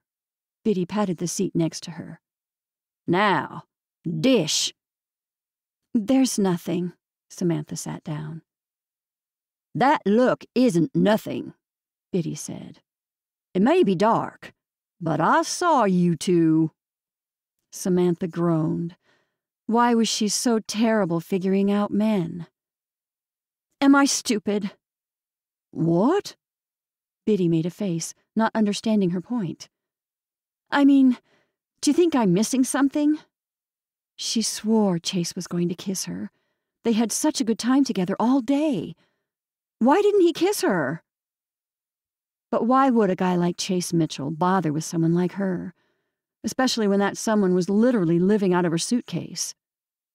Samantha hadn't ever had girlfriends her mother's age, and she hesitated to share, afraid she'd get spoken to like a child. But she needed womanly advice. Missing what? Biddy raised her eyebrows, waiting for Samantha to continue. You saw us? Samantha couldn't help but wonder what she had to offer. I thought he was going to kiss me. Seems to me like you two enjoy each other's company, Biddy said. She had a glass of wine in her hands as she pushed the swing back and forth. Don't overthink it. Just go for it. Samantha looked out at the stars. What if you're still in love with someone else, but you know it'll never work? Do you continue going for this new person? Was she using Chase to not feel the pain anymore? Or was this feeling, the buzz that ran through every cell of her body, real? Biddy nodded as she pushed the swing back and forth. Well, that's a tough one. Samantha said, And I know I shouldn't love this person. That's the worst part about it all. I know he's a jerk, and I know he doesn't even want to be with me but I just can't stop my heart from hurting. It sounds like you're grieving a love you had with a man, not the man himself. Samantha gasped in a breath. That's exactly how she felt. The Hamish she loved no longer existed. The Hamish she loved would have ran to her after she got hit by a bus. The Hamish she loved would have held her hand in the ambulance, not called her publicist. The Hamish she loved would have shouted on the rooftops that she was not the other woman, but indeed the woman he loved. But he was no longer that Hamish. That Hamish died along with Emily. Thanks, Biddy, Samantha said. That actually made a lot of sense. Biddy patted Samantha's knee. Now, you have to tell the ladies all about Chase because they're all dying to know. As it turned out, even Wanda was waiting for Samantha to spill the tea. So, how was your evening? Evelyn asked. Samantha nodded, wondering if she had pushed that friendship too far. Do you think Renee's going to be mad? Evelyn shook her head, pouring a glass of white wine and handing it over. We want to hear all about it, Samantha took the wine, feeling strange to have the women crowd around, including her mother, to hear about her hanging out with Chase Mitchell. But yet, she was strangely excited to have girlfriends to share her story with. He's really great. She hugged herself as she sat at the table across from where Wanda sat. All of a sudden, Charlie popped into the kitchen, and she saw the chessboard set up in front of Wanda. Did you spend the day at Chase Mitchell's farm? He looked at the board. Did you move? Wanda nodded and pointed to the black piece. I moved my knight to here. Charlie studied the board. Seems like a nice guy. Samantha waited for Charlie to make a move. Yeah, he is. You two seem good together, Evelyn said, sitting at the counter with one of her cooking magazines and flipping through the pages. How did filming go? Good. All eyes were on Samantha as she stood in the middle of the kitchen. Is Renee at Mateo still? Yes, George still has a cold, Evelyn said. Are you going to tell us anything?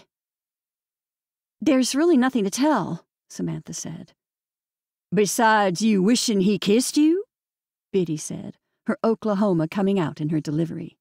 Samantha could feel her cheeks reddening, and she took a drink of the chilled wine to cool down and ignore the room of staring faces.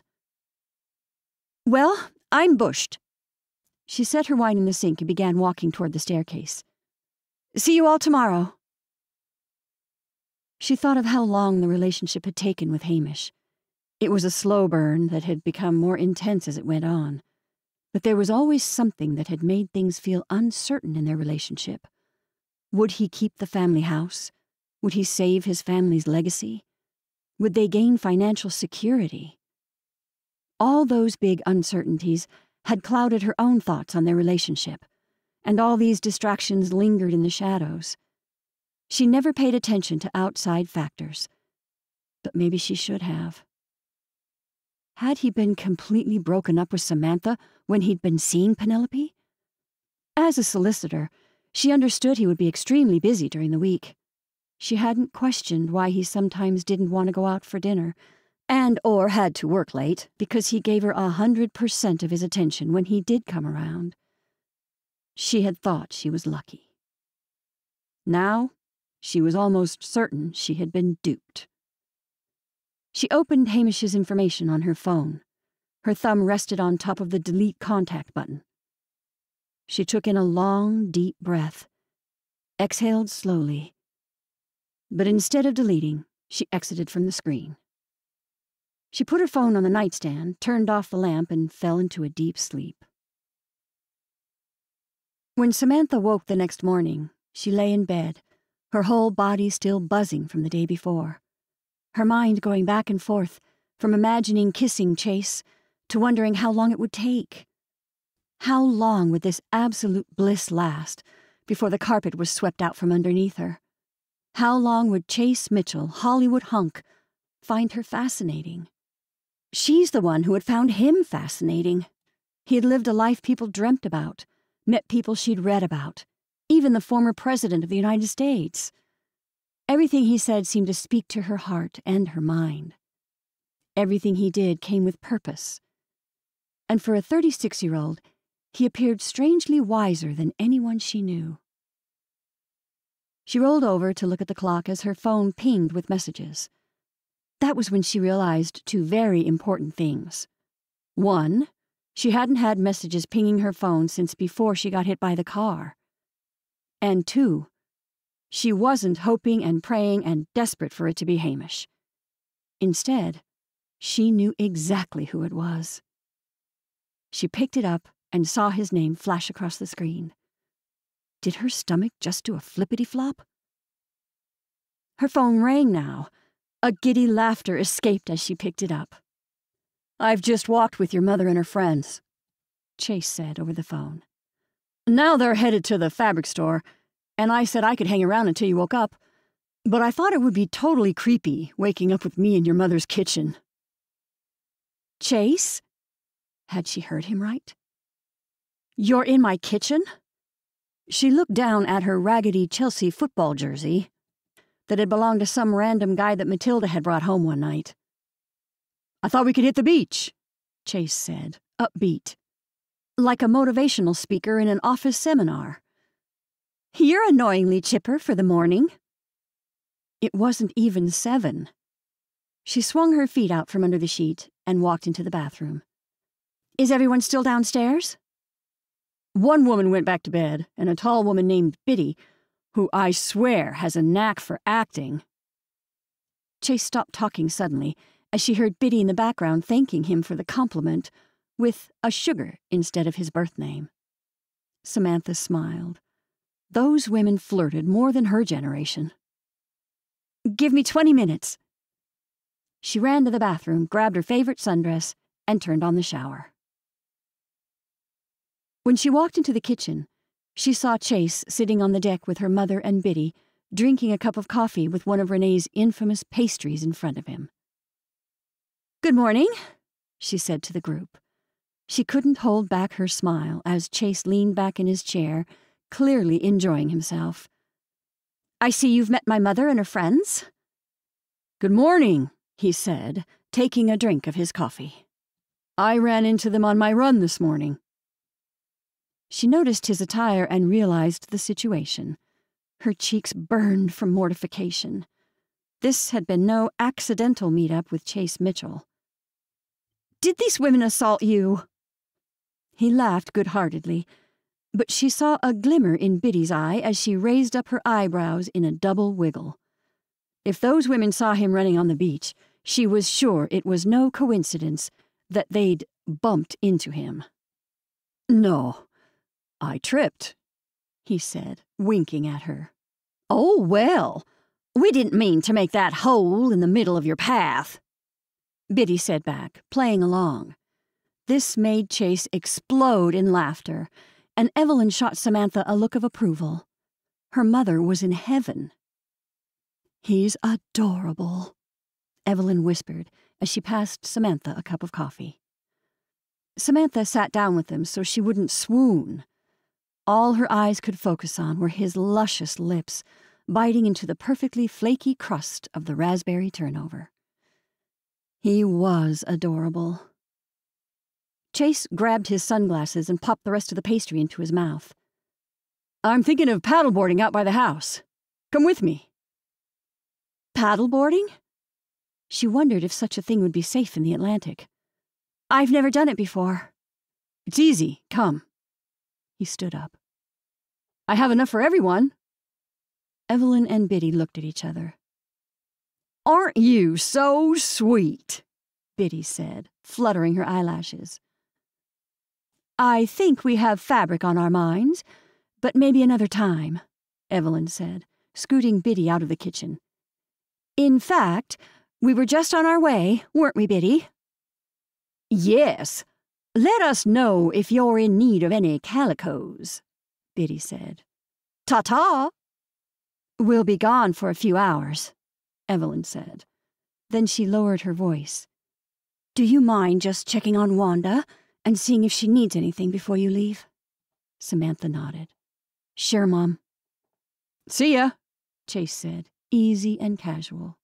Bye, Samantha said, as Biddy and her mom kissed her on the cheek and left the house. Did they invite you to Christmas dinner? No, but Biddy's birthday is coming up, and they invited me to join. Chase flashed his pearly smile, reveling in the new attention. You in? She looked out at the sunny day, beyond the rolling hills of seagrass and beach roses to the endless blue. She could say yes so easily. What was one day? She could start editing tomorrow. 24 hours wasn't going to make or break her career. She might even get that kiss. But she had so much to do edit, write a new script, plot out the next shoot. She needed to make the intro. There were hours upon hours of work before she even started on her first video. She sighed. I have to work. She'd love to go spend a day at the beach, but if she wanted to jumpstart the rebranding of I Love Your House 2.0, then she couldn't go paddleboarding. He opened his mouth as if to argue a point, but he stopped himself, then said, What if I helped? You want to sit inside watching hours of film instead of paddleboarding? Samantha looked up at him. He shrugged. It sounds fun. His eyes looked like those electric neon blues and blended into the morning sky. Besides, what else do I have to do? She was about to refuse, but she thought about it. It would be nice to have another set of eyes to go through all the videos. Would you mind watching for intro scenes? I need. She pulled up her notes on her phone. I'm looking for panoramas of the beaches, the cliffs, the hills, the farm, the house. She stopped to think. I could probably use footage from last summer as well. Sure, he said. How about doing it at my place? Is it hard to bring your stuff? She shook her head. No, but it's going to be hours of just looking at videos. She wasn't sure if he truly understood the work involved. She liked to be meticulous with her editing. She thought about what she would need to bring her laptops and phone, maybe a set of headphones, but that was it for equipment. Are you sure you don't want to go paddleboarding? she asked. He put his sunglasses on and said, Let me grab a shower, and I'll come back and pick you up. Chase took off down the beach in a jog. For a split second, she thought about texting Matilda, telling her about Chase, about how she'd spent all day with him yesterday and was about to spend another with him today, that she was certain she would kiss him soon, and that Chase thought she was fascinating. But then she heard a huge bang come from upstairs. She walked up to the screen door, then heard a muffled cry. Help! Wanda? She ran inside the house and up the steps, two at a time. Wanda! She opened Wanda's door and found her lying on the floor. Wanda! She ran to Wanda, who lay still on the floor. Don't move, Samantha said. She remembered what the paramedics had said to her when they had arrived at the scene. You're probably in shock, so just give your body a second. Wanda slowly moved her arms, which were shaking, touching her head. Are you bleeding? Samantha asked, not noticing any blood around her. Wanda shook her head. With Samantha's help, she sat up, her hand still holding her head. What happened? Samantha asked. Wanda looked at Samantha. Her eyes appeared to be able to focus. I got up to use the bathroom and became dizzy. I'm calling an ambulance, Samantha said, pulling out her phone. No, no. Wanda smiled, but one hand stayed on her head and the other shook. I'm fine. Samantha opened another number. Then I'm taking you myself. Chapter 17 Chase drove them to the hospital, not speeding, but definitely in a rush, which made Wanda nervous. I'm not dying, Wanda reminded him. Just have a little bump on the head. But Wanda knew it was more than just a bump on the head. The dizziness had been happening a lot more frequently. The nights longer, more painful. Her thoughts scattered, less cognizant. She squeezed the seatbelt with her hands as the handsome Hollywood actor sped through a stop sign. This isn't James Bond, you know, Wanda said, now holding the oh dear handle, as she liked to call it. Her ex husband Bill had a whole other word for it when he'd driven with her. Lately, her life reflected the oh dear handle. First, Bill had left, then the divorce, her father's death, her mother's within six months of that. She moved into her mother's condo in Palm Springs, the same condo she'd dreaded visiting with Bill. She wondered if Bill had been upset that he'd divorced her before the death of her parents. He would have been able to take the condo as well. No, that wasn't fair. He would have made her sell it, just pull up to the door, and I'll walk her in. Samantha pointed to the sliding glass doors, and Wanda wondered where they were. Will you call my husband? Wanda asked the man in the car. We're going to get you to see a doctor, Samantha said. Wanda realized her mistake and noticed Samantha's concerned face. It reminded her of Evelyn. She looked at the man, shaking her head. Sorry, I just got confused. Let me pull up to the curb and help you out of the car, he said. He steered the car right next to the entrance to the emergency room. As soon as the car was put into park, both Samantha and Chase jumped out and went to her door. Chase held out his hand. Wanda, do you feel all right to walk?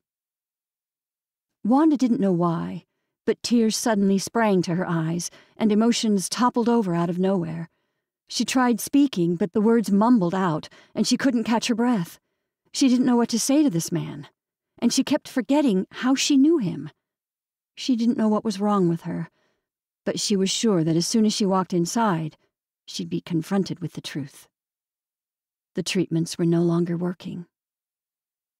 I'll run inside and grab a wheelchair, Samantha said, running through the doors and coming right back. They both helped Wanda into the chair, and she practically fell into it, her heart racing, her hands shaking. She took hold of the armrests. Something felt very wrong. Call your mother, Wanda said, fear creeping into her voice as Samantha pushed her into the hospital. Check in over here, the nurse behind the counter said as they rushed inside. Wanda thought about the day she had found out about the cancer. Her regular mammogram had gone like every other time, except at the end. When Wanda had put her clothes back on, the technician asked her to get dressed and stay in the room. She hadn't paid much attention Usually they came to talk to her about her breast density. They'd suggest she get a different version of the mammogram, a more ultrasound type test. But this time, a knock had sounded at the door. Miss Jensen? Wanda had finished buttoning her shirt as the door opened. We're going to have you wait in the office across the hall, the technician had said.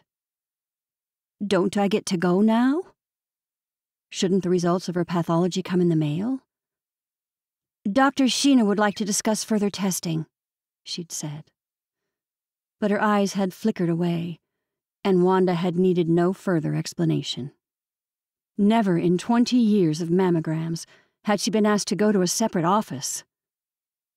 Wanda hadn't needed to go. She didn't listen to a thing that came out of the doctor's mouth. Like the teacher on Peanuts, all she'd heard was a bunch of mumbo jumbo. Ms. Jensen, the emergency room nurse said. That's us, Samantha raised her hand. This is Miss Jensen. Wanda went to talk, but her thoughts scrambled in her anxiety, and she let Samantha speak. Is the patient your mother? No, my aunt, Samantha said. Wanda was certain she wasn't this woman's aunt and suddenly she couldn't really remember how she knew her. Where's Bill? she thought to herself. All right, sweetie. What's your date of birth? The nurse asked in a tone that reminded Wanda of a daycare rather than an emergency room.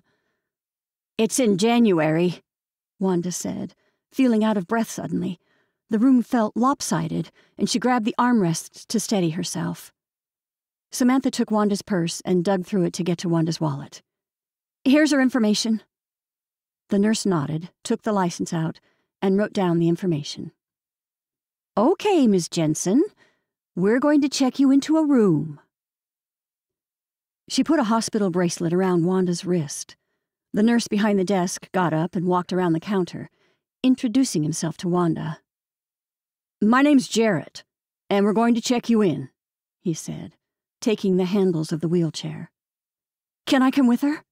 Samantha asked. The man nodded. Samantha turned to Chase. I'm okay.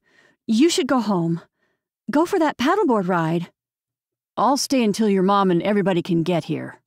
He looked around the room, nodding to a free chair in the corner. Wanda suddenly felt cold sitting there as the man pushed her through the large security doors that opened automatically. Chase waved to Samantha as Jarrett pushed Wanda through the doors. Take care, Wanda.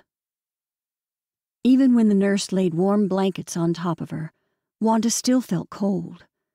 When her eyes weren't closed, she kept them on the ceiling, thinking about the house in Palm Springs. She had to send a cleaning lady. Bill would need it cleaned before he removed all her things. He would get everything if she died at this point. That's when Samantha reached under the covers and grabbed her hand. Wanda's emotions came rushing back. Tears ran down the sides of her face and onto the pillow beneath her head, into her fuzzy white hair that no longer felt like her hair. Mom and Biddy are on their way, Samantha said, now holding Wanda's hand with both of hers. But Wanda, who had never even held Bill's hand, didn't want her to let go. They're bringing some clothes and your paperwork. She looked to the ceiling again, tired, cold, scared, just like the first time in that office when she had learnt of the cancer. But at that time, she had been alone. Can I get you water? Samantha asked. Some more blankets? Wanda shook her head, holding on to Samantha's hand. Samantha suddenly jumped up and grabbed her phone. Mom, we're in the last room on the right. I think it's 12.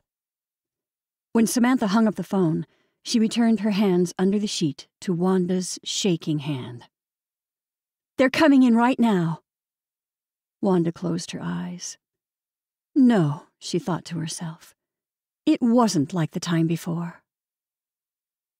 Wanda, Evelyn and Biddy both came into the room like a gust of wind off the ocean surface. What's going on? When did you start not feeling well? Wanda didn't answer. The words couldn't seem to form in her mouth.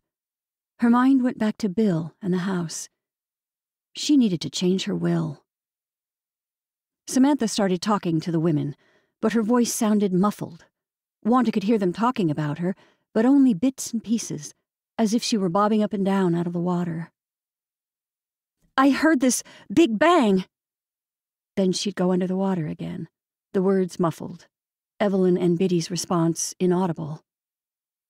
Has a doctor come in? She'd come back up. Biddy rested her hand on Wanda's shoulder and stroked her arm. It's okay. You're going to be okay. Samantha loosened her grip for a second, but Wanda didn't let go. Not yet. Not until the doctors told her exactly what she dreaded most. Ms. Jensen? A young male doctor walked into the room, looking at the crowd of women. Wanda didn't speak, just waited, holding Samantha's hand, feeling Biddy's gentle rub of her thumb on her back. Evelyn sat beside her. No, this wasn't at all like the last time. Ms. Jensen. The doctor began talking about having Wanda admitted and waiting for an ambulance to bring her on the ferry but she heard none of it. We're going to set you up with an IV. She looked to Evelyn, who sat with a notebook, writing furiously on the pad, to Biddy, who kept nodding with the doctor, then to Samantha, who didn't hide her fear. I'm so sorry, Wanda said. She mm-hmm. began sobbing, unable to hold herself together. I'm so sorry. Everyone in the room, including the doctor, looked distressed by her reaction. But she couldn't help it. Wanda was sorry. She had been nothing but a burden, like Bill had said. She leached off everyone else and gave nothing. She wasn't supposed to end up this way. She was supposed to have her second chance. Martha's Vineyard was supposed to be her second chance. Now, Bill would get everything after all. I'm going to suggest Ms. Jensen be admitted today. Wanda closed her eyes, everyone's words floating around her. A beeping pulse drowned out their conversation. A rattle of curtains swiped behind her as she heard wheels being rolled across the linoleum. In another room, she could hear a woman cough. Miss Jensen? A strange female voice said. I'm going to put in an IV in this hand. Wanda opened her eyes as Samantha stood up, letting go of Wanda's hand, which made her body tense up more. But that's when Evelyn reached underneath the blankets and took her other hand in hers. We got you, Evelyn said in Wanda's ear. We got you. Chapter 18 Chase rose from his seat as soon as Dahlia called. Hey, he said, heading to the exit. Hey, Daddy, Dahlia said. He could hear others around her. How's the internship? he asked. Dahlia somehow managed to earn an internship at a charity organization in Boston, which meant he paid for her to work for free and stay in one of the most overpriced cities in the country. It's amazing! She exaggerated her syllables, dragging them out like a teenager, but then, in the same breath, said, Today I worked on our grant to secure funds for the Lindell Research Project. He remembered her talking about the project, something to do with mental health and recovery, but he couldn't remember the ins and outs. As he walked out of the emergency room, the summer heat slapped him, knocking the air out of him with a heavy humidity. He looked up as grayish green clouds blew across the sky. He could smell rain, even though the ground was dry. An ambulance sounded its siren and pulled out of the hospital, making him jump onto the sidewalk. Where are you? Dahlia asked. I'm at the emergency room, he said, but added quickly, I'm fine, it's a friend of mine. Who's your friend? Dahlia asked. The last time his daughter had come to visit, she had brought six of her friends from school to hang out with on the beach and tan. He loved having her and her friends, but he and Dahlia had spent zero time together. She might have noticed he had no friends on Martha's Vineyard, that his only friends were his contractor and the hardware store guy. Other than that, Chase Mitchell, the washed out Hollywood B-lister, had no friends. He went to dinner at the wharf by himself. Women would recognize him, some would hit on him, but none of them interested him. He hadn't minded either. He was happy sitting by himself reading a book. But now, as he stood outside the emergency room, watching a woman be cared for by her dearest and closest friends, the urge to see his daughter overwhelmed him. Someone who's fighting cancer, he said. He had heard a bit about Wanda's story on his walk that morning. Wanda hadn't looked that well on the walk, which had been the reason he bumped into the three women taking a break and sitting on the rocks when he ran past. Aw, Daddy, that's super sad, Dahlia said, empathy in her voice. Will they be okay?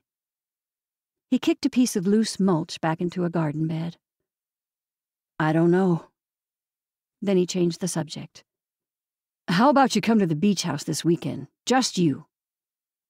I'm pretty busy this weekend. Dahlia started to list off all the events she had planned with her friends. She seemed to have no idea it happened to be Father's Day weekend, something she had never forgotten before. I was thinking of coming the 4th. Liv said she and her boyfriend want to see the island. He scoffed at her non commitment. Dahlia, you can come to your father's house for Father's Day. He had wanted Dahlia to meet Samantha. He had brought a few women around before, but none of them were around long enough to defrost Dahlia's icy personality toward them. Somehow, though, he knew Samantha would be different. Please, Dahlia. He wanted her to meet her. I don't ask for much. He could hear a heavy sigh, and then, like he had hoped, she said, Fine, but I will only be able to come for like a day. Fine, he said. He couldn't hold back his smile from his small victory. Spending time with Dahlia had been harder and harder these days, even after moving across the country to be closer. When the house sold in the Hollywood Hills, he hadn't said goodbye to anyone, not even Grace. He might have if she had returned his calls, but she had been somewhere on location and not home anyway. Thank you. He looked forward to showing Dahlia the farmhouse, what had been done since her last visit, but mostly he wanted to know Dahlia's opinion, because before now, if Dahlia wouldn't give him her blessing about a woman, he wouldn't continue a relationship, no matter how much he liked the woman. He had always hated his stepfathers. They never cared about his well being, always wanting his mother's full attention, never willing to share. They never tried to take on the role of father unless it fit the narrative. So he promised never to do that to Dahlia. Well, I hope your friend will be okay, Dahlia said, still the sweet kid she always was. God, he hoped they got along. He hoped Dahlia would see how wonderful Samantha was as a person. I'll see you this weekend then, he said. Love you, baby girl. Love you too, Daddy. He stayed outside, stuffing his phone into his pocket, while watching Samantha make her way through the door. How's Wanda? he asked as soon as she came close enough. Her face looked worn with worry. She's being admitted. You okay? He asked and opened his arms.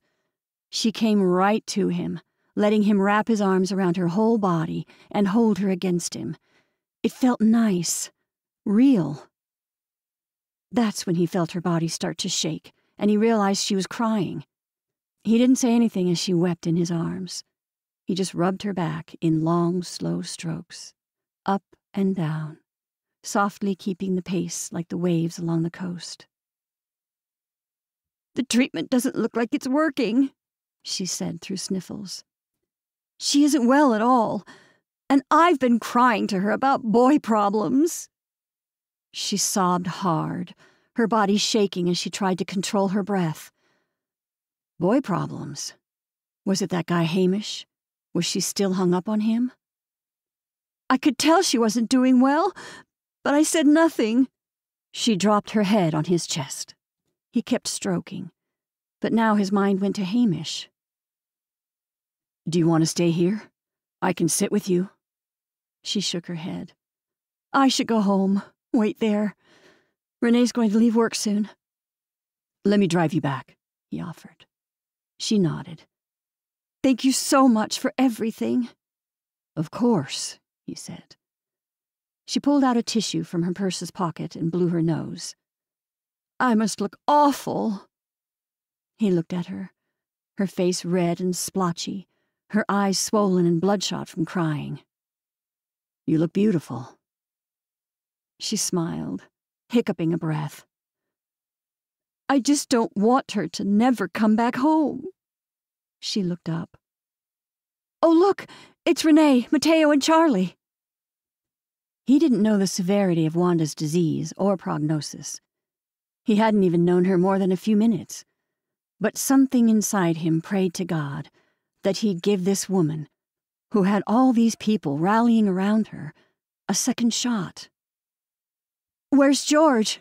Samantha asked as soon as her sister came close. With Harper, Renee said, and instantly he could feel Samantha stiffen. We're headed back to the house. Want me to watch him? Samantha asked. Renee shook her head. No, he's fine with Harper. Oh, Samantha said it slow.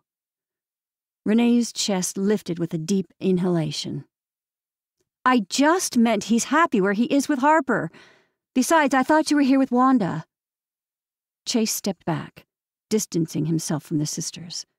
Mateo followed suit, reaching his hand out as they continued to talk. It sure was lucky that you guys were at the house when she fell, Mateo said. Samantha heard her fall, Chase said, looking at the sisters, who were no longer arguing but deep in heavy conversation. Do they fight like that all the time? Yep. Mateo looked at them. They'll fight for a second and then. The women were hugging now. They're good, Mateo shrugged. Do you have sisters? Chase shook his head. He had stepsisters that found it necessary to only remember him when they needed money. He had stopped taking their calls after a few years of the same old plea. He promised he'd help anyone once, after that, they were on their own. Do you enjoy working with your brothers? Chase had never seen them bicker like Samantha and her sister. Mateo nodded. Couldn't do it without them. Chase felt envious of Mateo's answer. He hadn't questioned his situation at all, not even a slight hesitation. You ready? Samantha said. Yeah, sure. He could feel the sweat dripping down his back from standing outside for so long. Nice seeing you, Renee, Mateo.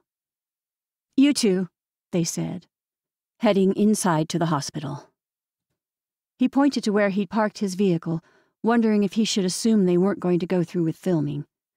She probably didn't want to do much of anything after her morning. I'm sorry you had to hang out at a hospital all day, she said as they got into the car.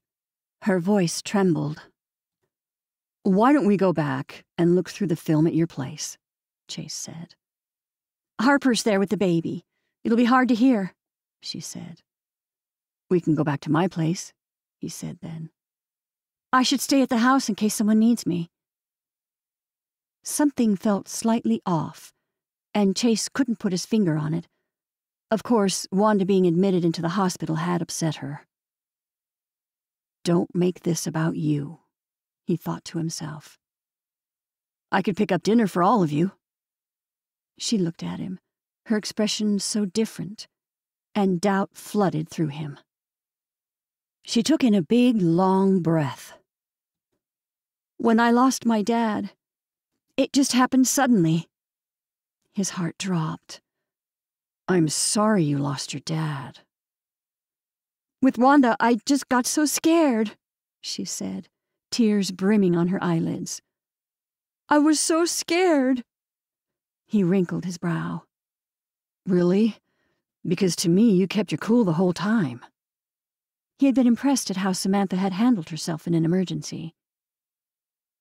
I didn't look like someone freaking out. She wiped her tears. You were very helpful. He shook his head. You calmed her. He turned in his seat, facing her. Her eyes slanted down as she played with her tissue. Maybe that's what you were feeling. You absorbed her fears. She looked up into his eyes and made a half smile. Maybe. He tapped the wheel, trying to read the situation, trying to infer her words and mood and thoughts. Why don't I take you back to your mom's? he said, not pressing the subject any more. He turned the engine on and fastened his seatbelt.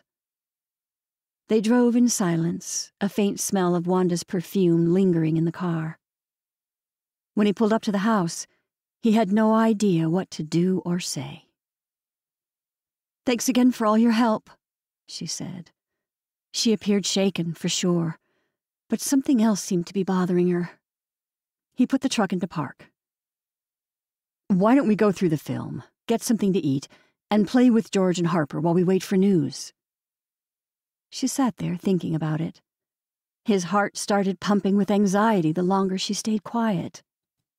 I could go home, too, he said quickly. She looked to him, not saying anything. His heart sped up even more. But then, in the front seat, she wrapped her arms around him and kissed him. Chapter 19 Renee stood on the porch, her stomach twisting as she waited for Marty to arrive with the mail. When she heard the familiar rumble of his engine, she ran off the porch the second Marty pulled up in his Jeep. Morning, Renee. Marty leafed through the mail as she came toward him. What's going on?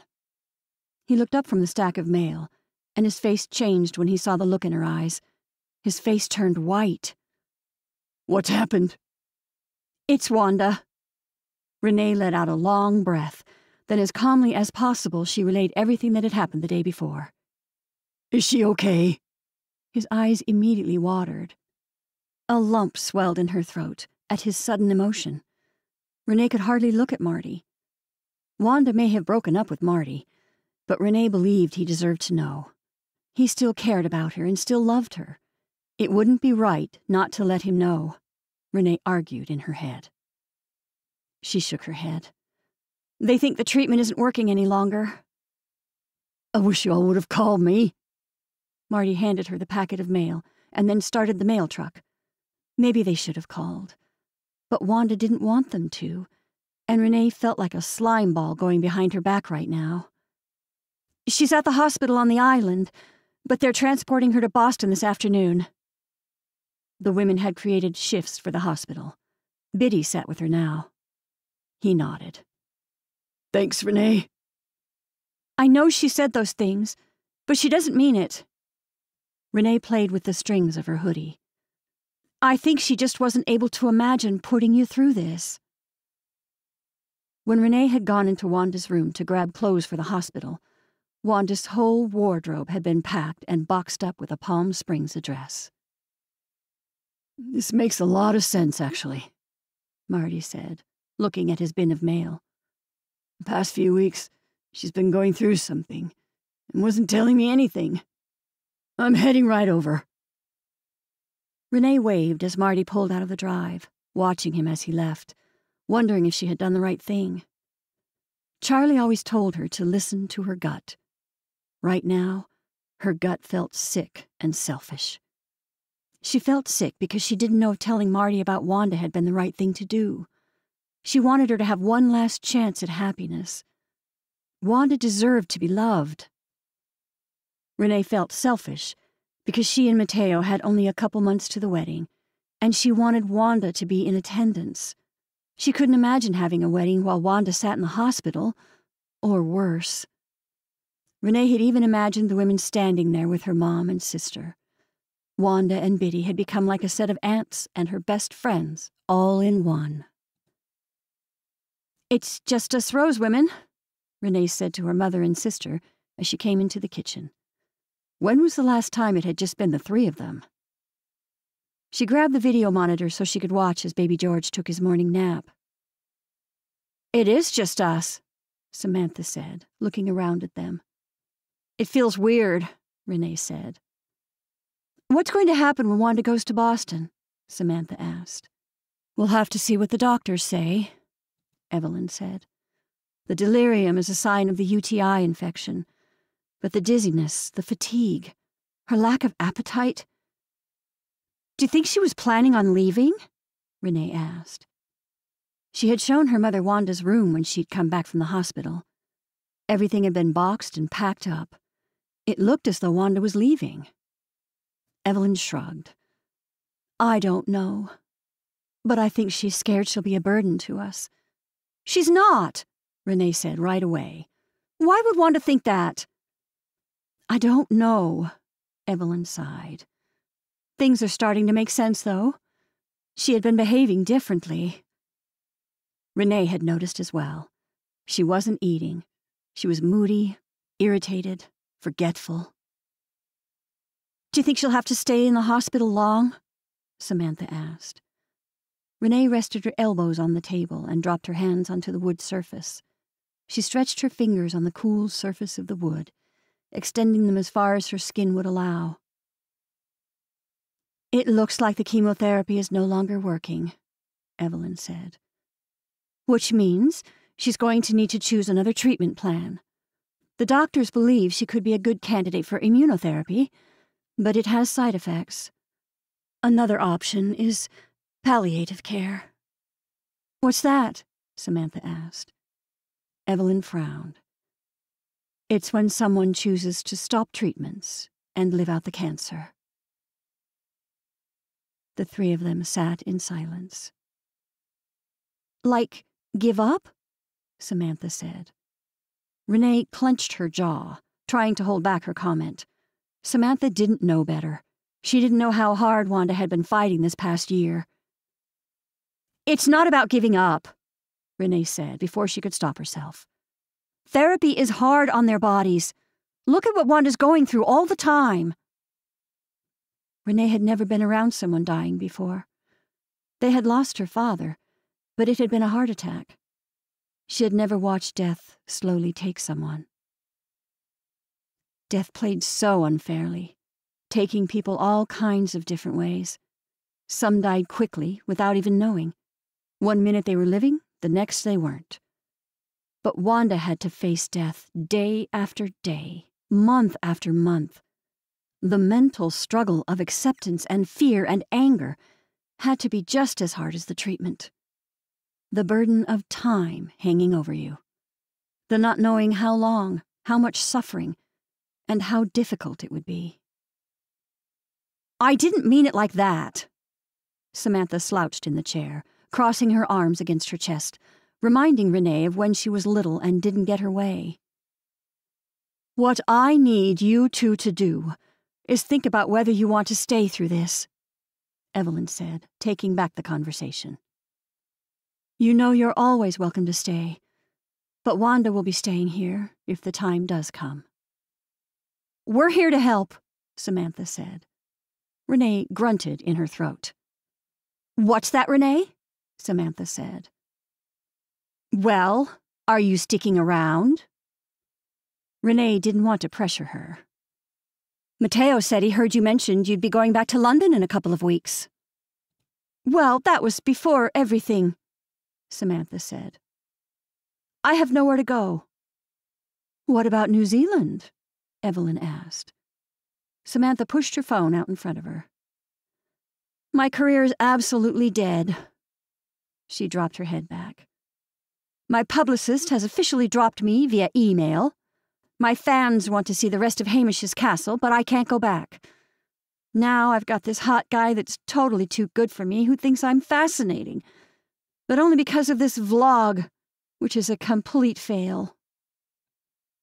Renee shot a look across the table to Evelyn. Then she said, Your vlog is not a fail. Oh, really? Samantha sat up again. When was the last time you watched my videos? Renee didn't want to go tit for tat. But when she went to defend herself, she realized she hadn't watched more than a few, if that. She was busy. She had a career, a child. She didn't have time to watch all her videos. But maybe, if she had, she'd have known why Samantha had left London in such a hurry, and why the car incident hadn't been what broke her, but the man who'd been standing there. You don't even let me watch your kid. Samantha added in under her breath. That's not true, Renee said, but she didn't think of asking Samantha to watch George. Okay, fine. I didn't want to hurt your feelings, but you're a complete stranger to him. I'm his aunt. Samantha pushed her chair back as though she was offended and was about to get up. He's a baby, you know. He was fine with me the other day. You act scared around him, Renee said, but that wasn't a good excuse. I'm sorry, Samantha huffed. It doesn't matter. What's going on with your vlog? Evelyn asked, bringing the conversation back. I bet Chase Mitchell will bring back viewers. I don't know, Samantha said. I just think people are over me. Why don't you do a segment on the bakery again? Evelyn suggested. Because I've already done that. My viewers want something different. They want more than just, hey, look, I'm bringing you back to my sister's place again. The farmhouse is great, Renee said. Yes, and so is Chase and Mateo, Samantha said. Renee was certain two very attractive men in her shot would help, since most of her viewers were middle aged housewives who wanted to dream of living like her. Go back to the basics, Renee said. Like when you first started your videos. Samantha rolled her eyes. You mean the only episodes you watched? When was the last time? Renee stopped herself before things got even more heated.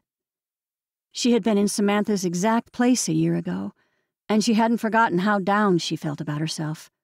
No job, living with her mom.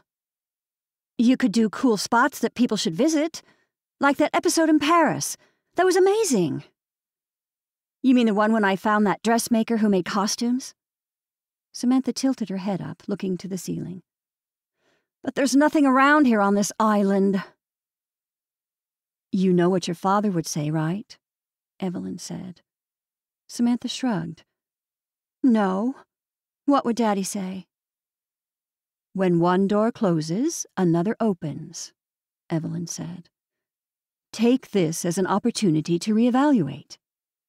She motioned her hands between her and Renee. We reevaluated and made changes. You bought a beach house and Renee bought a bakery. Samantha laughed sarcastically. I'm totally broke.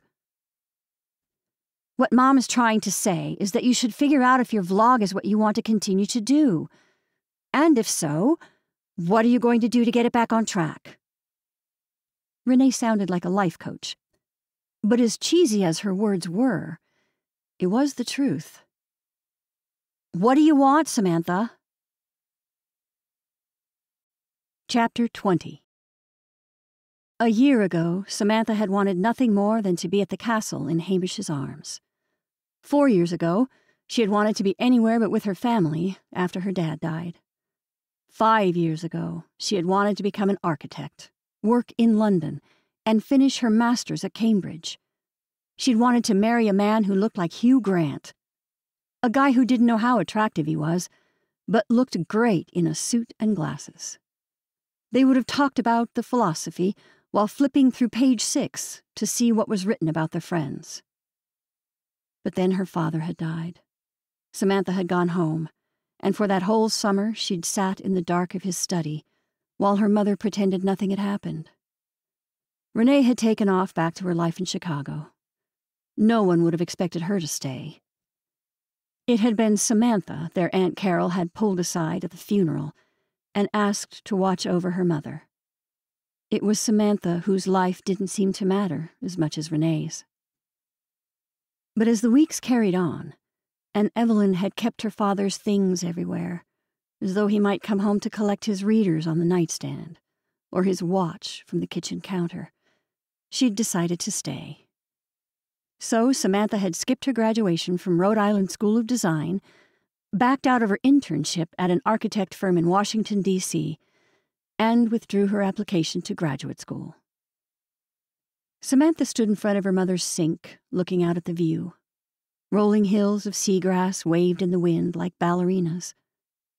Her stomach tightened at the idea of Wanda being transported to Boston yesterday and never returning to the island. Samantha's thoughts kept spinning around in her head. One second she worried about Wanda, the next about her career, and the next, Chase.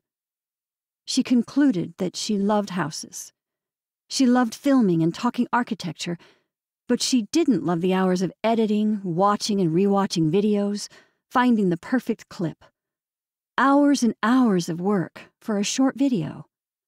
Then she had to brand herself, update her website, set up advertisement, keep social on all networks, and also follow others. And for what? Even her fans had left her when she got hit by that car. Even if she did make videos with Chase, she'd have to find a new audience. Otherwise, they'd probably only be watching for shock value, or to see if she was stalking Chase. They'd probably say cruel things in the comments. And she liked Chase. A lot. She didn't want to travel all over anymore. But what else could she do? How was the shoot the other day with Chase and Mateo? Harper asked as she walked into the kitchen. Samantha almost forgot Harper had been at the house. Oh, hey. Samantha walked away from the window. It went great, actually. Harper smiled bubbly and bright. That's great. They stood there, looking at each other. Where's George? Samantha asked. Renee had said he would be with Harper. We just got home from errands, and he'd fallen asleep in the car, so I just left him in the front hall to sleep. Harper peeked back down the hall. He loves his car seat. As Samantha looked in the direction of George, she felt guilty giving Renee such a hard time. Renee may have been sorry for saying George didn't know Samantha, but Samantha didn't know George. She would have never known how to put him into the car seat, let alone know to just leave him to sleep. Do you think I could hang out with you guys today? Samantha asked and Harper looked up, her eyebrows raised in surprise. Sure. He doesn't really know me yet, but maybe if I hang around with the both of you, and he trusts you. Samantha wondered if she sounded lame. That sounds great, Harper said. I was about to make myself a big cup of matcha tea. Want some? Samantha had no idea what kind of tea Harper spoke of, but she'd try it. Sure, Harper placed the kettle on the stove. Have you talked to your mom since she and Biddy went to Boston? Samantha shook her head. Not yet. Harper leaned against the counter and tapped her fingers. So, what's going on with the new guy? Who, Chase? Samantha knew, but didn't really want to talk about it, afraid that she'd somehow ruin things. We've only just started seeing each other. What happened with the man in Scotland? Samantha shot a look at Harper. Does everyone know? She shrugged. My dad and I watched the videos. Samantha took a step back. You watched my videos? They're very good, Harper said, suddenly serious. Thanks. Samantha could feel her cheeks warm from the compliment. It wasn't that Samantha wanted to talk about herself, or have everyone she knew watch her videos, but just having Harper's acknowledgement of her work felt like everything. Congratulations on your book, by the way, Samantha said back, now feeling the need to be just as nice. It was really good as well. Suspicion ran across Harper's face. Now I know you're a liar. What? Samantha had read it, and she did like it. Maybe not love, but Harper could write. You read my novel about a soothsayer in the 21st century? Harper raised an eyebrow. When her mother had dumped the book on her, she'd almost tossed it. Adding a hardcover to her already stuffed luggage had been a hassle. But because she knew Evelyn would quiz her, she read it. And it was good. It was really good. Samantha's mouth flipped into a grin. When you killed off Eve, I bawled my eyes out. The guy next to me on the plane had the flight attendant check in on me. Harper's eyes widened in a new disbelief. Really? You thought it was good? Oh my god, I can't tell you how much I needed to hear that right now. Harper dropped her head down and then flung it back up again, her hair flying behind her. I've got writer's block, and I don't know what to do about it. Oh no, Samantha said. Have you talked to my mom? The tea kettle whistled, and Harper moved to the stove, turning off the burner and pouring the water into the mugs. Kinda. But things have been so busy around here, Harper said. Samantha nodded. Her mom had been busy. She had been finishing a book. She had been with Charlie a lot, going back and forth for doctor's appointments and hanging out with the girls. Evelyn is always busy. Best to catch her mid morning after her first writing session, Samantha suggested. I always used to hit her up for money before dinner, so if you're ever looking for a raise on that assistant gig, it's my only gig as of right now, Harper muttered. What do you think is holding you back? Samantha knew nothing about writing or writer's block, but she did know her mother had suffered writing issues after her father's death. I'm in love with someone. Harper said it like a confession. Who? It's no one, really. Harper waved her off. I'm just stuck in this rut. Is it that guy Gerard? Harper twisted a loose strand of hair around her finger. No, it's no one you know. What's the problem? Samantha asked. He's in love with someone else, Harper said. She scooped out a teaspoon of honey and handed it to Samantha. It's locally sourced. Does he know you're in love with him? Samantha asked. Harper sipped carefully, blowing, then trying to sip, then blowing again. No. It's complicated. I had my shot with him and I chose to pass. Oh. Samantha wondered if that's how Hamish felt a lover's regret. Did he regret marrying Penelope? Did he regret getting her pregnant, knowing that's what she wanted? What made you change your mind? I always loved him. I just couldn't see it then, you know. Harper looked miserable. I'm sorry. It's really hard. Samantha almost went into a story when she heard George talking in the hall. Do you hear that? Harper stretched her neck, listening. Then she smiled at Samantha. He's usually in a really good mood when he wakes from a nap. Why don't you go get him? He'll start to cry, Samantha said. I'll be right here, Harper said, sipping her tea. Samantha gave a nod, then walked quietly down the hall. She made it halfway when he noticed her. He froze in his car seat. Except for the steady sucking rhythm of his pacifier. His arm extended out, and he pointed his sausage finger at her. He hummed a few words, and she decided that was his way of welcoming her forward. Good morning, she said softly and high, as though she were singing a song. George mumbled some more through his pacifier, still pointing his finger at her. Then he jerked to one side to look behind her and mumbled some more. A crease formed between his eyes, and his little face turned a bit more red. Oh, supercalifragilisticexpialidocious. She started off soft and slow. Even though the sound of it sounds something, something scrumptious. He dropped his hand but gave her the death stare like an FBI agent, so she stopped. He removed his pacifier and screamed, Hot! George pointed his finger at her again and mumbled like a mother would after telling her burnt child not to touch the stove. Supercalifragilisticexpialidocious, she sang again. His arms and legs jerked up and down. Ba ba ba ba ba ba ba ba ba. She couldn't remember the words, but she made her voice as peppy as possible and made the most animated face, just like her dad would have done, and got closer. Hi, George. He sat there, watching her. Do you mind if I pick you up and we can go see Harper? Samantha asked. It was a trick she had learned from her father before her first babysitting gig. He told her, as a doctor, he never touched a child without permission, even babies. George sucked on his pacifier. Here I come, she said, slowly walking to him. Auntie Sam is here to pick you up. She bent down, unstrapping the seat belts that seemed to be everywhere on the tiny little seat.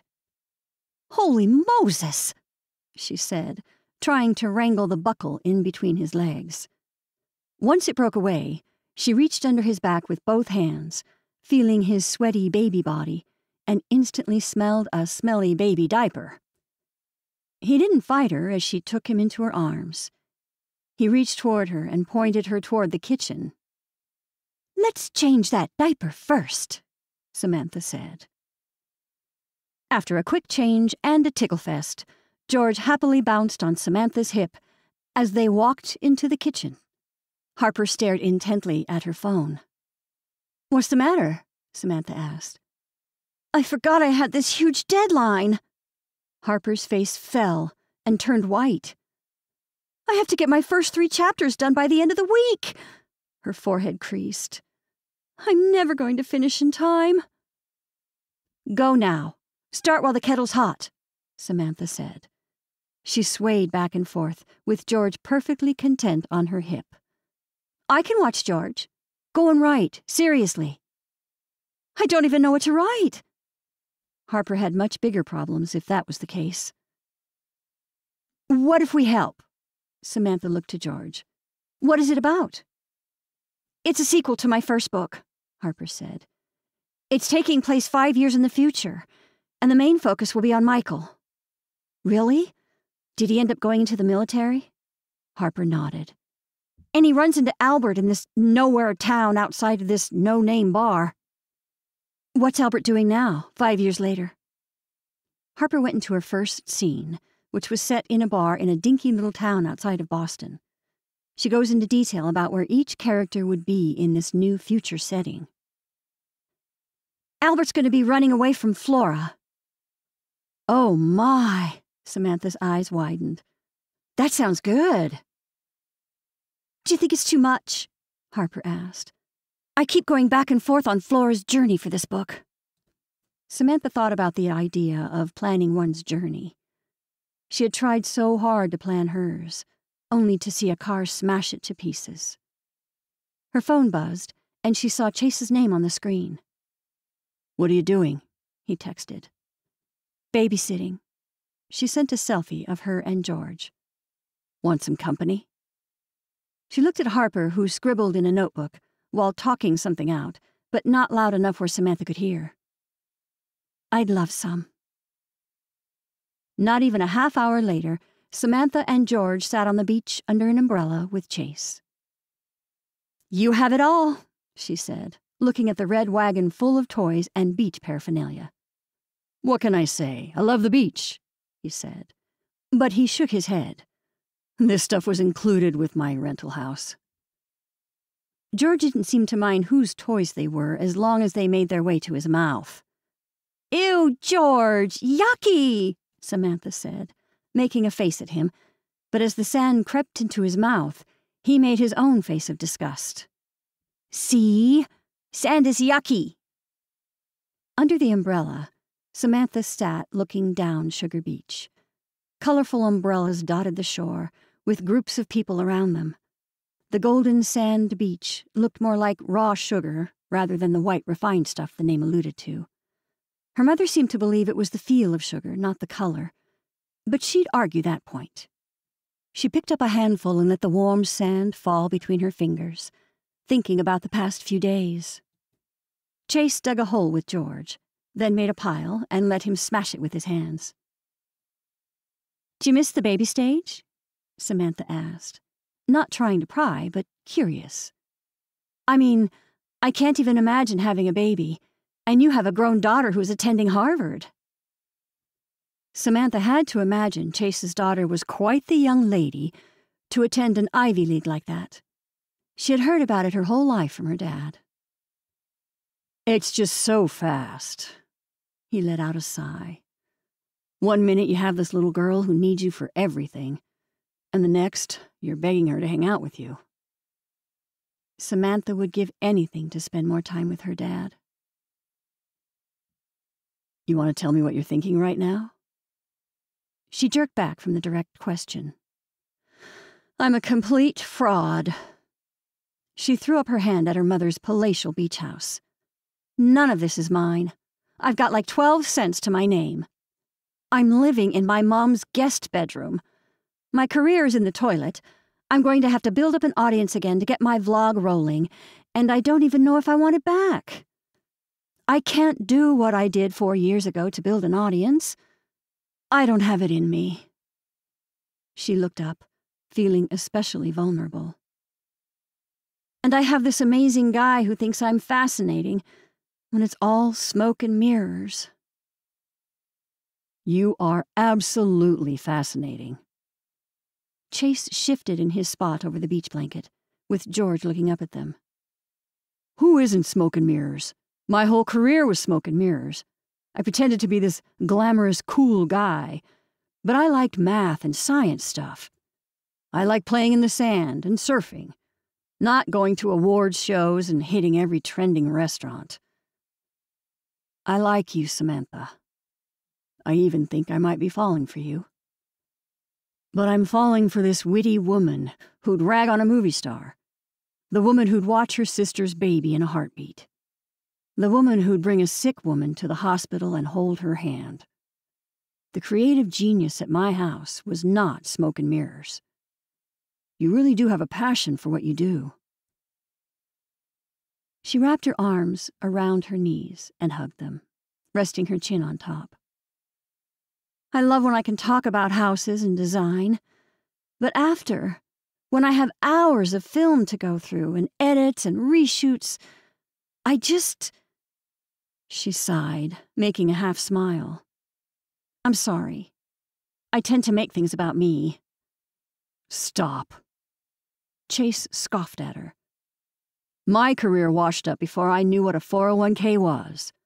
The industry had no use for me and dropped me by the time I was your age.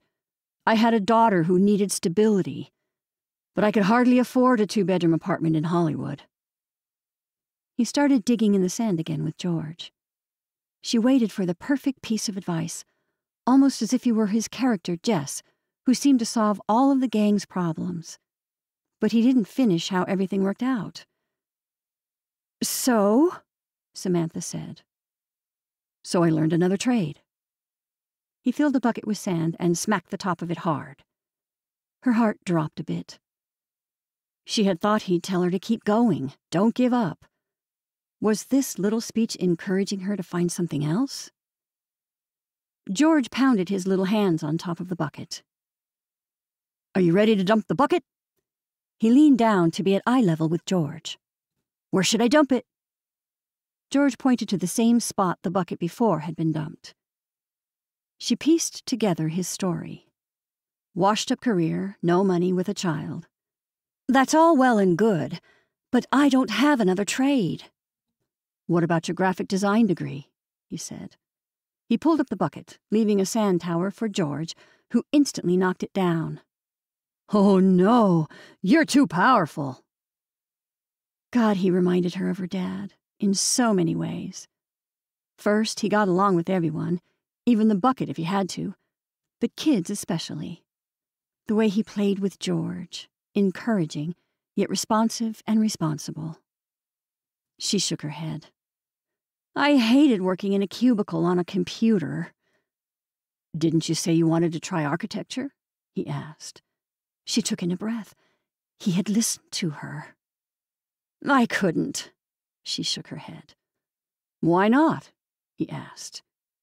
He and George waited for her to answer. Because.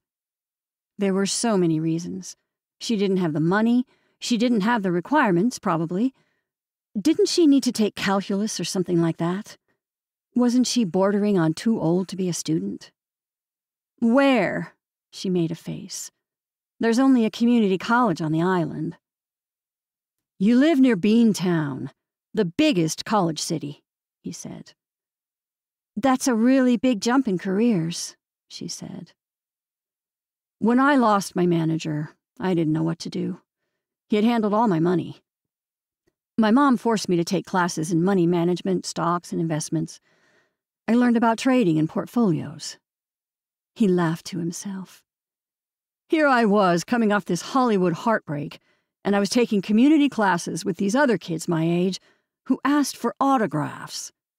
It was humbling, to say the least. The sad truth was that it wouldn't matter what kind of college it was, because she had no clue what she was doing. She looked at George. I don't know what I want to do. She wiped sand off his chin with her thumb. Maybe you should be asking yourself what you want to do next. Hut, George said, pointing his chubby finger at her. But whatever it involved, she realized she never wanted George to forget who she was again. Chapter 21 Evelyn sat next to Wanda in her bed. This time in the hospital felt different than when she had been admitted in February. This felt different because Wanda seemed so different. Evelyn didn't want to say it out loud, in case she was being insensitive, but she worried about Wanda's mental health. Daytime television is the worst, Wanda said. Oh, I don't know. Give me some The Young and the Restless any day. Really? Wanda looked surprised. You like soap operas?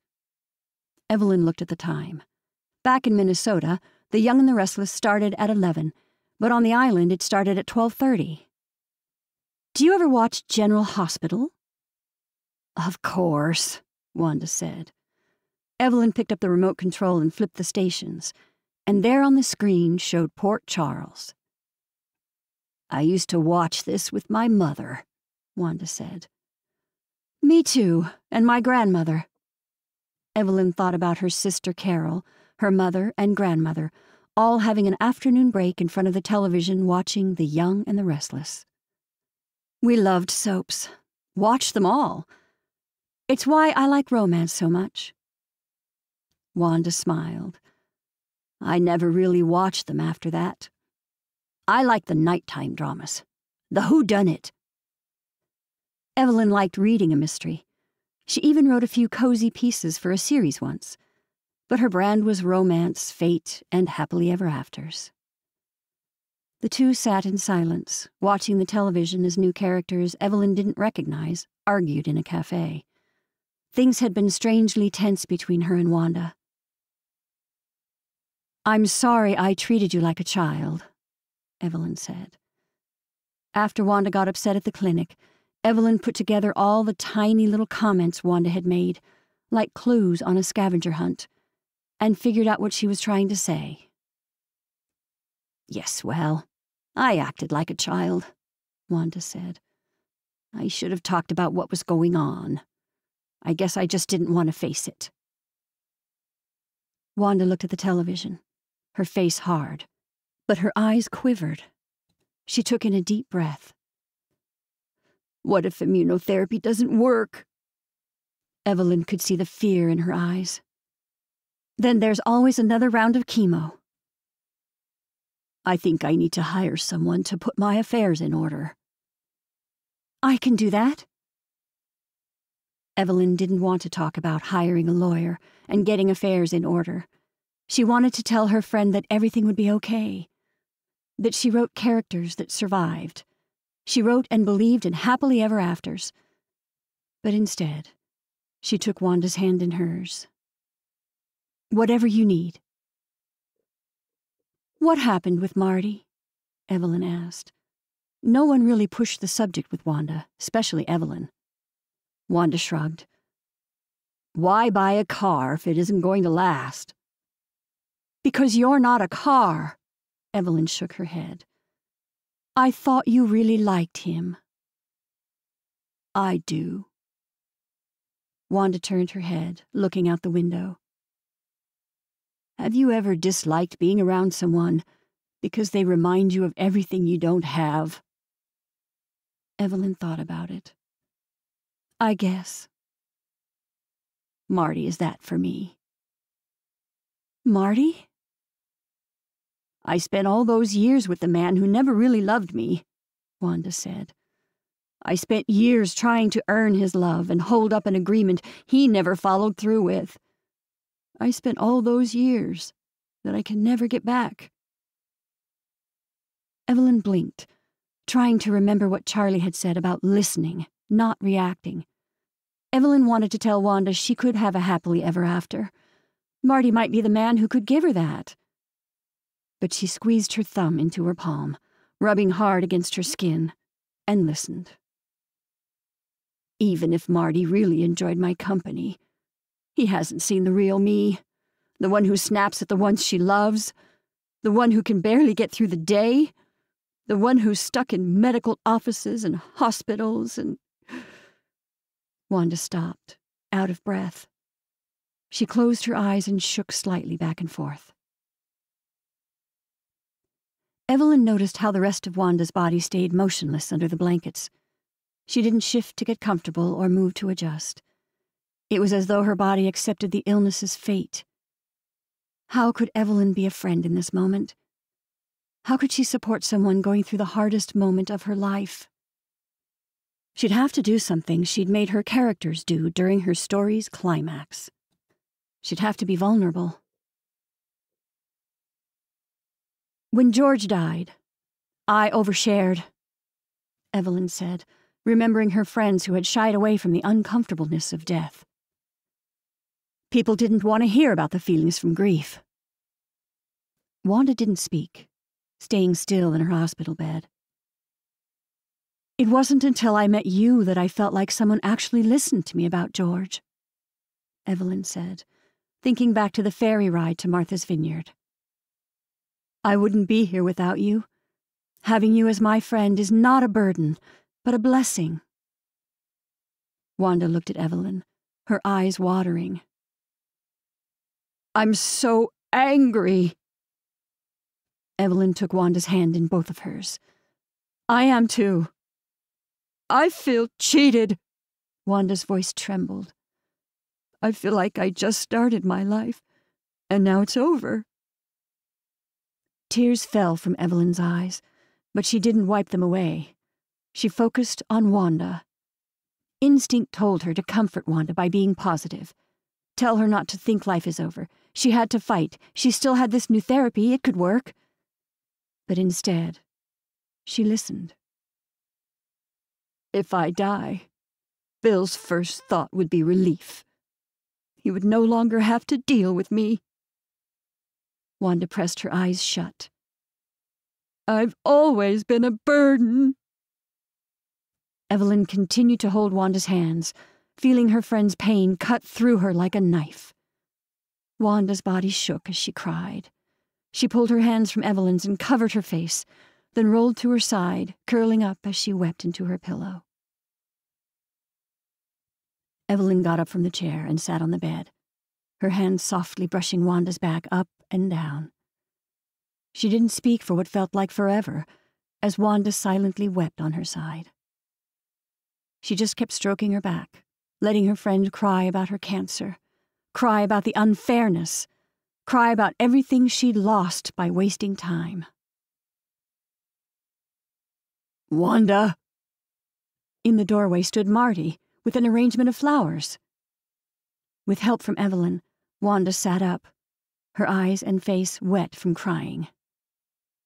Marty? I came as soon as I could. Marty stood frozen, staring at the women. That's when Evelyn felt Wanda squeeze her hand, and Evelyn squeezed back. Wanda adjusted in the bed as Evelyn handed her a tissue. Would you mind if I came in? he asked. Wanda looked to Evelyn as though she didn't know how to proceed, afraid to be vulnerable in front of this man. Evelyn leaned forward, turning her back to Marty, and whispered, I've got you. Chapter 22 You never took me to London, Dahlia said as she cut into the lobster tail he'd grilled for dinner. You joined every single camp and sports thing. He couldn't help but roll his eyes. We had no time to jet off to Europe. Dahlia rolled her own eyes. She wasn't going to drop it. That afternoon, when she arrived at the house, she saw an invitation that had come in the mail. You get invited to all these random award shows and openings and never go to any of them. Chase never enjoyed any of the spotlight. It's not like how it is on television.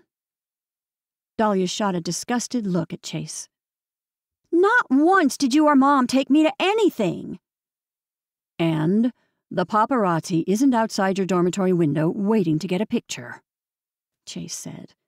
He'd never allow that to happen to Dahlia. Unless, God forbid, she chose that kind of life for herself. Even Grace had agreed to keep Dahlia out of the spotlight. I thought we are talking about you studying abroad, he said. He remembered Samantha talking about her experience studying in London, then Spain. What about Italy? As Dahlia went into a detailed list of why Italy wasn't the right country to study, Chase's phone buzzed from a message. Who's that? Dahlia asked. He looked down at the phone. Samantha had sent a video. It looked like the opening credits. He went to open it when he realized Dahlia was staring at him. He set the phone down. She's a friend. He had avoided the topic longer than he had expected for some reason. A good friend. Dahlia's eyebrows perked up. A good friend? He nodded. He hadn't had a good friend before. Chase dated casually a few times, but nothing serious. What's her name? Dahlia asked. Samantha. He answered quickly, but Dahlia took her time as she watched his reaction.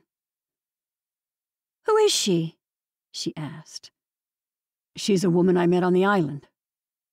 He tapped his fingers on the table. She's actually a travel vlogger. You should ask her about all those places. She's been to all of them, I'm sure. Am I going to meet her? Dahlia asked.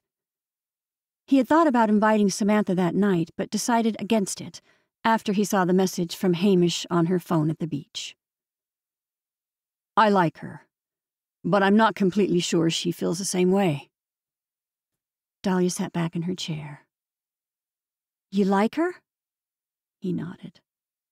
I'd like you to meet her. Dahlia's eyes expanded. Are you serious about this woman? He nodded, then shook his head. Yes, maybe. I don't know. Where does she live? Dahlia asked. He couldn't tell if her voice sounded panicked or excited. Up until high school, Dahlia had held out hope that he and Grace would get back together. He had held out hope as well. But then in high school, she'd try to set him up with teachers or other single moms. I think I might be falling for her. The confession felt strange, and he didn't like feeling this vulnerable in front of his daughter. You're like, in love? Dahlia's mouth dropped. Yes, maybe. I don't know, he said. He pushed his plate out of the way. I think I'm ready to get into a serious relationship. He looked across the table to his baby girl. She had grown into such an amazing young woman. It felt like yesterday when she used to dress at dinner in princess dresses and tiaras. But I want to make sure you're okay with that. Dahlia set down her silverware on the plate. Dad, I just want you to be happy. He couldn't help but feel a growing pain in his heart. When did she get so mature and selfless? Why did you invite her over? she suggested. Would Samantha want to meet his daughter? What if that scared her off? Was that too much too soon? Maybe I will, he said. But he didn't. Instead, when Dahlia went to her room, he watched the video Samantha had sent. The shots had been perfect, her editing excellent. She had changed a lot of it, but kept a few of the earlier shots, including McPherson Castle. She had kept the castle. He thought about the message he had seen on Samantha's phone earlier. She had brought George to the water to wash off his feet. He hadn't meant to look, but the ding from her phone caught his attention, and he read the first few words I miss you. He rewatched some of her videos, studying the castle, examining the man who had captured Samantha's heart. He searched up Hamish McPherson and read through all of it again, but with a different eye. Wedding announcement on page six, his law office and business address, an article on his new flat in London, photographed with his new wife, Penelope. A feature article in Architectural Digest with Hamish and his mother. No mention whatsoever of Samantha. No links or connections to her videos. Except one. He rewatched it. It had been the shortest of her videos. They were usually just about 20 or so minutes, but this one only reached five. As always, the video started with her introduction, short clips of what the episode would be about, then her usual intro with music and regular clips with the title. Typically, the video started with Samantha at the site of the project, explaining what was being done. If the owners happened to be working on the stairwell, Samantha would be under there with them, with a flashlight showing the space, explaining the next steps. But in this video, she skipped the formal chat and started with a landscape of the loch with the castle in full view. The video then focused across the loch on the other side of the shore where a stag sauntered through the water. The sight must have been incredible, judging by Hamish's expression, which came next. She flipped the camera to film him whispering, Look at that beauty! A full set of antlers. Just gorgeous. Then Chase saw the look on Hamish's face when he looked at the camera. The same look Chase probably had on his face when looking at Samantha. Hamish McPherson was in love. Hamish McPherson wasn't some silly boy. Chase looked at the date of the video. It had been just barely a year. He flipped over to the page with Hamish and his wife. He appeared stiff and cold, holding her like a prom date, not his wife. The whole thing felt very formal. Not that one picture determined his happiness, but that video didn't lie. He very well could still be in love with Samantha. His stomach dropped. Chase was the rebound. Chase didn't sleep well that night. He gave up trying to sleep and got up. By the time he heard movement from upstairs, it was five o'clock. Happy Father's Day, Dahlia said, practically skipping into the room. Good morning, he said, starting his top of the line Italian coffee maker. Coffee? Sure, she said. She kissed him on the cheek as she passed by to the counter's stool. You're up really early, he said. I'm going to catch the ferry in a couple of hours. Want me to join you? he asked. She shook her head as she pulled out the stool. He handed her a cup of coffee. Dahlia took a sip. This is so much better than my lame coffee maker back in my dorm. He rolled his eyes. I'm not buying you an espresso machine. I don't need an espresso machine, She laughed. I need a better coffee maker. He thought about asking Dahlia to watch the videos, see if he was imagining things, but then stopped himself. He wasn't going to ask for relationship advice from his daughter, no matter how desperate he got. Instead, Dahlia talked to Chase about school, her internship, exploring the city of Boston. I want to go to a Sox game so bad, she said. I can get us tickets. He'd call after he dropped her off. When's good? Weekends are best. She looked at her calendar on her phone. Next weekend I'm free, and they have a double header on Sunday. You should invite this Samantha woman. He nodded. Maybe I will. But he wasn't so sure. He drove Dahlia down to the harbor to catch the ferry. With a big hug, she kissed him on the cheek, and like always, he stood on the dock watching the ferry embark. No matter how many times Dahlia left, it felt as though he'd set his heart on that boat. And he just had to hope and pray it stayed safe forever. As the ferry disappeared out of sight, he turned back toward his car and saw Samantha standing across the street by the bakery, watching him. He waved. But she didn't wave back. He waved again, which made her take off in the opposite direction. He jogged to meet up with her. Samantha! But she didn't stop. Instead, she moved faster through the crowds of tourists. Samantha, wait up! He called out. When he finally caught up to her, she stopped abruptly on the sidewalk. What? Didn't you hear me calling your name? he asked. He could tell she was upset. He heard the tone in her voice. The way she stood, rigid, and avoided making eye contact was exactly how Dahlia acted when she got upset. Samantha narrowed her eyes and crossed her arms across her chest. I don't like games. What do you mean? He didn't understand. If you're seeing other women, she said, now making eye contact. I'm not seeing other women, he said. He realized she had seen him with Dahlia. That's my daughter, Dahlia. Your daughter was here? She stiffened some more. She nodded, but her gaze went away, past him. She looked as though she was processing the information.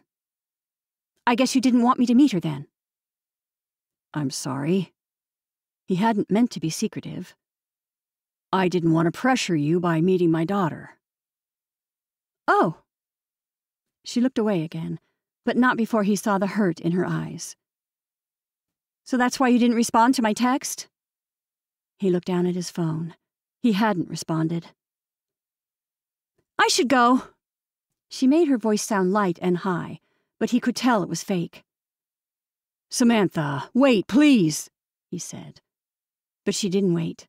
Samantha took off, faster this time, and didn't look back.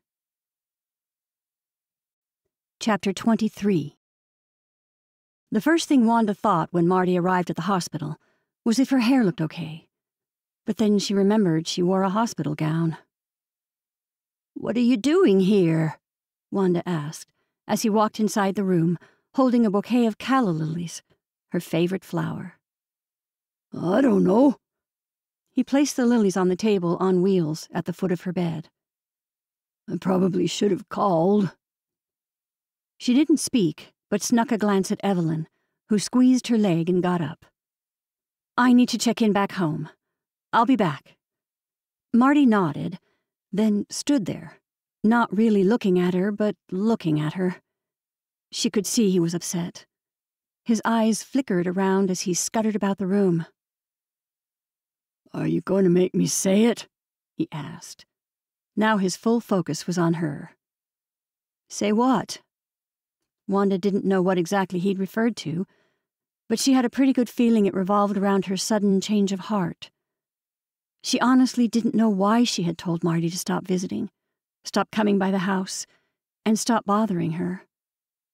The word bother made her wince as she thought of how she had spit the words out at him that you're scared for some reason. You're right. I am scared. She looked surprised as she said it. The chemo didn't work, and I knew it. I don't want to die in front of you. I don't want to be pitied. I don't want you to look shocked every time you see me, because I'm really scared about what comes next. The tears stung her eyes, and the exhaustion mixed with emotions made her stop talking. She wanted to stop thinking. She wanted to stop it all. She closed her eyes, wishing he would just go away, but she heard him drag a chair, then it cracked underneath his weight. What are you doing? she asked through closed eyes. I'm sitting with my friend, Marty said. Marty, please. He let out a breath, staring into her eyes. I'm scared too. She wanted to yell, Go away, stay away from me. But she didn't. She couldn't. And the truth was, she didn't want him to leave. I'm not going to let you be scared alone. She opened her eyes for a second, watching as he pulled out a pair of glasses and a book. Do you enjoy a thriller? She clenched her eyes shut, tears falling from the corners, and nodded. Sounds nice. He began with a cover, reading an author's name she didn't recognize, and began on chapter one. Before he read the first line, Wanda was out. She fell into a heavy sleep as he continued to read softly beside her.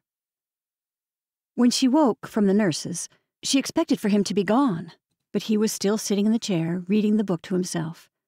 The moment her eyes opened, he pulled off his glasses and smiled. Can I get you anything? he asked. She shook her head. He nodded, and she closed her eyes again. Would you like me to continue reading? he asked. She made a hum and fell into a deep sleep the second he began to read. When she woke again, Biddy sat next to the bed. Hey, you! Wanda blinked a few times, orienting herself back to reality. She noticed Marty had left, but his flowers sat in a beautiful crystal vase. Good morning. Biddy smiled. You look better today. Wanda moved slowly in her bed, but for the first time in a long time, she felt more rested. I finally got some sleep. It shows. Biddy patted a book in her lap. Marty told me you enjoyed his book. Wanda noticed the title and nodded. Yes, he came and read to me. Biddy bobbed her leg as she sat beside the bed. That Marty, is a mighty good guy. Wanda could almost feel Biddy winding up, ready to let Wanda know her opinion. Biddy never held back.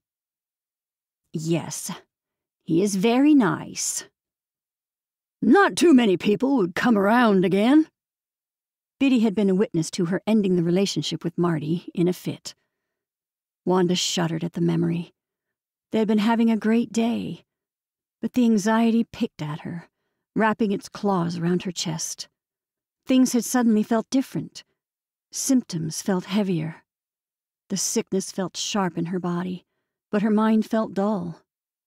She remembered being so tired.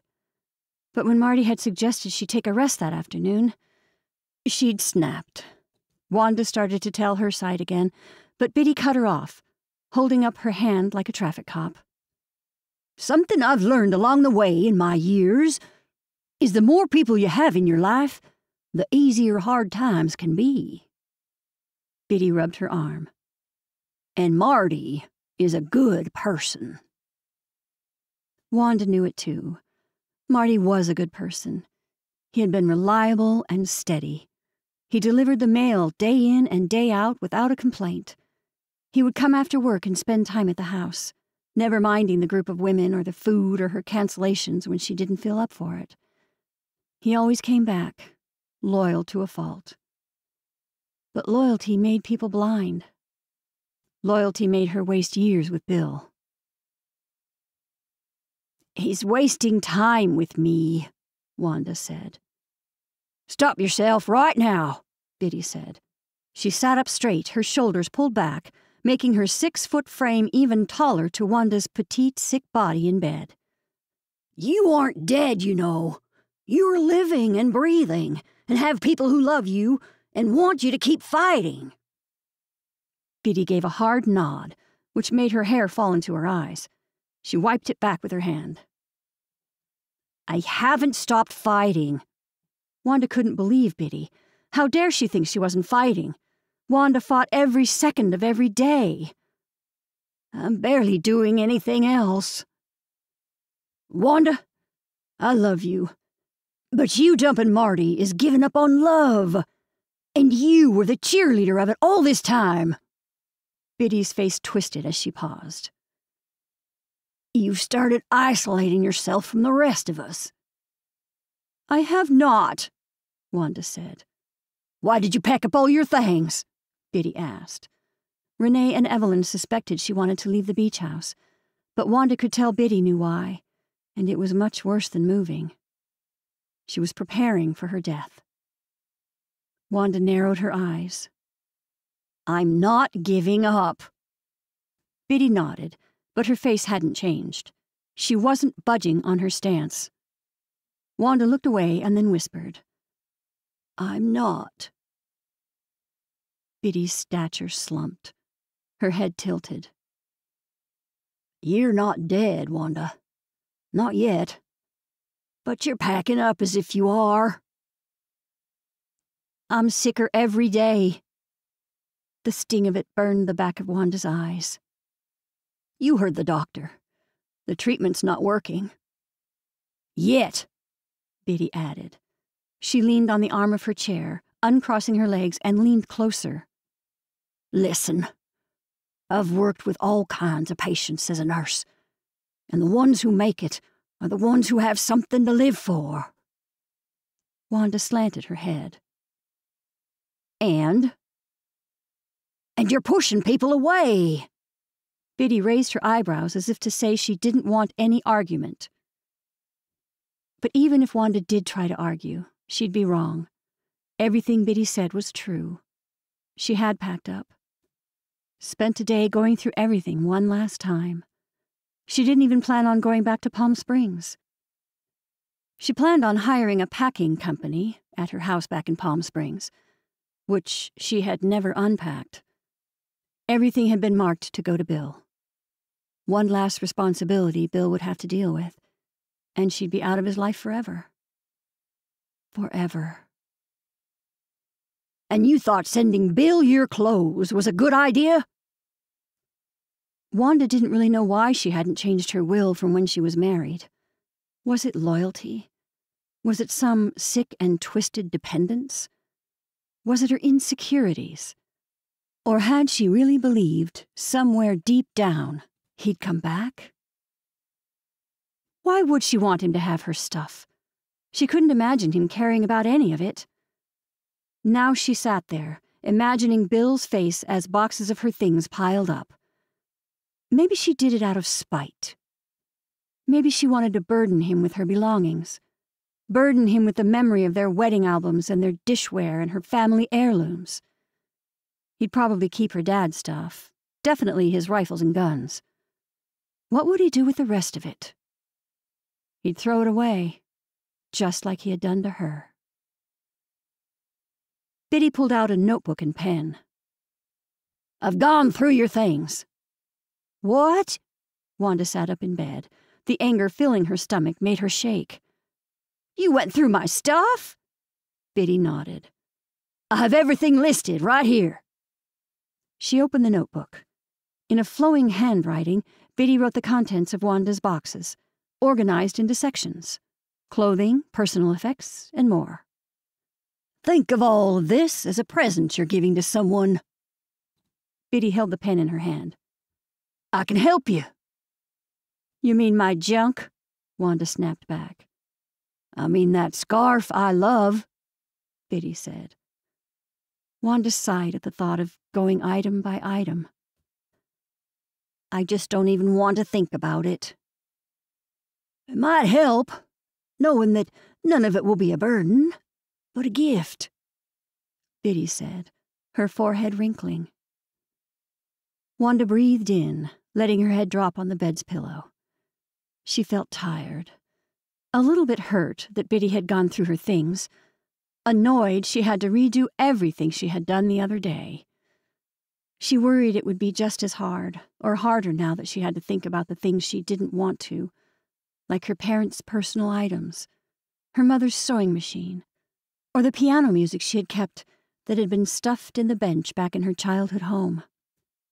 She had records of Miles Davis, Etta James, and John Coltrane that her father would listen to after work. And her journals. What would she do with the years of writing what she had done every day? Who cared? Biddy didn't speak, just sat next to her, holding the notebook. Can I add a few things? Wanda finally said. Yes, of course. Biddy propped up in her seat, like a secretary taking notes. And for the rest of the morning, through nurse check ins and doctor visits, Biddy and Wanda went through her personal items. The first time Wanda packed up her things, it had been emotionally taxing.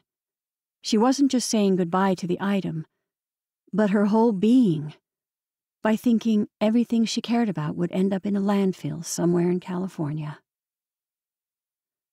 But as she went through the list, what surprised her most was the more she thought about who might benefit from the item, the lighter and happier she felt. Her mother's diamond brooch would go to Evelyn, because she had that swan neck. Her diamond earrings would go to Renee, and her mother's sapphire pendant for Samantha. She joked that Biddy could have her scarf, but also the diamond rings she'd bought herself. I think the girls will be so pleased to know you thought of them, Biddy said, as they continued to go through each piece. By the end, exhausted, but strangely energized, Wanda turned to Biddy. Thank you. She nodded. We're your family, Wanda. We are. Wanda nodded, but exhaustion made her eyelids heavy, and she must have fallen asleep, because when she woke up, Biddy was gone and a new nurse she hadn't met yet was checking her vitals.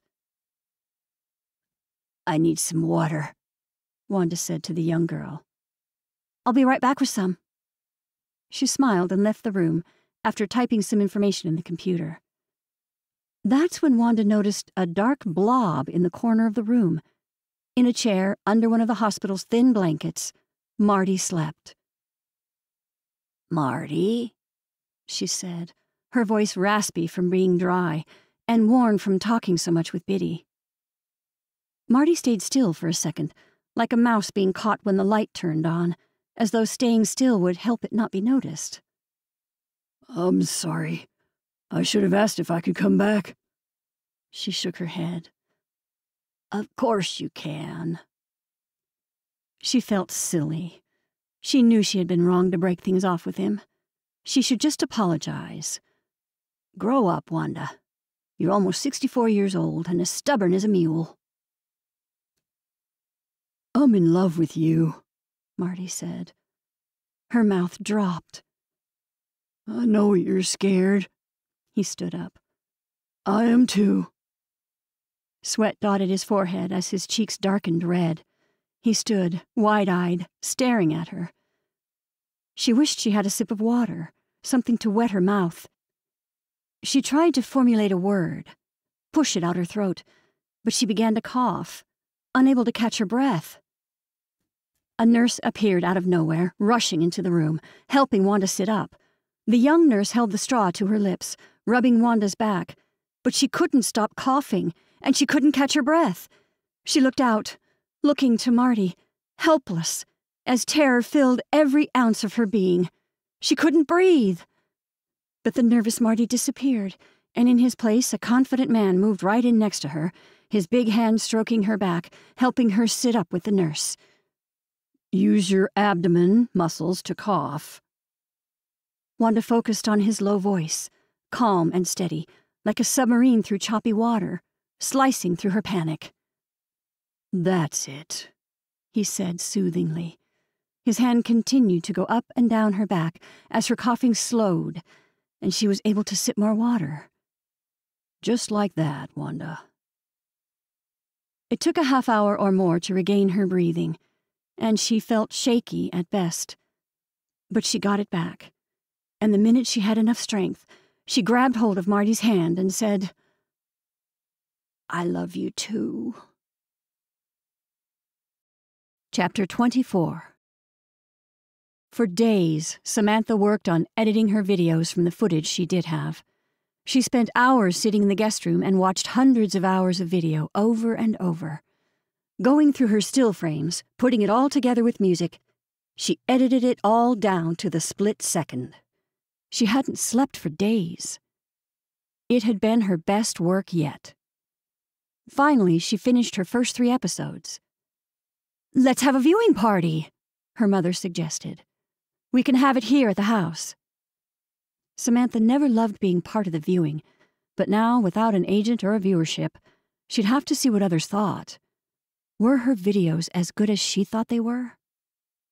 We can do it tonight, Evelyn said, pulling out her phone. Wanda and Marty will be at the hospital, but we could have Charlie and the writing group, Chase and Mateo. Should we include Julia and Jose? That sounds nice, but. Samantha scratched the back of her neck. She hadn't talked to Chase since the incident at the ferry docks. She didn't even know what to say at this point. She felt stupid for her overreaction. Maybe she should have been calmer and cooler about the whole thing, but the fact remained, for whatever reason, he didn't want her to meet his daughter. I think it's just better that we don't have a viewing. Evelyn opened her mouth, about to say something, when Samantha cut her off. Let's just see how things go first, before we celebrate. Luckily, Samantha didn't need to explain more. Evelyn gave her a half smile and rubbed her back, assuming her nerves were the reason she didn't want the viewing party. You should be proud of yourself, Evelyn said. You've worked so hard. She had been proud of her work, but would these new videos be enough to get her vlog back on track? Would she get the viewers she once had? Or would no one care? She released the first video online at midnight and waited. The next morning, when she checked her feed, the video had 500 views compared to the thousands like before. By afternoon, barely a thousand. Then nothing. All night, Samantha thought about everything her videos, Chase, Hamish, school, her father, and Seaview. What would she do next, now that her career was officially dead? As the next morning arrived, Samantha sat on her mother's deck, waiting for her and Biddy to return from their walk. She had made plans to film later that night with Mateo, but the glaring problem hit her harder than the high June sun. Why even bother filming? She was certain, after her little episode, Chase wouldn't want to continue filming. It would be noticeable if she continued without him. The few viewers she did have enjoyed seeing the old superstar. That would be the second time she didn't follow through with the series. She looked out at the water, watching the waves break onto shore, wishing she could get some type of answer of what she should do. A screech from above her head made her turn in her chair. A seagull floated in the wind. The gray and white bird's wings expanded out, lowering itself to the railing right next to her croissant. Don't even think about it, she said to the bird waving her arms out to shoo it away. The seagull flew off the railing to the seagrass below, waddling along the sand, and coming as close to the deck as it could. She thought about her mom, how she thought her father spoke through birds. What would her dad tell her to do? Never quit on yourself, is what he had said to her all the time. But this wasn't quitting, it was throwing in the towel, knowing when to finish, and Samantha's career in vlogging was done. Good morning. Suddenly, from around the front of the house, Harper appeared. I heard Wanda's coming home today. Yes, Samantha said, happy to break the constant doubts crashing in her mind. She's coming home tonight, hopefully, with Marty. She smiled, thinking about Marty declaring his love for Wanda in the hospital room. She'd give anything to have that exchange on tape. The nurses had said it was the most romantic thing they had seen.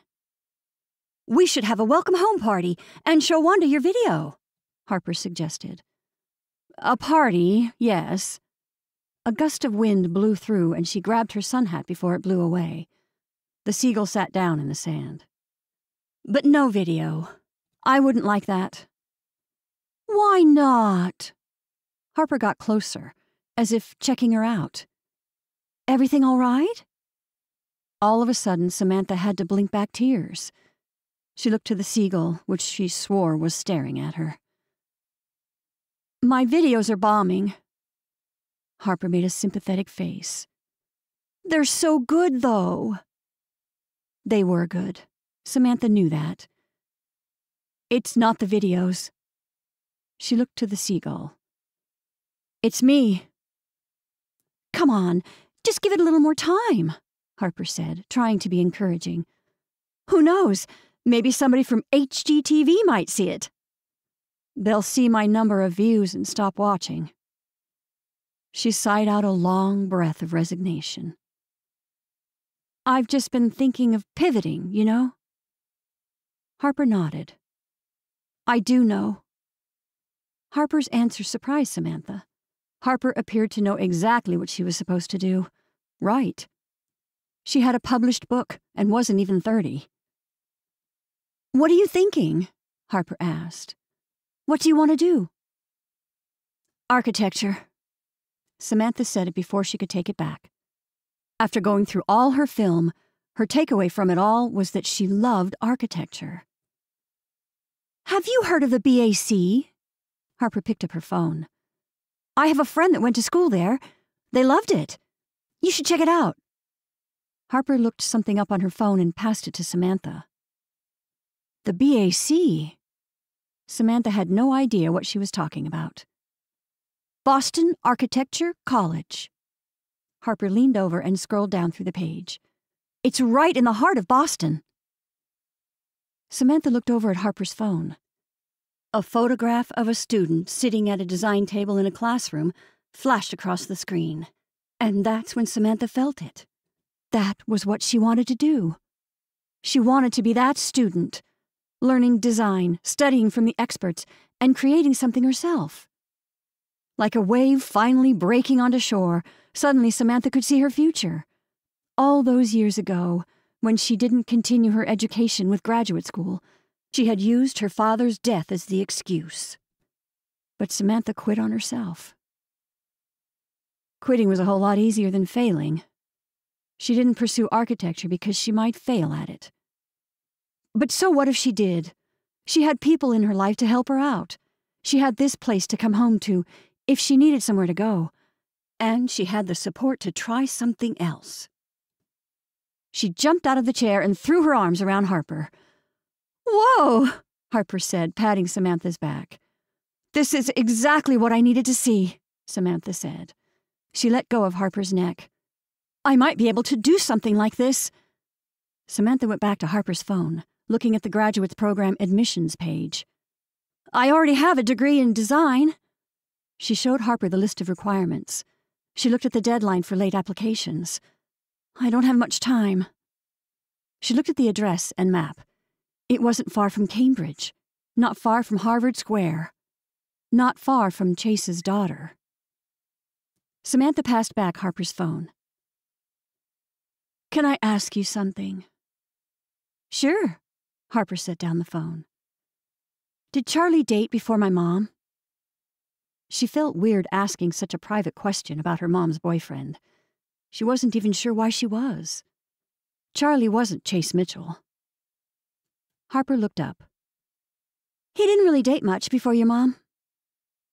She should probably give context, but felt silly for some reason because she was almost certain she knew Harper's answer. Did you meet them? Harper shook her head. He never introduced me to anyone he dated, not until he was serious about her. Right, she thought. Makes sense. Things suddenly made complete sense. Chase Mitchell wasn't serious about their relationship. Harper looked like she was about to ask something when Samantha turned the conversation back to school. I think I might do it. I think I might try to apply to BAC. Harper's face lit up. I'll call my friend. He's nice, and I bet he'd love to show you around.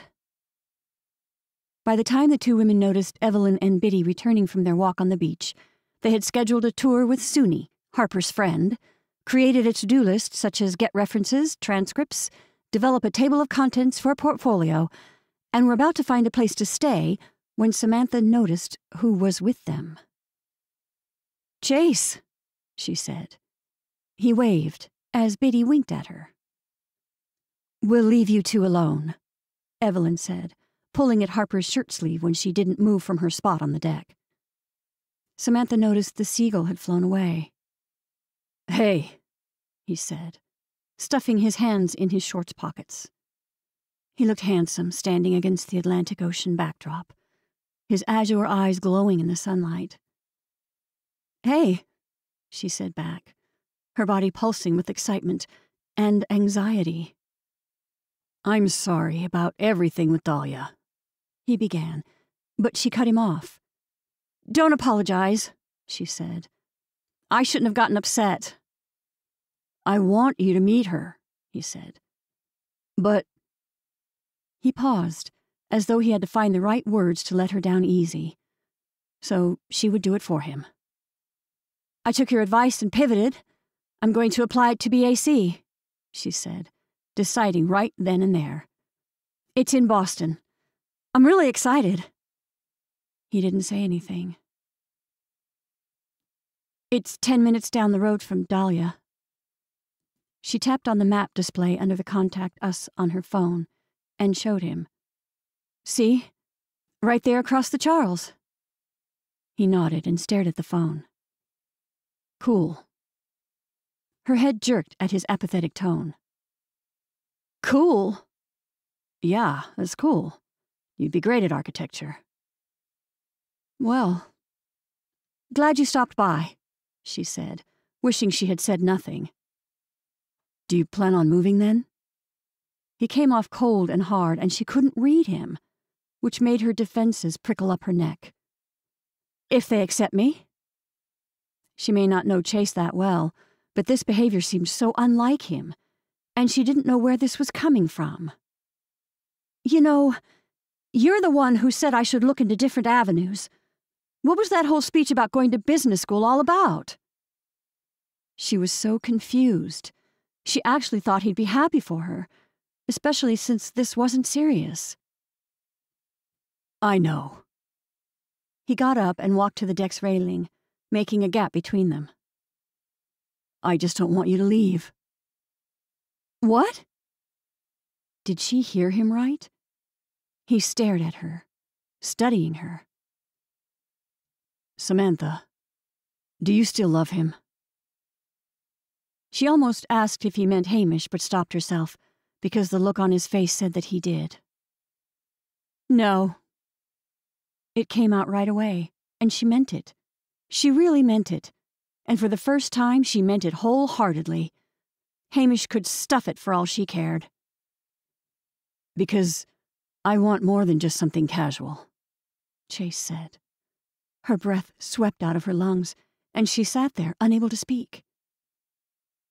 But you didn't even want me to meet Dahlia, she said. Chase looked at her. I saw the message from Hamish. Oh. She didn't know what to say. She hadn't expected this. When we were with George at the beach, I accidentally saw it when it popped up on your phone, he said. He let out a long breath. It looks as though he still has feelings for you. She played with her hands as she gathered the words in her head. I thought I was in love with him, but it wasn't real. She bit her bottom lip. I don't like secrets.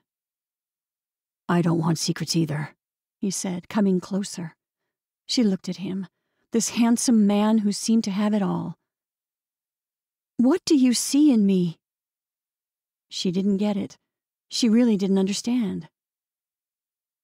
I see this strong woman taking life by the horns. He looked straight at her, holding her eyes with his. I want to be a better person when I'm with you. I want to learn and grow and take chances. I don't want to hide from the world. I want to expand and move on and live. He stepped up to her, taking her hands, tangling his fingers with hers. I want to be all in. And then he kissed her, wrapping his arms around her, holding her against him. When the ferry reached Falmouth, a car waited for them and took them to the city. Boston Architectural College's concrete building stood out against the city's traditional red brick. The modern, sleek design made the butterflies dance inside Samantha's stomach as the car parked in front of the building. A man walked out of the front entrance and met them outside the car. Samantha Rose? The man extended his hand. My name is Suni Nguyen. Welcome to Boston Architecture College. Harper's friend took Samantha and Chase on a tour of the building, introducing her to some of the professors still at school and a few other students. They walked down corridors that showcased former students' work, awards won, and designs of excellence. Suni explained his classes and his internship through a local firm in Boston. They walked through classrooms and the different design studios and labs. Projects lined the walls, architecture drawings and photographs displayed throughout. Samantha immediately took to the small campus and creative vibe. There's a real community here at BAC, a man in his 30s said, as he worked in the design lab. By the time the tour finished, the butterflies in her belly had morphed into a roller coaster. One second she felt energized to apply, and the next she felt like it was all way over her head. Did she have what it took to be an architect? I got us rooms at a great place in Cambridge, Chase said when the car took off down Newbury. The city's lights powered on as the summer sun set behind the buildings. Thank you for setting this all up, she said, holding the packet of papers she'd gotten on the tour. She didn't even know where to begin. So much seemed to be happening all at once. The place Chase had booked turned out to be a carriage house in Cambridge. They had the whole thing to themselves. They stayed up all night and talked. They talked about their childhoods and about their families. She talked about losing her father and giving up in school. He talked about never having a father figure and trying to make up for mistakes. He told her about his ex wife Grace and their amicable relationship as co parents. Then she told him about Hamish. He came to the hospital and told me to stop following him. She had said it so quietly that she thought maybe he hadn't heard her, because he didn't respond. He stared out the window as the morning sun slowly rose through the building's silhouettes. I'm so sorry he did that to you. Something clicked at that moment. Something real and powerful. Chase was real. His genuine concern for her was real. This relationship between them was real. And Chase made her feel safe in that realness. Like every morning, Chase took his run and Samantha checked her stats. They were abysmal.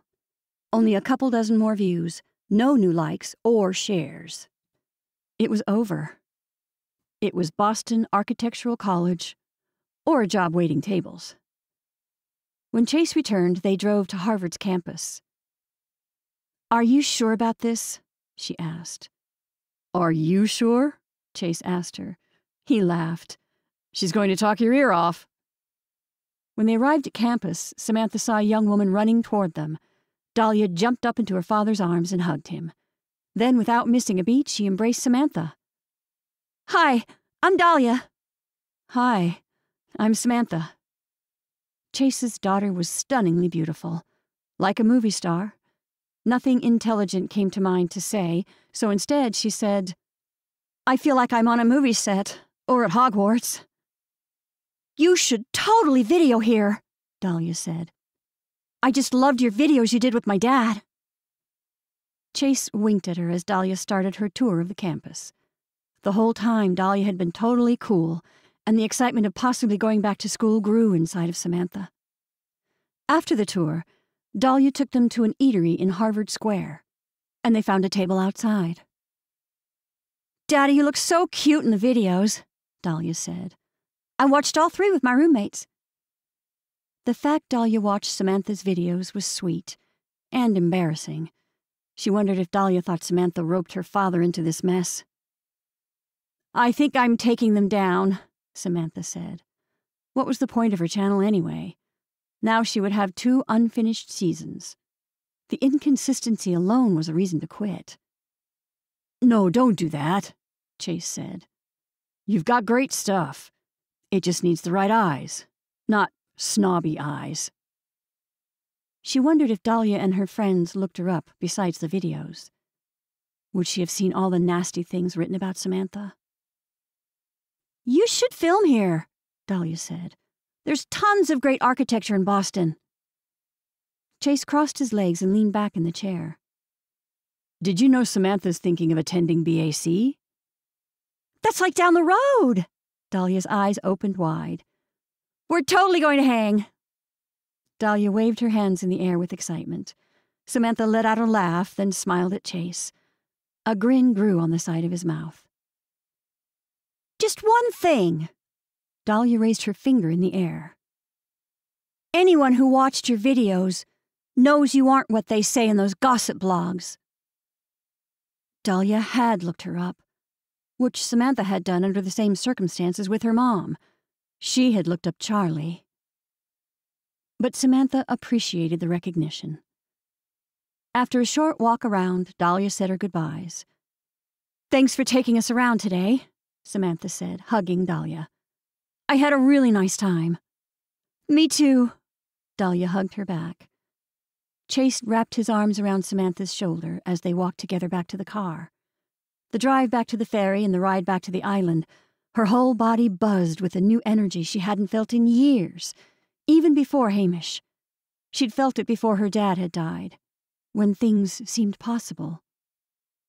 She had a whole new journey in front of her, and it was about to begin right now. Chapter 25 Marty came to both Biddy and Evelyn. I want your permission to marry Wanda. The ladies didn't hide their excitement in the least. Biddy rubbed Marty's balding head, and Evelyn hugged him so tight she thought he lost consciousness for a second there. That's wonderful news! Evelyn couldn't believe how wonderful. You have to have the wedding here, and the ceremony on the beach. Marty held his hat in his hands against his chest. I'm putting in my retirement and going to spend the rest of my time with Wanda. Evelyn had experienced a lot of emotions throughout her life, but she had never experienced this type of joy. Wanda, of all people, truly deserved a happily ever after. I think this is just wonderful, she said to Charlie later that day at Books and Bread. I am so happy for her. Has he proposed yet? he asked. She shook her head, wondering if this bit of news bothered Charlie. Marty and Wanda had started dating well after they had. Now they were getting engaged. She knew she was the one holding her relationship back from the next step. But why change if things worked so well? She was happy. Charlie seemed happy. They were happy, right? Charlie nodded, seemingly unconcerned. She wondered how she would have reacted if Charlie had been bothered. If he demanded they get married, would she agree? She thought the urge would arrive for him at some point, but it hadn't. Well, not until. Does it bother you? Bother me about what? Charlie asked. About them getting engaged, she asked. His forehead scrunched in confusion. Why would that bother me? Evelyn decided to drop it, while mentally rewinding over the past few months. Had she been so busy worrying about Wanda that she neglected her relationship with Charlie? Did he no longer want to marry her? When had they talked about it last? Not since Christmas, at least. But when Charlie moved on to another subject, her mind stayed on the idea of marriage. What about us? She asked later that night while they read in the living room. All the windows were open, letting in the sounds of crickets and waves washing up onto shore. Do you think we should get married? She sat with her back against the armrest, her legs on top of his lap. He shook his head. Not like this. She put her book down. Something felt off. Have you changed your mind? He looked at her. I thought maybe we'd get engaged because we wanted to get married, not because we were jealous of our friends. She almost snapped something fresh back, but luckily she bit her tongue. Charlie was right. I guess I just wondered if getting married was still something you think about. She could feel her vulnerability stretch. Of course I do. Charlie went back to reading his book. She smiled as her heart slowed down. Picking up her book, she wiggled her feet, showing off her pedicure. She'd taken the girls to the spa, and they had all gotten petties. It had been just what the doctor ordered. Oh, shoot! He lifted his finger in the air, then removed her feet from his lap. He got up and moved across the room to a bag he'd brought in. I made the journal. She sat up, taking the journal in her hands. It's beautiful. Charlie made a leather bound journal with Wanda's favorite poem by Emily Dickinson engraved into the cover. Charlie read it aloud. Hope is the thing with feathers that perches in the soul and sings the tune without the words and never stops at all. It's perfect, Evelyn said. What are you doing with it? At one of the support group meetings, they talked about this thing called an ethical will. She opened the cover and brushed her hand against the smooth paper inside. She flipped to one of the threaded spines. He'd picked Wanda's favorite color dragon. Dragon, which Wanda swore was a color of a crayon, had been her answer during game night that had instantly become an inside joke among the group. The orange red looked great.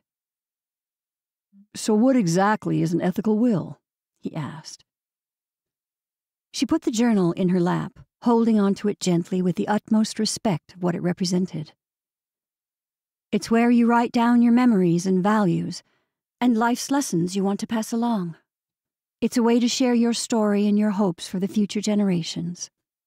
It's a place to write family traditions and recipes, what you want to give, but isn't necessarily physical.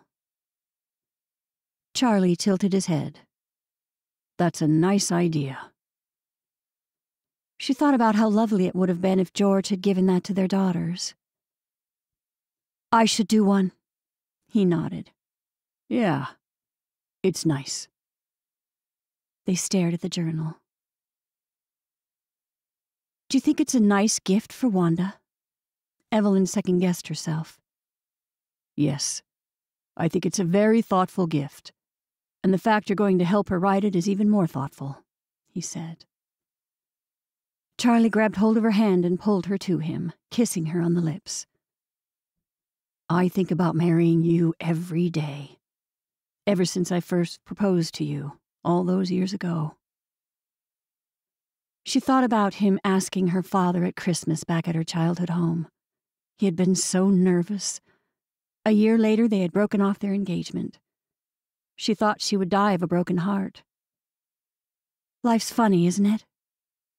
He nodded, kissing her again. It sure is. Chapter 26 Wanda left the hospital with a new freedom she hadn't felt in her whole life. Almost like a reckoning. A wake up call that allowed her to finally live in the moment.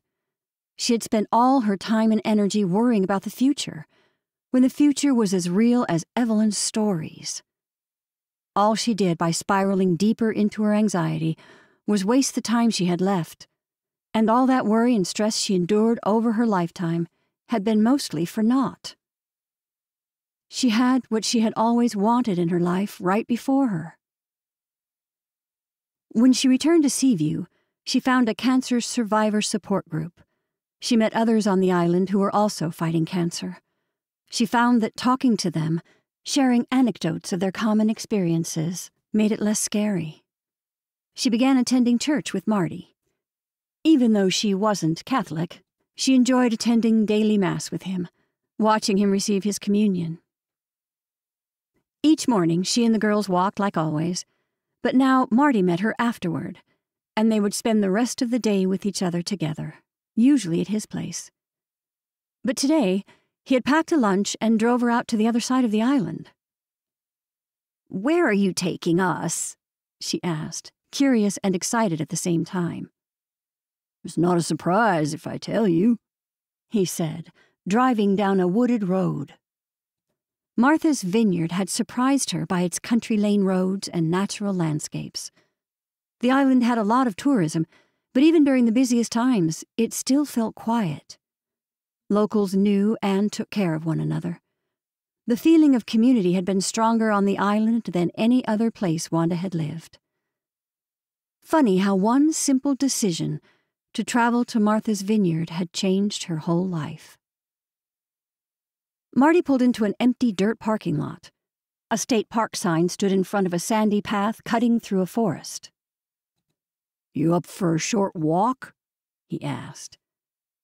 She nodded as he opened the door for her and helped her out of the car. The path led to a pond with cattails and tall grasses. Birds swooped low over the still water, catching flies dancing above the surface. Marty walked her to a wooden gazebo where a table had been set up with a checkered tablecloth and a bouquet of flowers. Marty, did you do all this? she asked, noticing the fancy dishes and silverware. He removed his backpack as he pulled out a chair for her at the table. Of course I did, he said, pulling out a wrapped gift and setting it in front of her. Wanda inhaled the fresh air around her, looking around at the scene. She knew this would be a big moment. Marty had been a simple man and didn't do this kind of big. She had a feeling someone may have encouraged it. Evelyn and Biddy, perhaps, or maybe Renee. She breathed out, focusing her attention back to him. This is a great spot. Marty looked out. It's my favorite place on the island. He pushed the gift in front of her. What's this? A smile grew on her face, looking at the meticulously wrapped gift. Open it, he said. Starting with the tape, she pulled it from the paper, careful not to tear it. Inside, she pulled out a white box. She lifted the box's cover, and inside sat a photo album with the words, Our Wedding, engraved into a silver cover. Then he took her hand holding it between both of his. I don't have much to offer in ways of luxury. I don't own a beach house or a fancy boat, and as a mailman, I don't get a glamorous retirement package. But if you let me, I'll spend the rest of my life loving you. From his pocket, he pulled out a small object Wanda knew would be an engagement ring. She held her breath as Marty took her hands again. Wanda, Will you marry me? he asked, his eyes holding onto hers. She didn't hesitate to answer. With both hands, she cupped Marty's face and said, Yes, I would love to be your wife. And as the birds swooped over the pond, and the insects buzzed around them as they kissed, and the trees swayed in the soft breeze, a wave of peace rolled through Wanda's body. Chapter 27 Seaview buzzed with activity. People rushed every which way around the house, decorating and setting up for Wanda and Marty's big day. Florists decorated the interior and exterior with locally sourced wildflowers found on the island, spending extra care with the makeshift pergola that Mateo had built for the ceremony. Renee led the charge of catering, closing books and bread for the weekend and had her and Charlie's employees following her orders for the wedding's reception. The guest list had been small, but no expense had been spared. Marty, having never been married, said he wanted it all, including the rice throwing at the end. They'd settled on birdseed. The women spent a day dress shopping in the city. Wanda had chosen a cream colored dress that looked fantastic on her. She wanted the women to wear blue, her favorite color, any shade and in any style they wanted. The dresses took care of Wanda's something blue. Evelyn let Wanda borrow her pearl necklace. Biddy gave her new lingerie that made Wanda blush. She had held up the lace nightie with strings hanging from every section of it. She didn't know which end was the top or the bottom. Then, as they finished getting ready, Evelyn and Biddy gave Wanda her something old. We talked to your doctor, Evelyn said. And he said you have two weeks before your next round of treatment begins, Biddy added. Then they handed over a small package. Open it, Renee said, bouncing George in her arms. Wanda pulled off the top and saw a photograph of a stone fortress, illuminated by lights at night, sitting on the edge of a cliff. She realized it was a postcard. She flipped it over. It read, For Wanda and Marty, may your adventures begin today. This is your something old, Biddy said, showing the photograph again. We all pitched in. Wanda's hand covered her mouth. You're staying a full week in the oldest standing house in Quebec City, Evelyn said.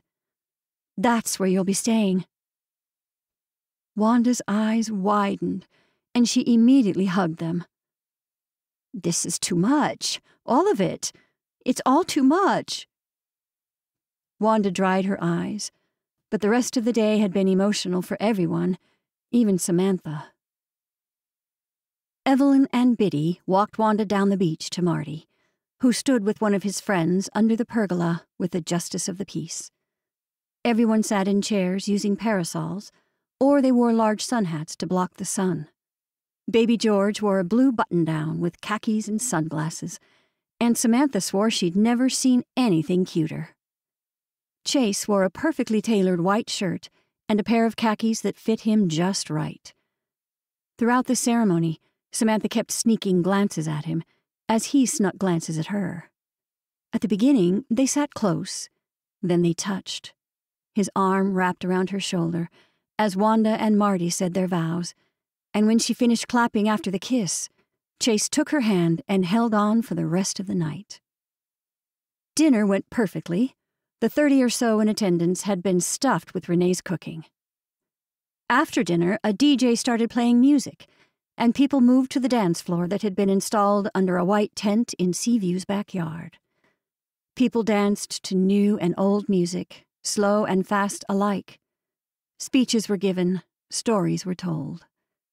The night had been everything Wanda could have dreamed of, and more.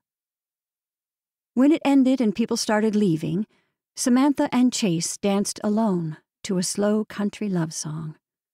With her arms around Chase's neck, she rested her head against his shoulders, swaying back and forth in sync with the ocean's waves. As the last notes played, she kissed him long on the lips. Maybe we could go for a midnight stroll along the beach. She tugged at his hand. He looked at the crowd still lingering, Will your mom and everyone be looking for us? I'm in my twenties. I can go for a walk with my boyfriend at night. She gave him a look, then shook her head at his concerned face. He bit his bottom lip. Biddy kind of scares me when it comes to you. She's warned me a few too many times about treating you well. Samantha laughed, imagining Biddy pointing a finger right into his chest, threatening his life if he hurt her. Let me just let Renee know where I am, she said, feeling Renee would be the safest bet. If the women began to worry, she could tell them. Otherwise, if they didn't notice, no harm done. She looked up to the moon. Its full reflection danced along the water's surface. When's the tide coming in tonight? He pulled out his phone. My phone died. Check yours. Samantha grabbed her handbag and pulled out her phone, opened the screen, and started to type. But she stopped suddenly. What's it called? A tidal calendar, he said, looking over her shoulder. Here, can I? She handed him her phone and he typed in tidal calendar into the search bar, just as a message flashed across her screen. Hamish McPherson's name stayed frozen on the top of the screen for what felt like forever. She read a few words before she quickly swiped it up out of view. She could see Chase take a second, and then he recuperated enough to open the website. You'll be able to see when it comes back in here. She stood there, not sure what to say. not sure what to do. She had never responded to Hamish's last text at the beach. The text's first words were, I love you. Another flashed her screen. Chase handed back the phone to her. I think you should probably read your texts. She shook her head at him. No, Hamish has nothing to say to me. He stared at her like he was solving a problem. Why is he texting you now? She shrugged. I don't know. He kept staring at her as if he was calculating everything in his head. Chase! She didn't want this to be a thing. Hamish is a guy in my past. That's it. He seems to be visiting your present as we speak. He pointed to her phone, which was lighting up with message after message from Hamish. You might want to find out what he wants. Chase stuck around long enough for the big send off with Wanda and Marty. Everyone waved them goodbye as the limo drove them off to the ferry. But something felt off for the rest of the night. He didn't talk much after that, told her he was fine, but decided to leave early, saying he was tired. He left after kissing her softly on the lips and went home. She wished she hadn't checked them. She wished she had just deleted them like she had promised herself, but that little voice inside her head, the one who wanted to feel as though that time had meant something to him, had to see what he'd said. She opened the string of texts, one right after the other, confessing his love for her. How he wanted to leave Penelope. How she had been the one he'd loved all along. How he had never loved anyone more than her. He would sell his family's legacy and come to America if that meant being with her. She pressed the information button, opened his contact information, and pressed block. Then she deleted each text one by one. With every text she deleted, she exhaled and felt free. Chase didn't text good night or good morning, which was unusual for Chase. She didn't see him on his morning run at his normal time or gossiping with the ladies. By mid morning, she walked past his rental, pretending not to look, but she noticed it looked like he wasn't even there. When she arrived at Books and Bread, she went directly to Renee. Last night, Chase saw text from Hamish, and now he's ghosting me all because of a few stupid texts that I had no control over. She rambled out the words, but finished with, He's being completely ridiculous.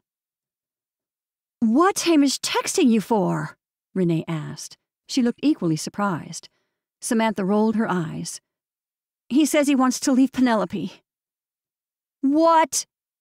Renee's mouth dropped wide open. I can't believe he'd text you after what he did. Renee pointed angrily at her as if Samantha did something to provoke it. You didn't text him back, did you? Samantha shook her head. No, I blocked him. You should have blocked him when he left you on the street when you got hit by a car. She dragged out each word and punctuated hard after each one. I blocked him, Samantha said again. Go talk to Chase, Renee said. He's probably wondering why Hamish is texting you all of a sudden. I can't help the fact that he did, Samantha said, defending herself. He should know that. I think we love you, and I think we don't understand why you didn't fight back, Renee said. What? Samantha couldn't believe what she was hearing. What do you mean I didn't fight back? You didn't go after Penelope. You didn't call her or him a liar about the stalking comments. You kept quiet. Why? If that were me, I'd. You'd run to Mom's house and have her fix it. My situation was very different. Renee threw her hand on her hip. Not so much, actually, Samantha snapped back. You wanted Harry to change his mind, even though he hurt you. Renee opened her mouth as if to argue, but she smacked it shut.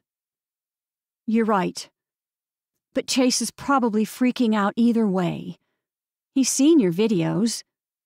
What about my videos? Samantha said. Renee watched them? You and Hamish were both so into each other, Renee said. It's kind of the appeal of the whole season. I can see why people liked it so much. It wasn't just the castle, but the falling in love angle. Maybe that's what it all was an angle, a slant to one side of things. Her videos, cut and edited, showed a perfect love story. Yet, it had only been a fairy tale. Chase was real. What she felt for him was real. And she might have totally blown it. Do I apologize? She didn't want to give any more effort towards this. In fact, she'd never wanted to speak of Hamish again. No, you did nothing wrong, Renee said. But you explain what Hamish said. Explain your side. And fight for Chase. Samantha nodded. Renee was right. She needed to find Chase, explain everything, and show him. She should have just opened the texts right there in front of him to show him she had nothing to hide. But she swiped them away, pretending to ignore them.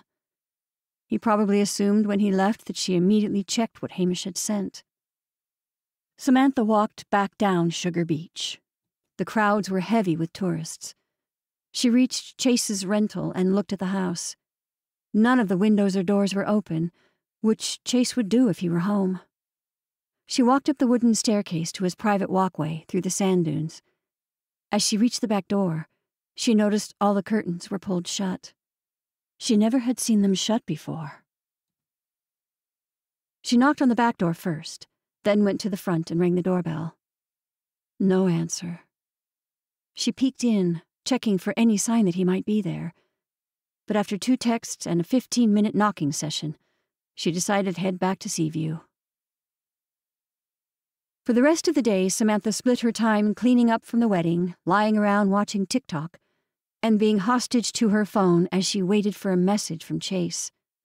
He hadn't texted her back or called, which was unusual for him at this point in the relationship. How could she fix this if he wouldn't talk to her? Peekaboo! We see Auntie Sam! Evelyn popped into the living room where Samantha flipped through Instagram while also cleaning up. Her mom held George in her arms. Samantha covered her face with her hands and then took them away, smiling big, and sang out, Peekaboo! George's sticky jelly hands reached out at Samantha. Huts! Ami! Evelyn's eyes shot open. Oh my goodness, Sam, I think he just said your name. Oh! Samantha could feel her whole body warm from the sweet gesture. She wasn't exactly sure if George had tried to say her name, but she'd take it at that point. She reached out, scooped him into her arms, and said, Come to Auntie Sammy. She swung him upside down, giving him blowing kisses on his exposed belly. He erupted into a fit of laughter, and using his baby sign language, signed, More, more, with his little fingers. When she lifted him back up, she saw Chase standing on the back porch. She smiled and waved. I was just about to put him down for a nap, Evelyn said, taking George back into her arms before swiftly leaving the room. Samantha walked to the French door and stepped out to greet him. Hi. Hi. I stopped by your house, she said, her heart starting to gain momentum with panic.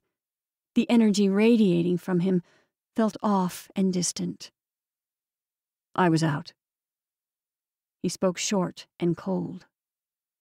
Oh. She picked at her fingernails, not sure how to fix things. She didn't want to apologize because she hadn't done anything wrong. But one time she had heard her dad say that he'd apologize just so her mother would feel better. Would it be that bad to apologize? Was he waiting for her to do it? And that was why he stood there, not saying anything? I'm sorry, he said suddenly. I know I freaked out. I need to do better.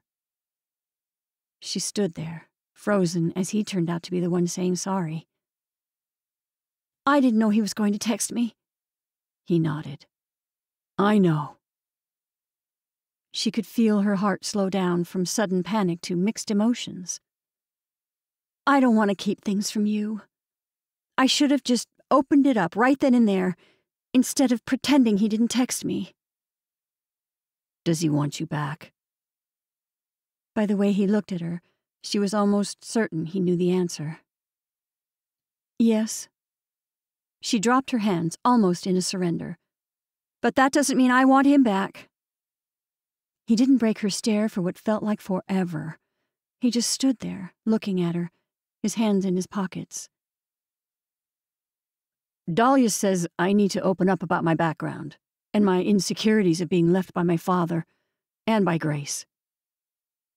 Relief swept through her at his admission. How had she not seen it before? His insecurities had been her insecurities. I'm scared too. I promise I will try my hardest to talk to you instead of shutting you out, he said, coming toward her. I should have talked to you about my feelings last night. Good, she said, taking his elbow and pulling him toward her. And I promise to be open and honest with you too. She stepped closer, her gaze on his as she said, I'm happy with you, in a way that I've never been before. He removed his hands from his pockets, pulled her into his arms, and kissed her. When he pulled away, he said, I love you, Samantha. Her heart expanded as her breath swept up inside her. I love you too. He pulled something out of his pocket and placed that something in the palm of her hand. Then he covered it with both of his hands. I have something for you. What's this? she asked. It's a key. She looked at him, and he lifted his hands to reveal a key with a silver keychain with Boston Architectural College's logo on it. She smiled up at him, unsure what the significance of the key meant. But she got excited by what it could be. She rubbed her thumb along its jagged edges. It's a key to my new place, he said. What? she said. You got a new place? He nodded. It's right in Cambridge, down the road from this really great architecture school. But I haven't even applied yet, she said, pointing out a major hurdle. She began to hand back the key, but he stopped her. Samantha. He looked at her. I believe in you. And that's when the idea popped into her head. Her mouth slowly opened as everything came together. I'll use the videos for my application. She'd have to edit them again, add even more of the architectural elements that she had cut for fear it might bore her viewers. But it wouldn't bore a group of master architects. It would be perfect. Let me help you, Chase said. She jumped up and kissed him on the lips. An energy ran through her body, a feeling so good that she didn't want it to ever end.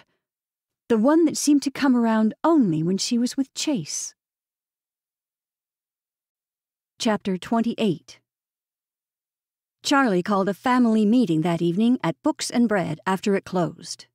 But as Renee, Samantha, Harper, George, and even Stan all sat around the small table, someone was clearly missing Evelyn. I thought you said this was a family meeting, Harper said, pointing out Renee's exact thoughts. I did, Charlie said. Then what about Evelyn? Harper said. Don't you think she's part of the. Harper used her fingers to air quote, family?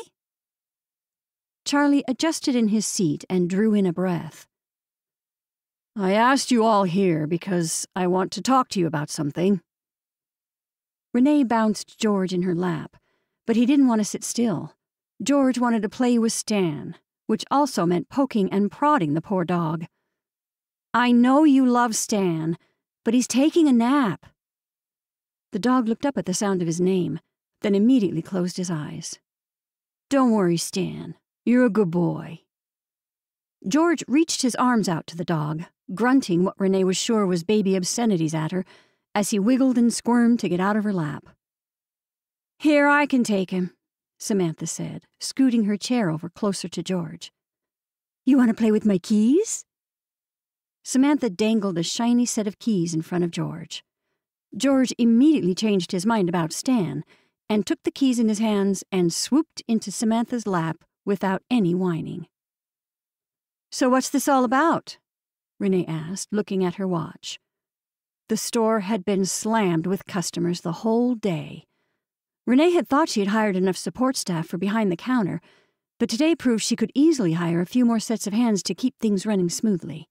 Renee noticed how things like cleaning the tables and rearranging the displays to showcase what was left had been slipping lately, with the rush of people. It may mean nothing to Charlie or anyone else in the room, but to Renee, it was a big deal. To Renee, things like that showed a distinction between a top eatery experience versus a casual grab and go. But as she sat there looking at the mess around the store and thinking about everything she had to do before George's bath, Samantha kicked her under the table. Ouch! Renee jerked her leg away and rubbed it with her hand. What did you do that for? Samantha gave Renee the stink eye she was famous for as a teenager. You're not listening, Samantha said, pointing to Charlie, who looked at them. I'm sorry, Renee looked around the table and realized she hadn't even noticed someone talking.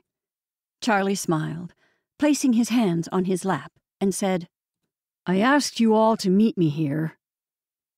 Charlie paused for a millisecond, just long enough to show his nervousness. Renee's heart began to speed up, guessing what he was about to say next. Because I would like to ask for. Renee shot a look to Samantha who already had her eyes on her. Permission to marry your mother. The look in Samantha's eyes seemed to reflect how Renee felt. It was a strange and bittersweet moment she had never expected to happen. Their mother would be married to someone else besides their dad. You have my permission, Charlie, Samantha said. You're already part of our family, Renee said. She looked to Harper and smiled. We love you guys. Charlie nodded, smiling wide across the table. How are you going to propose? Harper asked. Renee thought about all the romantic gestures Charlie had done over the past year. Everything he did for her mother seemed to have come out of her romance novels candlelit dinners by the water, weekend getaways, and always surprising her with thoughtful gifts. Charlie put up his hands. Nope, I'm not telling any of you. Renee dropped her mouth. What? You're not going to tell us? All three of them looked shocked that he wouldn't spill the beans. Then he shook his head. Okay, fine. But if any of you ruin it, I'm planning on proposing on her birthday. Renee calculated the time between now and then, roughly less than two months. How can we help? Renee's wedding would be just after her mother's birthday. It was perfect timing. She and Mateo had settled on an autumn wedding when the days were cooler and the crowd smaller. They had planned their honeymoon in Costa Rica at an all inclusive resort. She couldn't wait. Renee! Samantha kicked her again. Ow! Renee said. What? Charlie asked you if you'd mind, Samantha said. I'm sorry, I wasn't listening. Renee made a face in apology. Thoughts spun around so quickly that she almost started thinking about a wedding cake for Charlie and her mother when she noticed Samantha eye her again. Sorry, I so have baby brain. She turned and faced Charlie, who gave her a warm smile. You girls could help me with setting up a treasure hunt. Charlie then showed his whole plan and it was brilliant. It would be everything her mother would want an exciting adventure ending in an intimate proposal on the beach. I will hmm. do whatever I can to make your mother happy, Charlie said to both Samantha and Renee, and they believed him. We know you will, Charlie, Renee said. She snuck a glance at Samantha, who nodded at him. We know how much you love our mother, Samantha said. Renee smiled at Harper and said, We'll all be officially sisters. Harper smiled, wiggling her eyebrows up and down. Now I can start borrowing your things. More like I'm stealing yours, Samantha said, making the others laugh. George slapped the table with both of his hands, fake laughing with them, which made everyone laugh even more. Harper leaned over to him and kissed him on the nose. He squealed in delight, smacking the table even harder as he realized all eyes were on him. You know what? Charlie said. What? Samantha said. I've got some champagne sitting in the fridge that I put in there on opening night. Why don't we have a celebratory glass? Before Renee could protest, Charlie got up out of his chair and was already on his way to the back kitchen.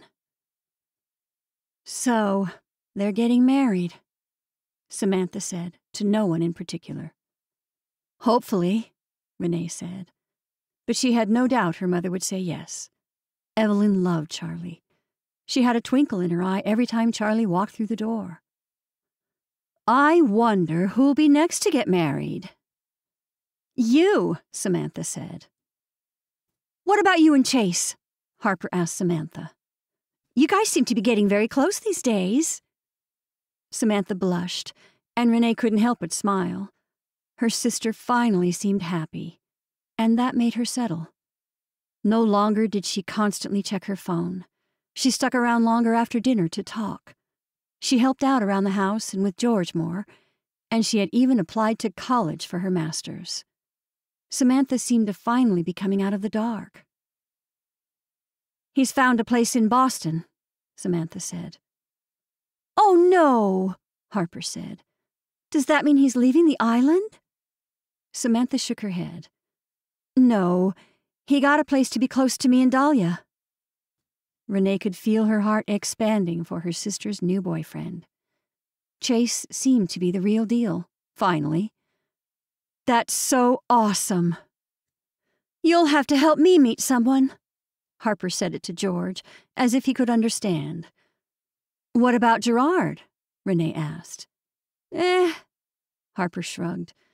He's nice. Uh-oh, Charlie said. No, he is. It's just that he's not much else. Harper picked at the corner of the table. Besides, He's leaving for his parents' place in Spain soon. Harper sounded even more exotic each day. And I have my second novel I need to focus on, Harper said. Renee noticed this had been Harper's excuse for a lot of things. Lately, she'd been using the excuse to not hang out. Harper didn't want to stay for dinner because she had to focus on her novel. She skipped game night, writers' group, and movie nights, all because of her novel. But now even Gerard? George, did you hear that? Renee said to him. We have a matchmaking assignment. Maybe there will be someone at the wedding, Samantha said. What kind of guy are you looking for? Renee asked. Harper took a sip of her tea. That's the problem. She wrapped her hands around her mug. I don't know if there's someone out there for me. Renee could feel something felt off with Harper. Her high energy and positive nature seemed to have dulled over the past few weeks, maybe even months. Renee had been so stuck in babyland and her love bubble that she hadn't paid much attention to Harper and her moods. But now, thinking back, Renee had noticed things were off. Harper had been complaining about things like the winter being extra long, getting writer's block, and that sales of her debut novel hadn't been the numbers they had hoped. Had she broken up with Gerard, and Renee totally missed it? I'm so sorry about Gerard, Renee said.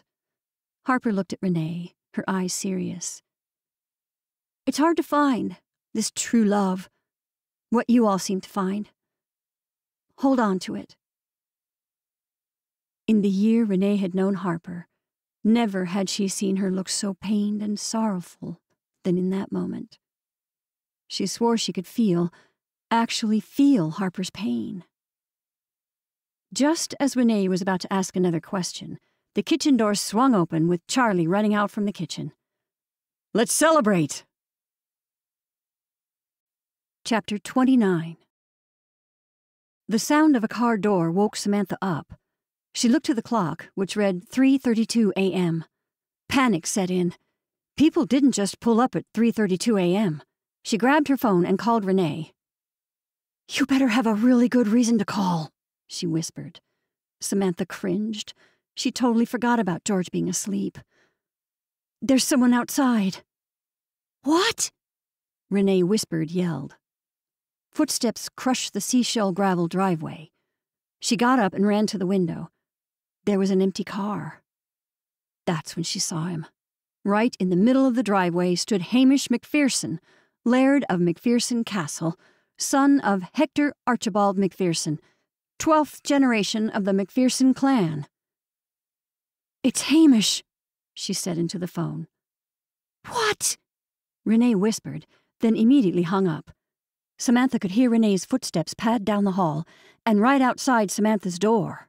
Samantha opened it before Renee had her hand on the handle. Let's go downstairs. Renee held the baby monitor in her hand.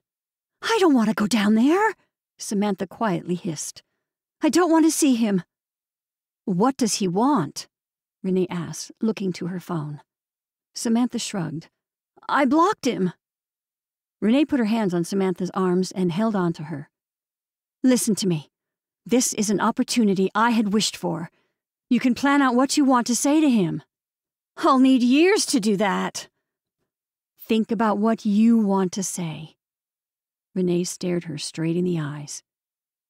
This is your moment to say everything you've wanted to say this past year. Think about it. Haven't you just wanted to let him have a little piece of your mind? No, I don't even want to talk to him. Samantha had never wanted to see him again, ever. You don't want to tell him what a jerk he is? You don't want to let him know that you don't give a. Who's in the driveway? Biddy whispered from the doorway. Samantha jumped. It's nobody. It's Hamish, Renee said. Let's go downstairs, Biddy said. But let's use the back staircase. As the three of them tiptoed down the creaky steps, Renee said, Do you hear someone talking? Renee put the monitor up to her ear. Samantha stopped on the last step. Shush! She waved her hands, making them stop. You have a lot of nerve coming here, Evelyn said from the front door. Oh no. Samantha could hear Hamish's Scottish accent, but couldn't make out what he was saying. She took off toward the front hall, the lights on in her mother's study. Evelyn must have been writing. Please, Mrs. Rose, I just need to talk to her. You expect me to let you see my daughter? Evelyn's words were tight and harsh. Get off my property before I call the police. Your title and your decrepit castle don't mean anything here. Hamish looked as though he was about to argue one last time, but Samantha called out before her mother kicked him out. Mom, she said loudly, and she heard Renee hiss a shush from the doorway of the kitchen. Mom, she said quieter, let me talk to Hamish. Her mother stared Hamish down for a good few seconds, long enough to make him wipe his brow. Samantha gestured out the door. Let's take a walk.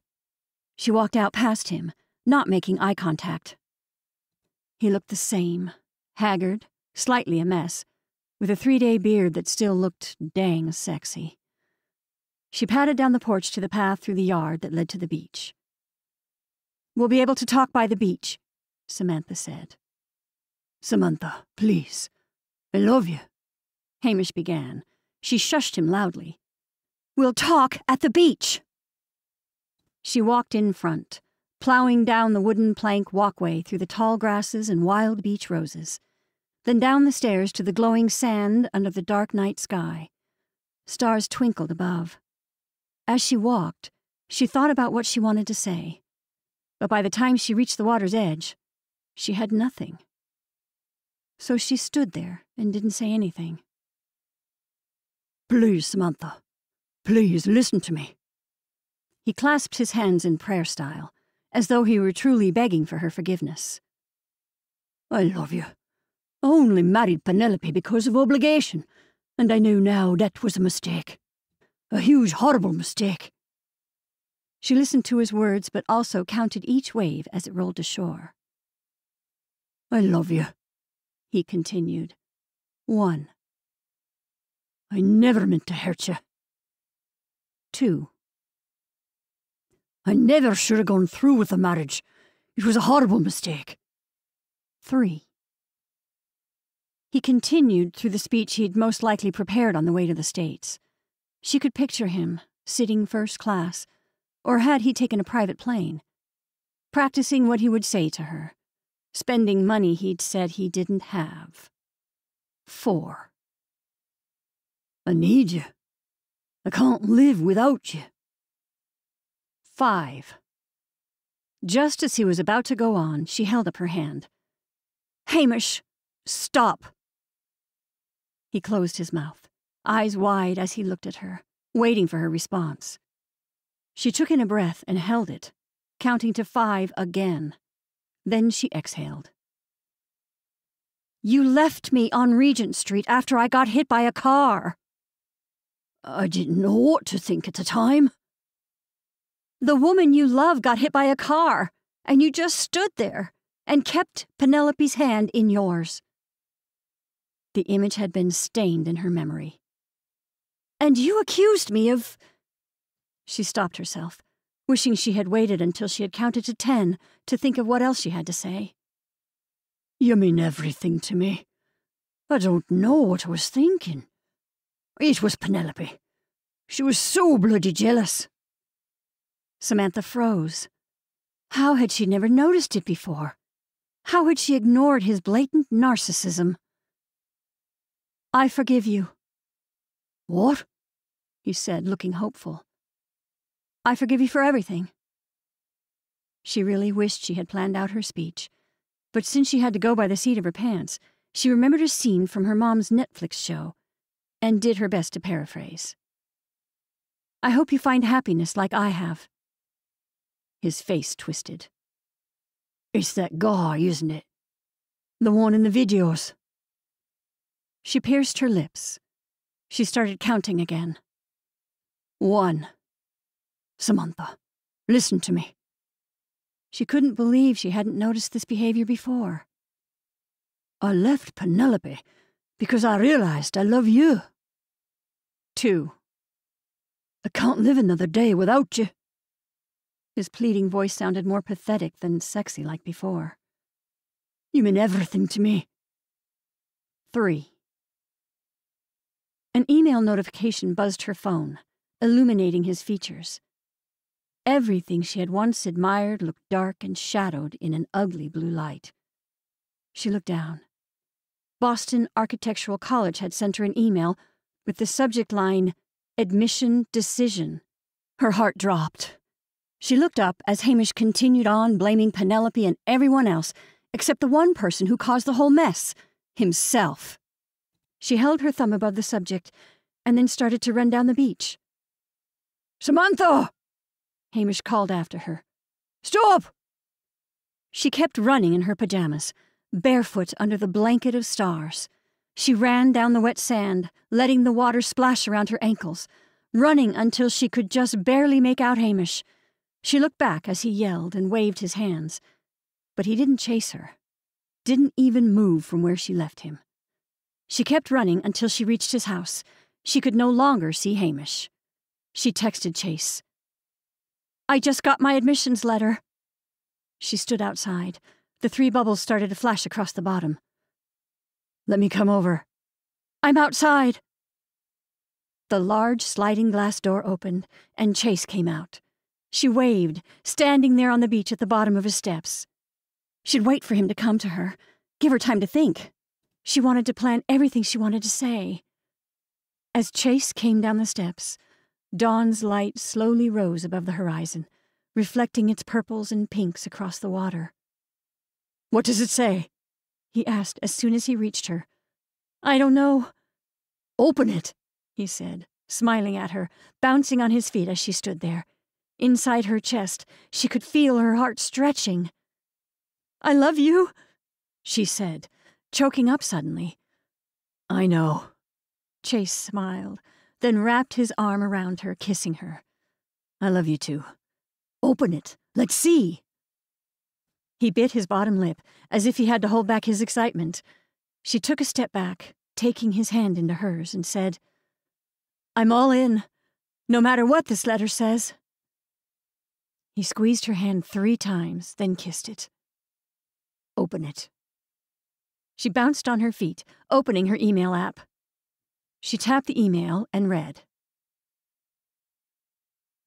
Dear Ms. Rose, I am delighted to inform you that the committee and admissions have voted to offer you a place at the Boston Architectural College. She dropped the phone and jumped into Chase's arms, squeezing her arms around his neck. Chase twirled her around, swinging her off her feet, kissing her as they went in circles. As he brought her feet back to the sand, he looked in her eyes and said, Marry me. She laughed at first, but realized he had been serious. We've only known each other for like a month. And a half, he said. But think, Samantha. What's your first answer? Yes, she thought. This is crazy, right? Yes. Chase snuggled her up against him. But I'm totally crazy about you. She smiled. Like Miami High crazy? Chase let out a holler of laughter and kissed her, holding her chin in his hands. I'm totally Miami High about you. She didn't say no, but she didn't say yes either. What if I decide to say yes in the future? I'll be right here, he said, holding her against him and kissing her. Chapter 30 Samantha and Renee stood in the driveway by Mateo's truck, sliding Samantha's stuff into the back of the bed, where Mateo and Chase arranged it all. She had used a sharpie to write on the side of each box its contents and where it belonged kitchen, closet, bathroom, etc. for her very own apartment. I think there's only a few more boxes inside, Samantha said, heading back into Seaview and upstairs to her room. She looked around. She'd keep some of her things here. She almost didn't want to leave. But there was no doubt she would come back to stay someday. Chase's place was a single family house in one of the neighborhoods of Cambridge. He planned on spending most of his time in Boston with her and Dahlia. But he'd spend the weekends on the island at the farm. He had more plans for Mateo and his brothers, and he had hired an agriculturalist to plant gardens. Samantha found a tiny loft apartment in the Back Bay area, a 10 minute walk from Chase. In one week's time, she would be starting her graduate courses in architectural design. She couldn't believe she was starting school so soon. In one year, Samantha's whole life had turned completely upside down. Anything I can bring down before we eat lunch? Evelyn asked as she walked into the room. Samantha nodded, I have a couple bags you could bring down. Evelyn suddenly laced her arm around Samantha's waist and tugged her daughter into a hug. I'm going to miss you so much. Me too, Samantha said, hugging her back. But it's nice to know you're just a ferry right away. Evelyn rubbed her hand up and down Samantha's back. I always dreaded when you would fly back across the pond. Samantha smiled at the thought of being so close. I'll be back all the time. Evelyn squeezed one last time before letting go. Your father would be so proud of you. A tidal wave of emotion hit Samantha, and it threw her off. She hadn't expected to be emotional, but the mere mention of her father brought tears to her eyes. Oh, no, I didn't mean to make you cry, Evelyn said, racing to the nightstand and grabbing a tissue. Samantha waved her hand in front of her face, trying to collect herself. She wasn't sad, but a mix of joy and pride.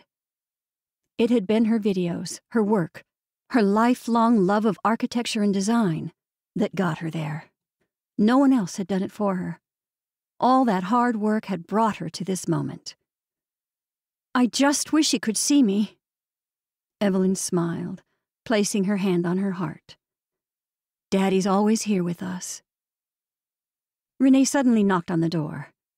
Lunch is ready. Okay, we'll be right there, Samantha said, wiping away the loose moisture on her face. Renee gave a knowing smile. You're going on to bigger and better adventures. But he's just starting to like me. Samantha had confessed her fears the night before, after dinner with Renee, one of them being that George finally liked being with Samantha and actually wanted her to hold him and play with him.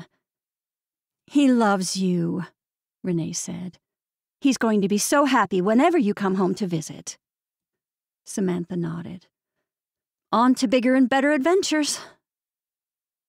The three women walked downstairs together and out the back deck, where a large extended table had been set up. Wanda! Marty! Samantha said as soon as she saw the newlyweds. How was Quebec? Amazing, Wanda said, pulling out her phone and showing the picture she'd taken. All the guys stood around with a beer in their hands, listening to Marty tell stories of the honeymoon. We ate everywhere. We even got to see a show, Wanda said, scrolling through the selfies of her and Marty. Harper and Renee brought out trays of food as Julia and Jose and the kids arrived for lunch lobster rolls, potato salad, corn on the cob, steamed clams, chilled white wine, and more. Chase pulled out Samantha's chair at the table, and they sat next to each other. He held her hand under the table, and every once in a while he'd squeeze it three times. His secret, I love you signal. She squeezed back. When do you start your classes? Biddy asked. Wednesday is orientation for all graduate students, Samantha said. Then classes will start the following Monday. Who's going to be my partner in spades? Biddy asked. Samantha gave Biddy a nod. They had been good partners. I'll be back for the wedding. We'll have to play then. But you know they'll be sore losers again. Wanda pretended to be in shock, slapping her hand to her chest. I'm not a sore loser. It's just Evelyn's not very good at figuring out how many books she has. Evelyn's mouth dropped at the insult, and then she rolled her eyes. I'm the one who can't figure out their books? Biddy gave Samantha a wink. It's all about the mental game. Samantha let out a laugh. The conversation continued to flow as visitors walking by the celebration came over and said their well wishes to Samantha. By the time they had to leave, Samantha thought of reasons why they should stay. She was going to miss this. A lot. She kissed everyone goodbye and took George in her arms. Don't you forget about me, little man. He mumbled a few baby words back to her. Take care of everyone for me. George pointed at Samantha. Annie, Sammy. He's saying your name, Renee said, Samantha squished his baby body against hers in a great giant hug. Love you, little man. She kissed his fuzzy head and said her final goodbyes. Chase opened the door for her and she climbed inside. When he got inside, he put the keys into the ignition, but turned to her. You ready? Samantha looked out at Seaview as everyone stood on the porch waving goodbye. Her family had grown exponentially and she could not be more grateful. When only Nigel came to the hospital, she thought that had been the lowest point of her life. Yet now, looking back, it had been the most pivotal moment. It had triggered a sequence of events that had ended up being the best thing that could have happened to her. She didn't know what had happened to Hamish after she'd left him on the beach. Renee said they had watched him walk back to his rental car and leave. It had been Matilda who sent a text of the high profile scandalous divorce. Penelope Matthews McPherson claimed her husband, Hamish McPherson, married her for her money and nothing else. A picture of Hamish had been posted in the gossip magazine and showed him walking alone in London in a pair of sweats and sneakers, glaring into the camera. Another smaller photograph of McPherson Castle sat underneath it, with a caption that read, McPherson claims her husband married her to save family country home. Hamish would have hated the image. She never replied to Matilda, or Spencer, or Toff, or Iona. She replied to none of her so called friends back in London. We're on our way, she texted Dahlia. I'm already there waiting. XOXO. Samantha smiled to herself as they got out of the truck on the ferry. What's so funny? Chase asked as he locked up the truck. I just texted Dahlia. she said, and let out a giggle. I seriously can't believe you sided with her about the master bedroom, he said, holding his hand out for her. She took it, and their hands interlocked, as though that was how they'd always walked together, and that was how their hands had always been. She's right, Samantha said. But I'm the one who's paying for the tub. Yes, but you want a luxury tub in the master bathroom. She shook her head. Master bathrooms should have a bath. But I never take them, he said, as though the idea of resale never crossed his mind. As they reached the top floor of the ferry, they took their usual spot in the front by the railing. When they sat down, she snuggled into the crevice of his arm, and their bodies fit perfectly together. They sat listening to the waves lapping against the ferry and the rumble of the engine, watching the island disappear off into the distance. She couldn't see Seaview, but the clay cliffs dazzled in the afternoon sun. The red brick lighthouse sat at the end of the island, and the harbor's little village and books and bread slowly became smaller and smaller. Samantha nestled deeper into the crook of Chase's shoulder. I think we should get married after this year. Like next spring, after a year of school. Chase sat up so he could look at her. A spring wedding? He looked surprised, but also happy. Samantha had no doubt he was happy with her. No doubt he loved her. No doubt he wanted to spend the rest of his life with her. And she didn't have any doubt about spending the rest of hers with him. I heard it's lovely in May, he said, wrapping his arms around her. A wedding in May sounds perfect, and as the island drifted off into the horizon, Samantha wrapped her arms around his neck and said, I'm all in. A grin grew on Chase's face, and without saying a word, he leaned over and kissed her. Home on the Harbor Romantic Women's Fiction, Cliffside Point, Book 4.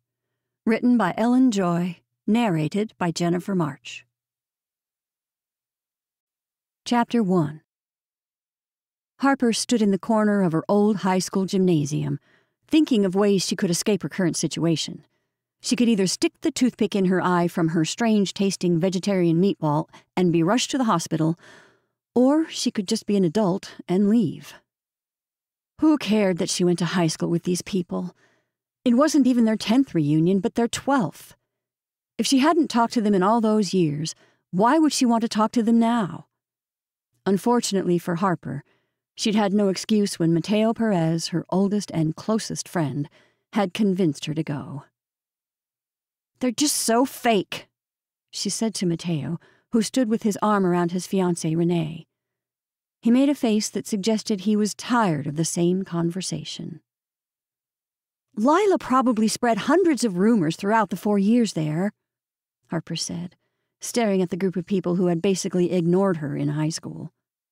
She's the fakest of them all. Mateo continued with the face. Who's fake? Renee asked, leaning over to see who Harper was referring to.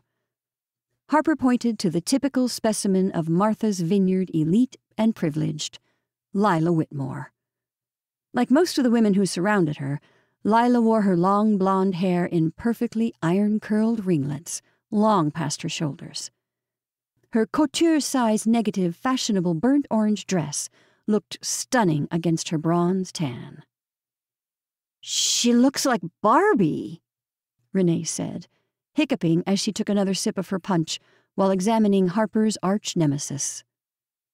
If there were ever a villain, Barbie, Harper said, noticing Renee sway a bit as she looked at the group. Harper wished she hadn't spiked Renee's punch so much. Baby Mama Renee was going to pass out before the reunion got started. Then Mateo would have to leave and bring her home, and Harper would remain, the wallflower like always. High school was miserable, even twelve years later. Lila's not so bad, Mateo said. Harper's face twisted in disgust. Are you serious? She shot a glance at Lila's perfect nose and shook her head. That girl made high school a living nightmare. Mateo rolled his eyes. That's a bit dramatic. He shrugged. I always felt a bit sad for the twins. I played football with Andrew, and he was always cool. Harper almost choked on her drink. He's the worst! Renee pointed ahead. Who's that? Harper turned to where Renee pointed. If the scene had played out like one of Harper's daydreams, Dr. Joel Schaefer would make eye contact, and everyone else would be shadow. And a spotlight would go on Harper. He'd instantly leave the group he was talking to in mid conversation and walk straight over to her, unable to keep himself from seeing her. Oh, right. He's engaged now, Harper said. How could she have forgotten the engagement of the year? Everyone on the island who was anyone had been invited to the party except her. Mateo had offered to bring her as his plus one, but she'd felt like a complete and total loser. She'd always be the nerdy book girl who didn't have a mom to teach her how to do pretty hair and makeup, who had a father lost in books, and his writing, and his heartbreak, who lived with an eccentric aunt who was mentally sick half her life. Mateo made a face. Didn't you hear? Harper shook her head. Hear what? Mateo! Andrew Whitmore said as he made his way from his twin sister Lila to Mateo. Renee turned to Harper as if to ask who it was. Harper let out a long, silent breath of disdain. That would be Andrew Whitmore, Martha Vineyard's golden boy. Andrew sauntered over to Mateo, holding out his hand and giving him a bro hug. To Harper's disappointment, Mateo greeted Andrew with the same enthusiasm, and they immediately started talking about the glory days of playing football. Did you know your fiance ran 50 yards without a hand on him? Andrew said with his hand on Mateo's shoulder. Renee's eyes lit up at her hero fiance, and Harper groaned silently in her head. Andrew Whitmore was the worst. Born with a silver spoon in his mouth, Andrew Whitmore had been on top throughout the four years at the school. He thought his you know what didn't stink. Most of the time, he had treated people like they were idiots, spouting out his opinion over everyone else's. His confidence had carried him throughout the years, and he took any title he felt was his football captain, homecoming king, and editor of the school paper, to name a few. Harper understood why. They'd have lost their jobs otherwise. Andrew was a Whitmore. His daddy practically owned the island. The absolute worst part about Andrew Whitmore was that he was also a writer, a journalist to be exact. With his nepotism, he received a spot at the coveted Boston Globe, right out of his Ivy League school. Hey, Harper, he finally said after he finished another story of the good old days. I saw you published a book. Yep, she said, not looking directly at him, more like past him, beyond him. That's great, Andrew said.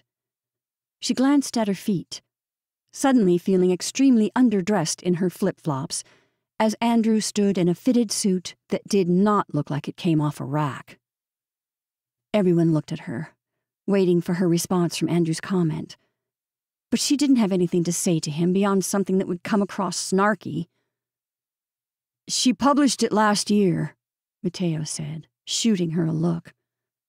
But Harper said nothing. What did she have to say to Andrew Whitmore? Well, then. Andrew stuffed his hands into his pockets. It's so great to see you again, really. The conversation turned back to football and Coach Joe. Harper stepped back, surveying the crowd. Looking around the room, she tried to remember her classes and place the faces and names together. She looked for some of her friends from the drama club or her art classes. None of the faces looked familiar. She looked back at Mateo as he chummed it up with Andrew and wondered why she remembered so much about the jerk from fifth period English, but not the names of the kids she spent most of her time with during her teenage years. The more she looked around, the more she realized she didn't know anyone. Hey! Renee grabbed hold of Harper's arm. I'm not feeling so well. Where's the bathroom? Harper groaned from the predictability. Renee could not handle her alcohol. She let Renee take hold of her arm as she walked her toward the women's restroom. Mateo instantly left his conversation with Andrew as the women began to leave and swooped in between them. What's wrong? he asked. Should we go home? Renee dropped Harper and grabbed hold of Mateo, leaving Harper behind. I don't mind staying, she said, swaying a bit. You look like you should go home, Mateo said, his face wrinkling as Renee turned a different shade. No, I'll be fine. Renee's eyes widened as she grabbed hold of her mouth. She dashed off toward the restroom, with Mateo quickly following her. Harper stood behind, watching as they left the gym. Then to herself, she mumbled, How much punch did she have? Excuse me? Joel Schaefer asked, suddenly standing next to her. Harper jumped, not realizing anyone had been standing close enough to hear her speak to herself. Oh, nothing. I was talking to myself, she said, immediately blushing. Had she just talked to herself in front of Joel Schaefer? The hottest and coolest guy at Martha's Vineyard High? She couldn't formulate any more words, even as he stood there smiling at her. Joel Schaefer had been an upperclassman when she started high school. You're Harper Marin, right? Joel said, squinting his eyes as if that would help him recognize her from a dozen years ago. Yes, she said, nodding, not sure if she should pretend not to know who he was, although everyone knew who he was. I remember you, he said, shaking his finger at her. Really? She wondered if he was trying to buy time to remember her name. She looked for Renee and Mateo, hoping they would reappear from the bathrooms, and quick. Even a dozen years later, Joel Schaefer had a way of making her swoon. The handsome doctor stood a perfect six-two, his chestnut brown locks perfectly gelled into place, and his perfect pearls glowing as he smiled at her. You wrote a book, he continued with the finger thing. He came closer to her. Yes. She smiled, stepping a bit closer too. You run the med spa here on the island. She had heard of his success from practically everyone. One of the island's own bringing business and jobs for people on the island. Dr. Joel Schaefer had turned into a local hero with his charity work and big donations for the local community. Throughout school, she'd had a huge crush on the upperclassmen. But Harper couldn't remember a time when he hadn't been with Lila. You here with Lila? she asked. She looked at the group of women who had tortured her daily, still cackling and probably still gossiping about the same people. When she looked back at him, his expression changed. Um, we aren't together. Mortification burned her cheeks. I'm sorry. I hadn't heard. That's what Mateo was probably going to tell her. He made a face. Yes, well, when you're with your trainer. Harper's eyes widened, and her sight went directly to Lila, who laughed loudly from the crowd of women around her. I have a secret, Joel said, moving closer to her so close she could smell his aftershave and alcohol. I've always had a little bit of a crush on you. Harper lifted her hand to cover her mouth in surprise, and in doing so bumped into Joel and spilled her drink all over his suit. Oh my God, she said, immediately looking for some sort of towel. Let me get something. He grabbed her hand and stopped her. No, it's fine. You barely got me. He wiped away the small drops of punch. Is that vodka? Um. She didn't know what to say. Mateo had warned her not to bring the vodka. Yes? Joel smirked, then leaned in closer to her, his breath against her ear. You look amazing tonight, he whispered.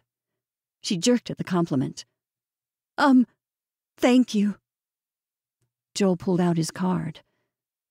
You should call me. She looked out at the crowd while Joel turned to walk away and noticed a pair of eyes.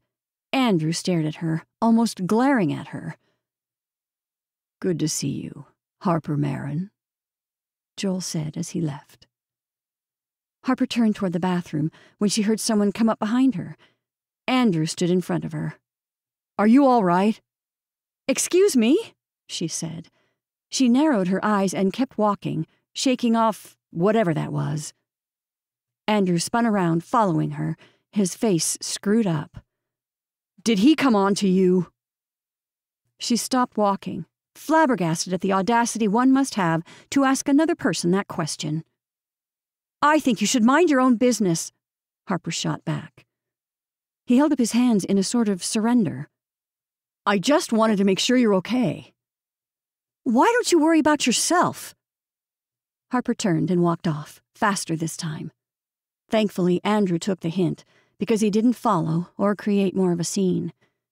He'd probably tell Lila. Harper didn't want to stick around when that happened. She looked down at the card. Dr. Joel Schaefer. She stuck it into her purse as she left the gymnasium and found Mateo coming in from outside.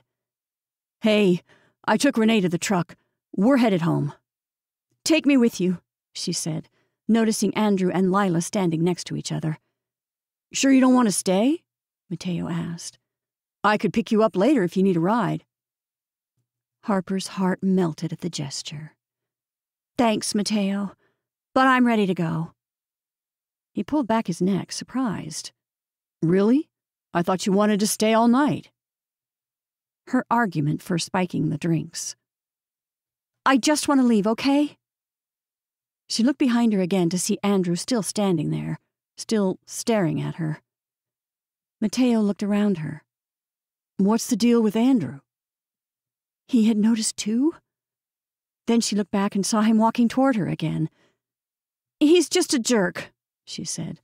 Come on, let's go. Mateo nodded and walked her out, grabbing the door before she reached it, like always. He opened the passenger's door for her. And like always, when Mateo dropped her off at her apartment, he made sure she got in safe. She waved from the window, watching as Mateo and Renee pulled away from the road below and disappeared. Meow. Joan, her overweight Maine Coon cat, cried out. Meow. Harper fell onto the couch as Joan patted her way to her spot on the top of the back. I know. I should have stayed home. Joan paced behind her head, rubbing her butt and tail against Harper's hair. Joan, I don't want your tush in my face. Harper picked Joan up and sat her in her lap but not without a cry from Joan. Do you want me to give you love or not? She asked her geriatric cat, as though she would answer. Joan plopped onto her lap. See, that's what I thought. Harper began her routine of scratching Joan's ears, then neck, while moving down her back and belly as she stretched out. Why do you always have to be so difficult? she asked Joan.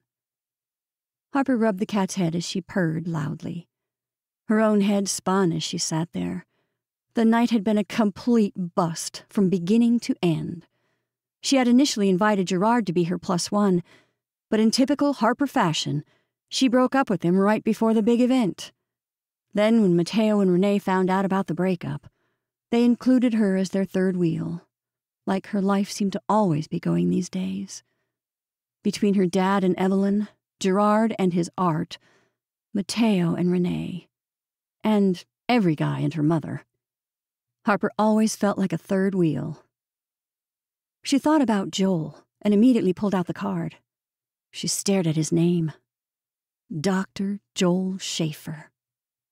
The Joel Schaefer, who she had purposefully taken the long way to her fifth period class every day just so she might catch a glimpse of in the hallways. Joel Schaefer, the doctor who owned his own practice. She put the card on her coffee table. He was still the cool boy she couldn't form a sentence in front of, the super talented football player, the guy every woman on this island would practically die to date. That Joel Schaefer wanted her to call him? There's no way I'm calling him, she said to Joan. I mean, he'll find out I'm a weirdo who talks to her cat. She picked up the card and shoved it into the coffee table's drawer, to be lost with all the other things Harper wanted to ignore, like bills and deadlines, and. She stared at her computer. Then she pulled it across the coffee table and into her lap, not really knowing why. Each day she pulled that darn computer over, and each night the same routine, but nothing seemed to want to come out of her. Her first book had taken her nine years. Nine! Now, a year later, her publisher wanted a third of the draft done in less than a month. Less than a month! She would never be able to write it. She didn't even know what she was going to write. She had babbled at dinner when she'd met her editor, or Evelyn's, her father's girlfriend's editor. Now she was stuck above a pizza place in a tiny apartment, trying not to eat gluten or think about her career crumbling, as the cursor blinked back at her. And worse, realizing for the one thousandth time she'd passed up the best thing she'd ever had Mateo.